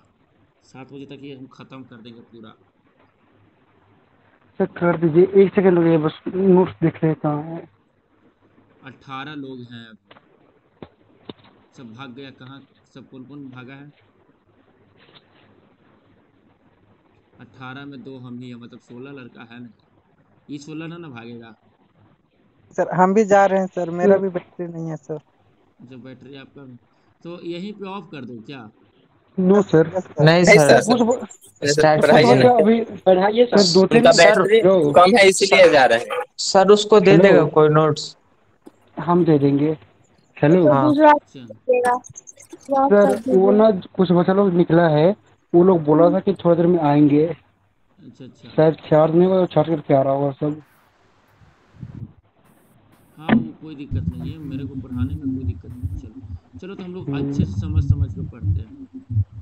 देखो बात है जब सत्रह की लड़ाई हुई या सत्रह सौ चौंसठ का बक्सर का युद्ध हुआ ना तो उस समय अंग्रेज़ पावर में आ गया। मेन पावर में तो अंग्रेज़ तो आपका आया था सत्रह की लड़ाई के ही बाद ना बंगाल में अधिपत्य जमाया उस उसके बाद सत्रह सौ चौंसठ में भी अंग्रेज़ की एक बहुत बड़ी जीत हुई। हुई कि नहीं बक्सर में? यस तो सर अंग्रेज़ पावर में आया तो फिर अब शासन करना चाहा कि क्या क्या किया जाए तो बहुत से नियम लाए गए। पहले तो अंग्रेज़ भारत में आया क्यों था? अंग्रेज़ तो भारत में व्यापार करने। व्यापार करने के लिए। पर जैसे ही फिर वो व्यापार से धीरे धीरे अपना साम्राज्य स्थापित करने लगा अपना कंपनी वो भारत पे कब्जा करने लगा भारत पे शासन करने लगा तो इम्पीरियल पावर एक्सटेंड करने लगा। हाँ तो उसमें क्या हुआ? तो तरह तरह का वो नियम लेके आया। तो पहला जो देखो पहला जो नियम था वो था सत्रह सौ तिहत्तर ईस्वी में लाया गया।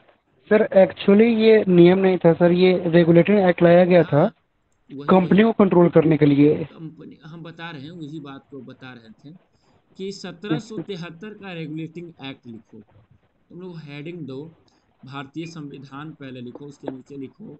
सत्रह सौ तिहत्तर ईस्वी का रेग्यूलेटिंग एक्ट, लेटिंग एक्ट। अब लिखो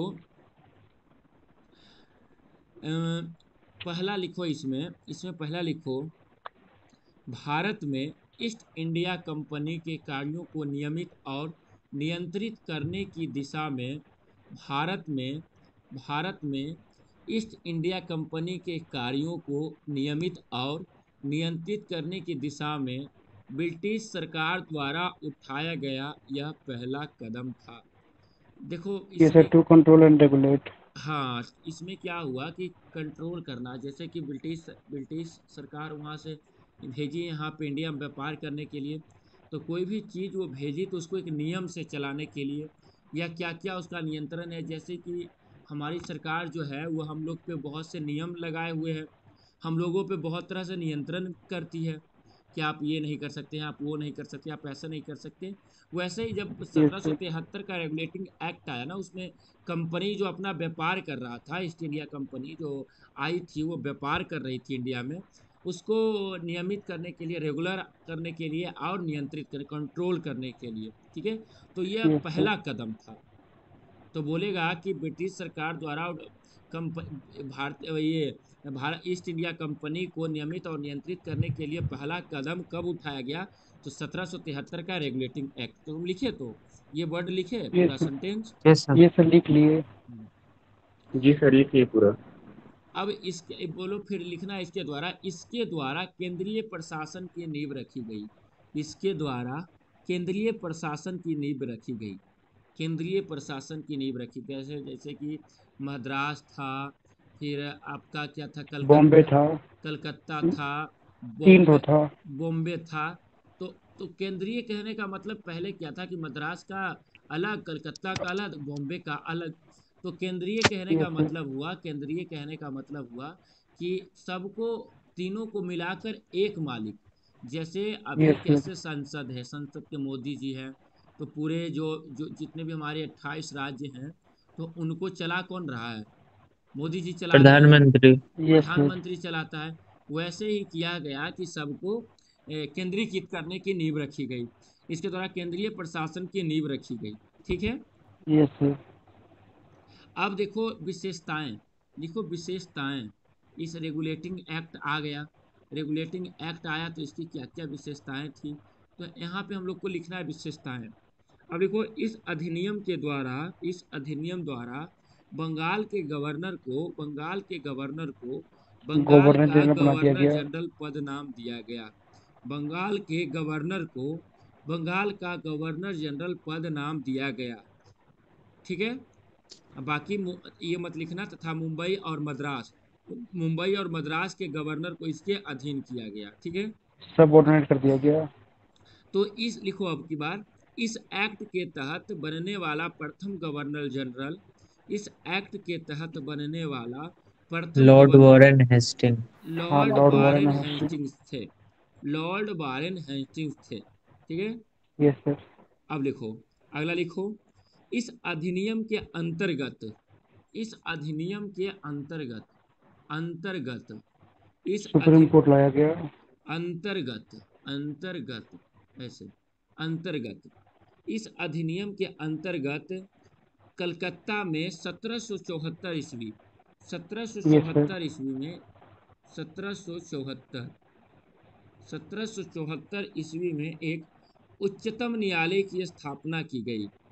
उच्चतम न्यायालय की स्थापना की। तो इस तो बोलेगा कि कर, कर, पहली बार कब उच्चतम न्यायालय की स्थापना की गई तो सत्रह सौ चौहत्तर। सत्रह सौ चौहत्तर में उच्चतम न्यायालय की स्थापना की गई ठीक है? इसके प्रथम मुख्य न्यायाधीश इसके प्रथम मुख्य न्यायाधीश सर एलिजाह इम्पे। सर नाम क्या है? Sir Elijah Elijah Eli Elijah Impey Elijah Impey sir Elijah Impey.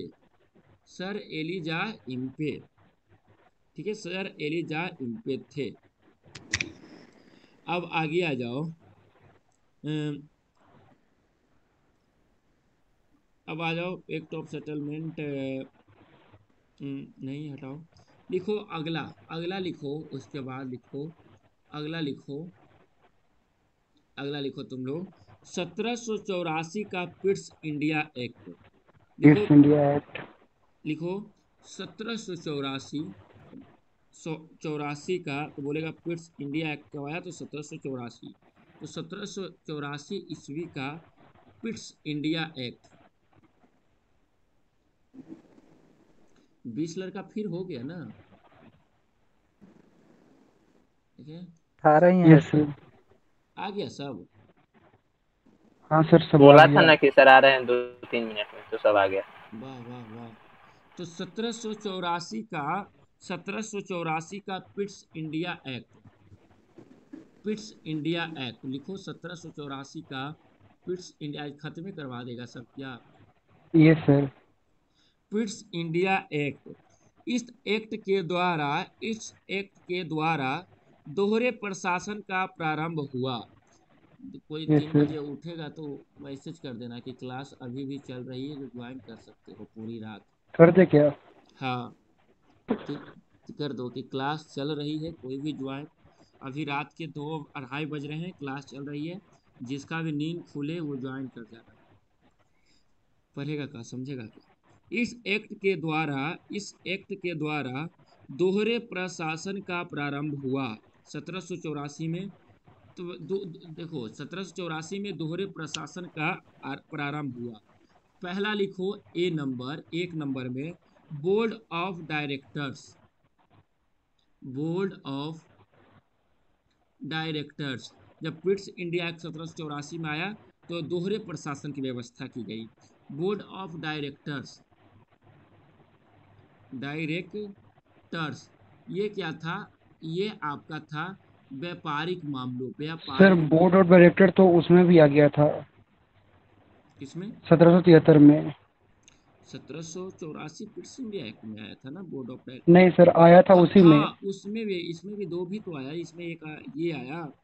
इसमें कॉमर्शियल बॉडी आया था और पॉलिटिकल फ़ंक्शन के लिए। बोर्ड ऑफ़ कंट्रोलर उसमें बोर्ड ऑफ़ कंट्रोल सत्रह सौ तिहत्तर वाले में आया था नहीं ना? उसमें board of court of director था इसमें बोर्ड ऑफ़ कंट्रोल दोनों आ गया था। हाँ तो बोर्ड ऑफ़ डायरेक्टर्स व्यापारिक मामलों व्यापारिक मामलों के लिए लिखो व्यापारिक मामलों के लिए लिखो व्यापारिक मामलों के लिए व्यापारिक मामलों के लिए। और दूसरा बोर्ड ऑफ़ कंट्रोलर। अच्छे से बोर्ड दिखाई दे रहा है ना? ये सर दिखाई दे रहा है। यस सर यस सर दिख रहा है। बैटरी भी तुम लोग का कम लेगा फिर। कंट्रोलर सर बैटरी पे ध्यान ही नहीं दिया मेरा बहुत कम हो गया। बोर्ड ऑफ़ कंट्रोलर ये क्या था राजनीतिक मामलों के लिए? राजनीतिक मामलों के लिए।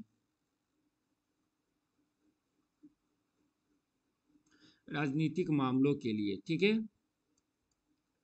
और फिर देखो हो गया सत्रह सौ चौरासी का पिट्स इंडिया एक्ट आ गया सत्रह सौ तिहत्तर का रेगुलेटिंग एक्ट आ गया। अब आया अब आया सत्रह सौ तिरानवे का चार्टर अधिनियम। इसके बाद आया सत्रह सौ तिरानवे का चार्टर अधिनियम। वो भी हम लोग पढ़ते हैं। सर सत्रह सौ तिरानवे और अठारह सौ तेरह का इम्पोर्टेंट नहीं है। इसमें एक जो भारतीय राजस्व में से व्यवस्था देने की गई वेतन जो होगा सदस्यों और सरकारी कर्मचारियों को वेतन जो है भारतीय राजस्व में से देने की व्यवस्था की गई। सत्रह सौ तिरानवे के चार्टर अधिनियम में ही आया था। सत्रह सौ तिरानवे का चार्टर अधिनियम लिख लो ना एक शब्द तो लिखना है इसमें। ये सर लिखवा दीजिए कोई बात नहीं है। ये सब देखो ये सब रूल आ रहे थे। कैसे अभी अभी रूल आता है मोदी जी का? वैसे ही पहले रूल आते थे तरह तरह के। तो उन्हीं उन्हीं सबको हम लोग को पढ़ना है कि हमारा जो भारतीय संविधान है उसका विकास कैसे कैसे हुआ? तो लिखो। उसका पावर को सेंटर में लाया जा रहा था सेंट्रलाइजेशन ऑफ़ पावर हो रहा हाँ। था। तो लिखो इसके द्वारा नियंत्रण बोर्ड के सदस्यों इसके द्वारा नियंत्रण बोर्ड के सदस्यों नियंत्रण बोर्ड के सदस्यों तथा कर्मचारियों के वेतन को भारतीय राजस्व में से देने की व्यवस्था की गई। अभी देखो अभी अब पुलिस वगैरह को वेतन कैसे मिलता है? राष्ट्रपति को वेतन कैसे मिलता है? Yes sir. संचित खाता से सर। वो हाँ बिल्कुल सही संचित। वो हम लोग का पैसा होता है। तो वही है कि वेतन आदि को भारतीय राजस्व में से व्यवस्था की गई। ठीक है? अब तो सर कंपनी का ट्रेड भी तो फिर से फिर से। सर अठारह सौ नौ सौ तेरह कोई इम्पोर्टेंट नहीं है। बट पिछले साल के यूपीएससी में अठारह सौ तेरह वाला पूछा था। अच्छा तो यूपीएससी थोड़े हम लोग को देना है। लिखो अठारह का चार्टर अधिनियम। लिखो तुम लोग सर ये बहुत इम्पोर्टेंट है। हेडिंग बनाओ 1833 का चार्टर अधिनियम। अब point by point A B C D करके बनाते चले जाओ। देखो 1833 ईस्वी का चार्टर अधिनियम। इसमें पुलिस सेंट्रलाइज हो गया था। हाँ हाँ। अठारह सौ तैतीस। अठारह भाई ये याद करने का सीधा फॉर्मूला बीस बीस साल बाद बढ़ाते जाओ 1833 का चार्टर अधिनियम। अब देखो लिखो। इसके द्वारा नंबर एक में इसके द्वारा कंपनी के व्यापारिक अधिकार पूर्णतः समाप्त कर दिए गए।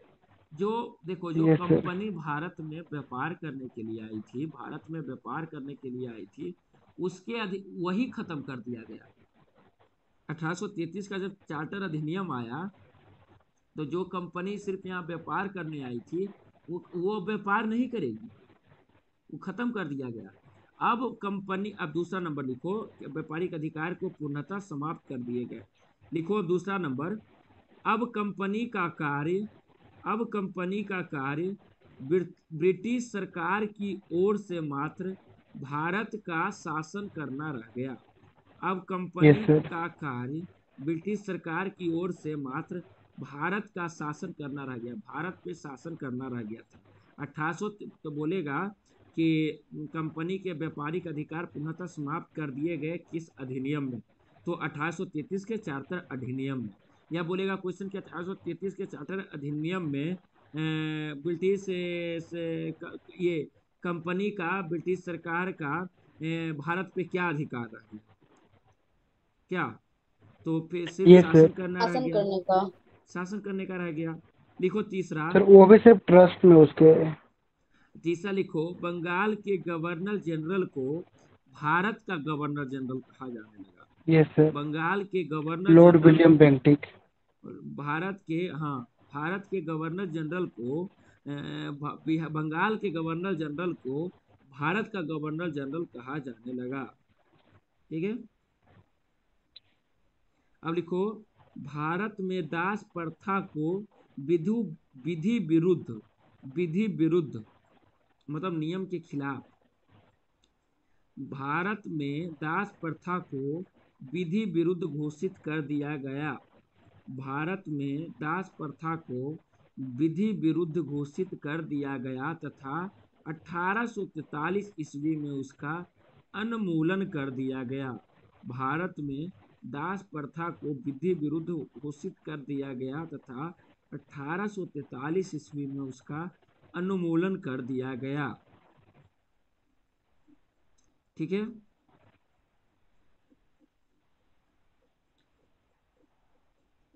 ठीक है? आगे बढ़े yes sir yes sir yes sir hmm. लिखो अठारह सौ अंठावन का भारत शासन अधिनियम।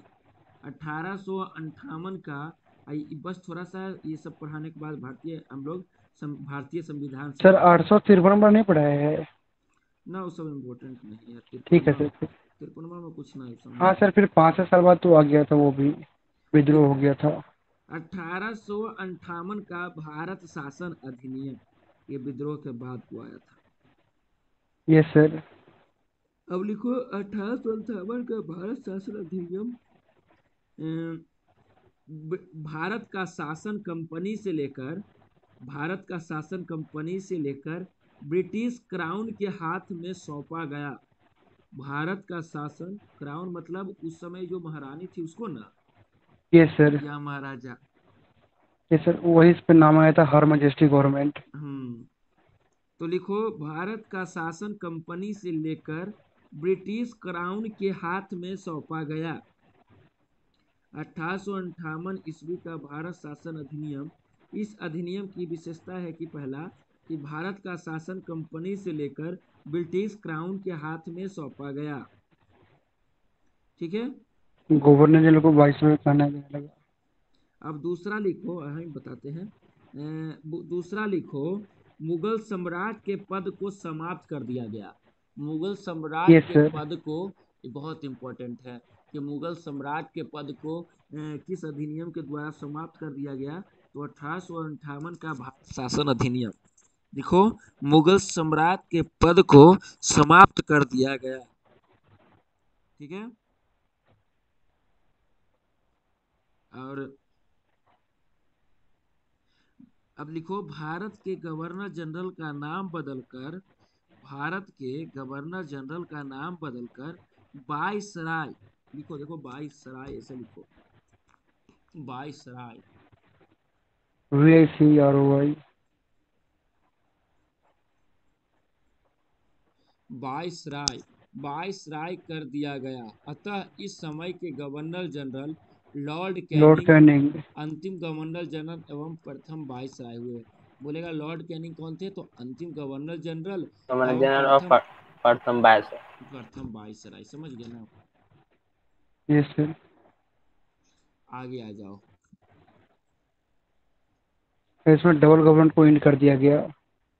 बोर्ड ऑफ़ कंट्रोल और बोर्ड ऑफ़ डायरेक्टर को। हाँ बोर्ड ऑफ़ कंट्रोलर और बोर्ड ऑफ़ डायरेक्टर को समाप्त कर court of director yes sir board of director board of director की court of director yes sir sir board of controller of control and court of directors board of control board of directors नहीं board of director no sir board of control and court of directors book, में यही है board of directors और board of controller को कर तुम एक बार देख लेना हम भी देख लेंगे। बोर्ड ऑफ़ डायरेक्टर और बोर्ड सर हम लक्ष्मीकांत से सब पढ़े हुए हैं।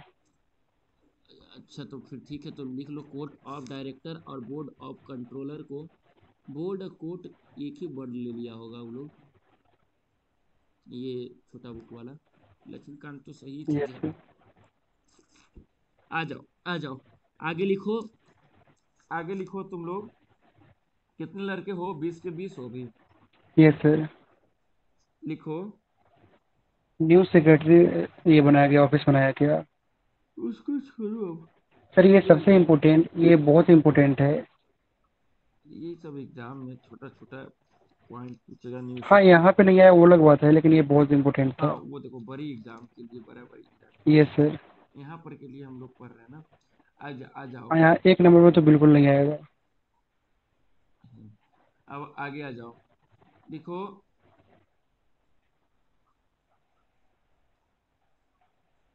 आगे अठारह सौ बानवे ईस्वी का भारत परिषद अधिनियम। अठारह इंडिया काउंसिल देखो तुम इ बात तुम लोग समझ जाओ कि हम पढ़ रहे हैं कि भारतीय संविधान का विकास होने को था। तो तो छब्बीस वो तो आज़ादी के बाद होता ना। उससे पहले अंग्रेज़ अपने शासन को चलाने के लिए जैसे अभी भी शासन को चलाने के लिए मोदी जी तरह तरह के नियम लाते हैं तो उस समय अंग्रेज़ कौन कौन सा नियम लाया कौन कौन साल कौन कौन सा नियम आया उस नियम को हम लोग पढ़ रहे हैं। तो तुम लोग जी सर जी सर। इसको इसलिए पढ़ते हैं ना क्योंकि उस समय ना एग्जीक्यूटिव पावर के पास पूरा पावर था और अभी लेजिस्लेटिव के है तो हाँ। कैसे इवोल्यूशन हुआ ना वही पढ़ना था इसमें। वही सारा का सारा हम लोग पढ़ेंगे और उसके बाद आप समझिएगा। तो क्या बताए थे? अठारह सौ बानवे ईस्वी का भारत परिषद अधिनियम ठीक है? यस सर इसमें लिखो पहला नंबर अप्रत्यक्ष चुनाव प्रणाली की शुरुआत हुई। अप्रत्यक्ष चुनाव प्रणाली की शुरुआत हुई। अप्रत्यक्ष चुनाव प्रणाली की शुरुआत हुई। अब लिखो। बहुत इंपॉर्टेंट अगला है। देखो 1909 ईस्वी का भारत परिषद अधिनियम। 1909 ईस्वी का भारत परिषद अधिनियम। इसके डैश में लिखना मार्ले मिंटो सुधार बहुत इंपॉर्टेंट है। यही बोल रहे थे कि मार्लो सेक्रेटरी था और मिंटो वाइस रहा था। हाँ तो उसी को अब पढ़ेंगे। तो 1909 ईस्वी का भारत परिषद अधिनियम मार्ले मिंटो सुधार मार्ले मिंटो सुधार ठीक है? अब इसमें पहला लिखना इसमें पहला लिखना कि पहली बार मुस्लिम समुदाय के लिए पृथक प्रतिनिधित्व का उपबंध किया गया। पहली बार मुस्लिम समुदाय के लिए पृथक प्रतिनिधित्व पृथक प्रतिनिधित्व। मुस्लिम जैसे प्रतिनिधित्व किसको कहते हैं कि जैसे हमारा प्रतिनिधित्व कौन होगा? हमारे उम्मीदवार। उम्मीदवार। उम्मीदवार बिल्कुल सही सही। तो पृथक हम्म। प्रतिनिधित्व का उपबंध किया गया। इसके अंतर्गत इसके अंतर्गत मुस्लिम सदस्यों का चुनाव इसके अंतर्गत मुस्लिम सदस्यों का चुनाव मुस्लिम मतदाता ही कर सकते थे। इसके Yes, अंतर्गत मुस्लिम सदस्यों का चुनाव मुस्लिम मतदाता ही कर सकते थे। ठीक है? भा, भारतीयों को भारतीयों को भारतीयों को भारत सचिव एवं गवर्नर जनरल की कार्यकारिणी परिषदों में नियुक्ति की गई। भारतीयों को बोलेगा भारतीयों को भारतीय सचिव और गवर्नर ये गवर्नर जनरल की कार्यकारिणी परिषदों की नियुक्ति की गई किसमें? तो 1909 के मार्ले मिंटो सुधार में या भारत परिषद अधिनियम में। भारतीयों को भारत सचिव एवं गवर्नर जनरल की कार्यकारिणी परिषदों की नियुक्ति की गई। ठीक है? आगे आ जाओ।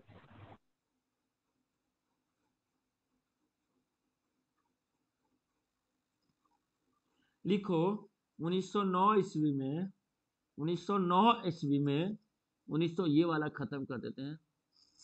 1909 ईस्वी में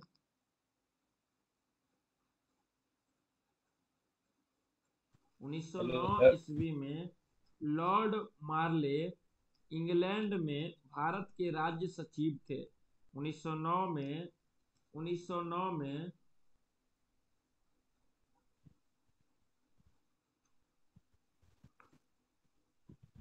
सर आवाज़ नहीं आ रहा है आपका। क्या?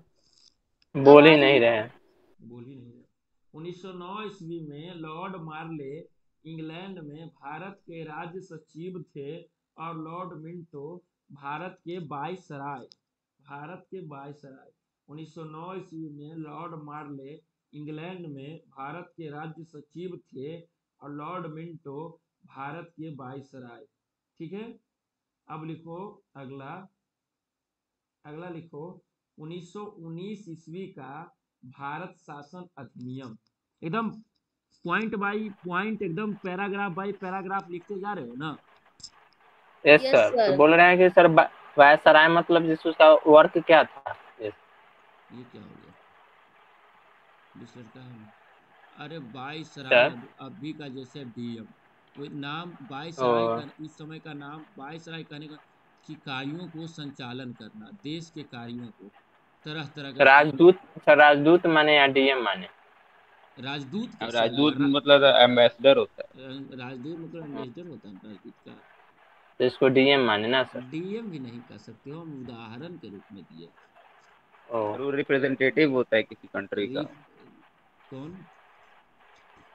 राजदूत ना। सर प्रतिनिधि रिप्रेजेंटेटिव यस सर देखो 1919 का भारत शासन अधिनियम माउंटेग्यू चेम्स फोर्ड सुधार। देखो इम्पोर्टेंट है ये सब। 1919 ईस्वी लिखते हो? यस सर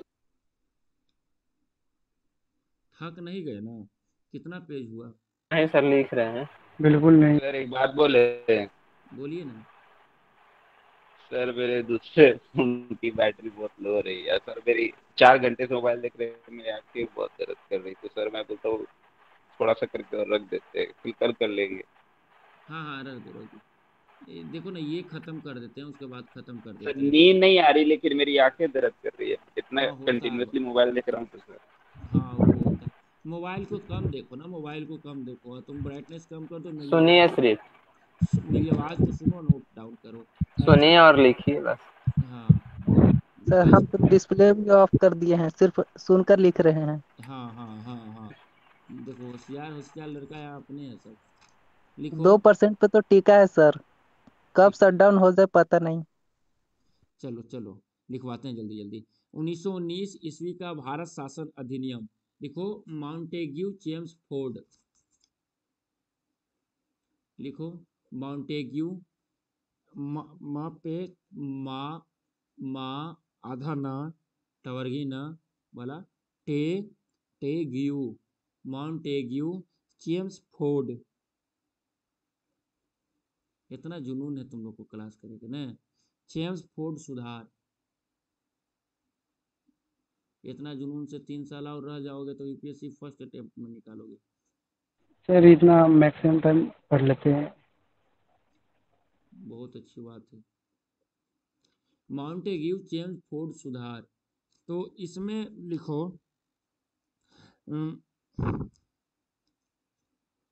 लिखो केंद्र में केंद्र में द्विसदनात्मक द्विसदनात्मक केंद्र में द्विसदनात्मक विधायिका की स्थापना की गई। केंद्र में द्विसदनात्मक विधायिका की स्थापना की गई। हाँ प्रथम राज्य परिषद देखो प्रथम राज्य परिषद और दूसरा जो था केंद्रीय विधानसभा। प्रथम राज्य परिषद और दूसरा जो था आपका केंद्रीय विधानसभा। ठीक है? राज्य परिषद की सदस्यों की संख्या साठ थी। राज्य परिषद के सदस्यों की संख्या साठ थी। और उसका फिक्स नहीं था। अब देखो। हम्म, छोड़ो इस सबको अब आगे आ जाओ। इसमें तो था माउंट ट्रांसपोर्ट योजना में बहुत इम्पोर्टेंट है। पर, हम्म, सर इसमें था सर जो प्रोविंशियल था ना उसको दो सब्जेक्ट में बांट किया था एक ट्रांसफ़र सब्जेक्ट है हाँ और एक रिज़र्व सब्जेक्ट हाँ। आरक्षित विषय और कितना अंदर जाएगा आपको लगता है? नहीं जाएगा। आगे आ जाओ एक चीज़ लिखो एक चीज़ लिखो। इसने इसने सांप्रदायिक आधार पर सिखों भारतीय ईसाइयों सर इसमें एक इम्पोर्टेंट है upper house and lower house इसी में आया था। हाँ इसमें आया था। लिखवाते हैं रुकिए। इसके बाद देखो इसमें थोड़ा सा है 1935 वाला 1947 वाला। उसके बाद तुम लोग जो कहोगे सो करेंगे। पहले पर इतना तो लिखना ही पड़ेगा तुम लोग को। ये सर सिक्सटी परसेंट हमारा कॉन्स्टिट्यूशन उन्नीस सौ पैंतीस का ही तो है। हाँ। देखो इस लिखो ना कि क्या लिखे लास्ट में आंगल भारतीयों और यूरोपियों के लिए भी पृथक निर्वाचन के सिद्धांत को विस्तारित कर दिया। इसने सांप्रदायिक आधार पर सिखों भारतीय ईसाइयों आंग्ल भारतीयों और यूरोपियों के लिए भी पृथक निर्वाचन के सिद्धांत को विस्तारित कर दिया। ठीक है? और ये सर और और और और लिखो ना। सर फिर से बोलिए ना। बोल दो कोई भाई। लिखो। अगला। सर हिंदी में नहीं बोलने आता है वो। अच्छा बोल देंगे सर बाद में। लिखो अगला। माउंटेग्यू चेम्सफोर्ड सुधार। माउंटेगे माउंटेग्यू चेम्सफोर्ड सुधार द्वारा भारत में पहली बार भारत में पहली बार महिलाओं को वोट देने का अधिकार मिला। वोट देने का अधिकार मिला। वोट देने का अधिकार मिला। वोट देने का अधिकार मिला। मॉन्टेग्यू चेम्सफोर्ड सुधार द्वारा भारत में पहली बार महिलाओं को महिलाओं को वोट देने का अधिकार मिला। उस समय इंग्लैंड का प्रधानमंत्री लॉर्ड जॉर्ज था। अच्छा कितना पेज तुम लोग लिख लिए होगे अभी तक? हुआ जी बीस तीस पेज। जा सर पच्चीस पेज। क्या? सर ट्वेंटी प्लस हो गया। ट्वेंटी फाइव पेज मेरा होता बताओ हो ये ट्वेंटी प्लस बाईस तेईस ऐसा है। अच्छा जब सब गिन नहीं रहे अच्छा हैं। जब हम बोले थे कि हम तीन बजे तक पढ़ाएँगे तो सब कोई विश्वास नहीं ना किया था तुम लोग हम बिल्कुल नहीं किए थे। सर हमको फिफ्टी फिफ्टी परसेंट लग रहा था कि ऐसा नहीं होगा पर होगी। सर आप पहले ही बोले थे ना कि करवाएँगे लेकिन करवाए नहीं थे तो हमको लगा आज भी ऐसे ही बोल दिए होंगे। Don't underestimate the power of a common man ना? यस सर आ जाओ आ जाओ। लिखो उन्नीस सौ सर जो नहीं किया ना कल रोएगा। भारी रहेगा 1935 ईस्वी का भारत शासन अधिनियम। 1935 बेचारा को दे देंगे रिकॉर्डिंग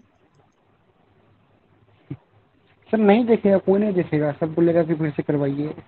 कहाँ से देखेगा सर।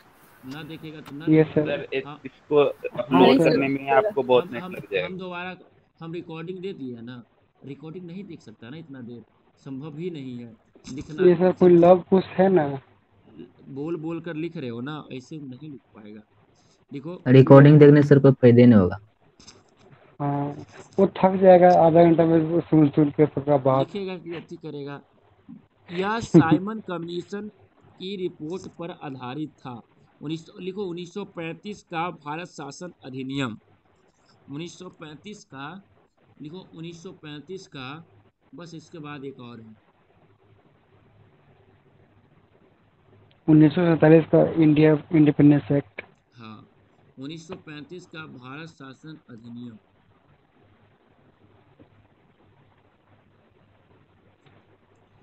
लिखो यह साइमन कमीशन की रिपोर्ट पर आधारित था।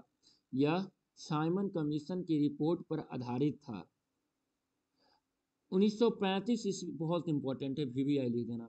1935 ईस्वी के अधिनियम में 321 अनुच्छेद और 10 अनुसूचियाँ थी। 1935 ईस्वी के अधिनियम में 1935 ईस्वी के अधिनियम में 10 से 12 और 12 से 3 तीन दो पाँच। कितना घंटा? साढ़े चार घंटा हुआ है अभी ना। यस लिखो उन्नीस सौ पैंतीस ईस्वी के ईस्वी के अधिनियम में तीन सौ इक्कीस अनुच्छेद और दस अनुसूचियाँ थी ठीक है? हम्म, आगे देखो सब उतना अंदर वाली बात हम नहीं देखेंगे।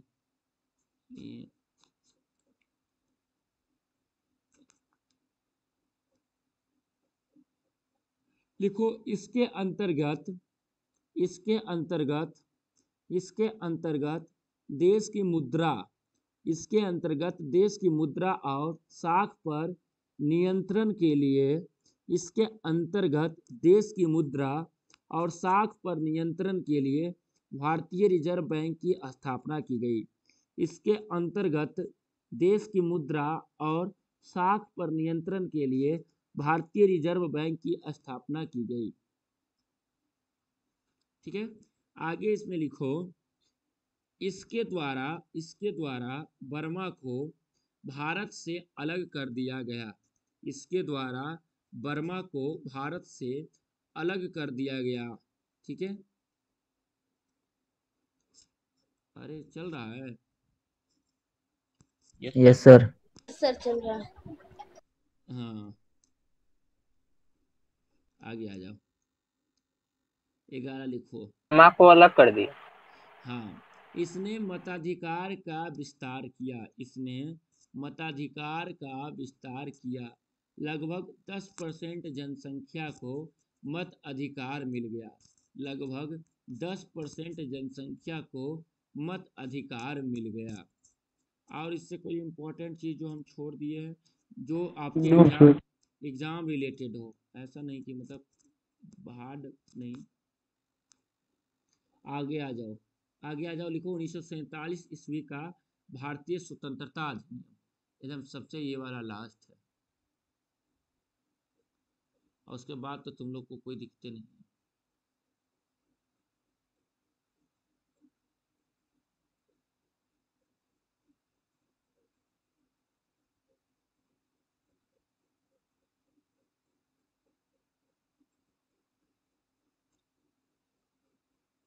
लिखो। इस ब्रिटिश संसद में, ब्रिटिश संसद में, ब्रिटिश संसद में चार जुलाई, ब्रिटिश संसद में चार जुलाई उन्नीस को भारतीय स्वतंत्रता अधिनियम प्रस्तावित किया गया। ब्रिटिश संसद में चार जुलाई उन्नीस को भारतीय स्वतंत्रता अधिनियम प्रस्तावित किया गया। जो 18 जुलाई उन्नीस को स्वीकृत हो गया। स्वीकृत ऐसे लिखो, स्वीकृत।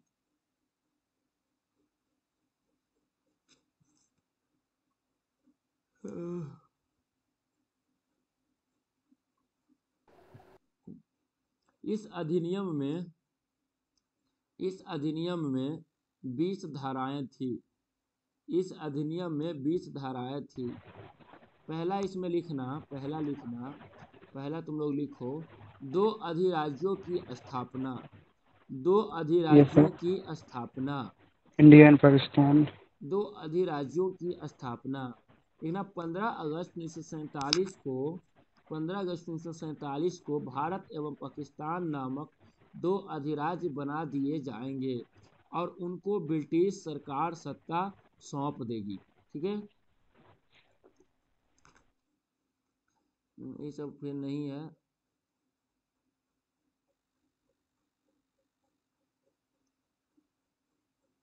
देखो उन्नीस सौ 1935 के भारतीय शासन अधिनियम द्वारा 1935 के भारतीय शासन अधिनियम द्वारा शासन शासन जब तक संविधान सभा द्वारा नया संविधान बनकर शासन जब तक संविधान सभा द्वारा नया संविधान बनकर तैयार नहीं किया जाता है तब तक उस समय 1935 के भारतीय शासन अधिनियम द्वारा ही शासन होगा। सर एक बार और बोलिएगा। 1935 के भारतीय शासन अधिनियम द्वारा शासन जब तक संविधान सभा द्वारा नए संविधान बनकर तैयार नहीं किया जाता है तब तक उस समय 1935 के भारतीय शासन अधिनियम द्वारा ही शासन होगा। बाकी कल पढ़ाएँगे तुम्हें भारतीय संविधान सभा जिसको हम दो से तीन क्लास में पूरा अच्छे से खत्म करेंगे। ठीक है? तीन बज गया यस सर तीन बज गया यस सर तीन बज गया। तीन बजे तक बोले सत्यम। हाँ। सत्यम भाई हाँ बोलने भाई। मेरा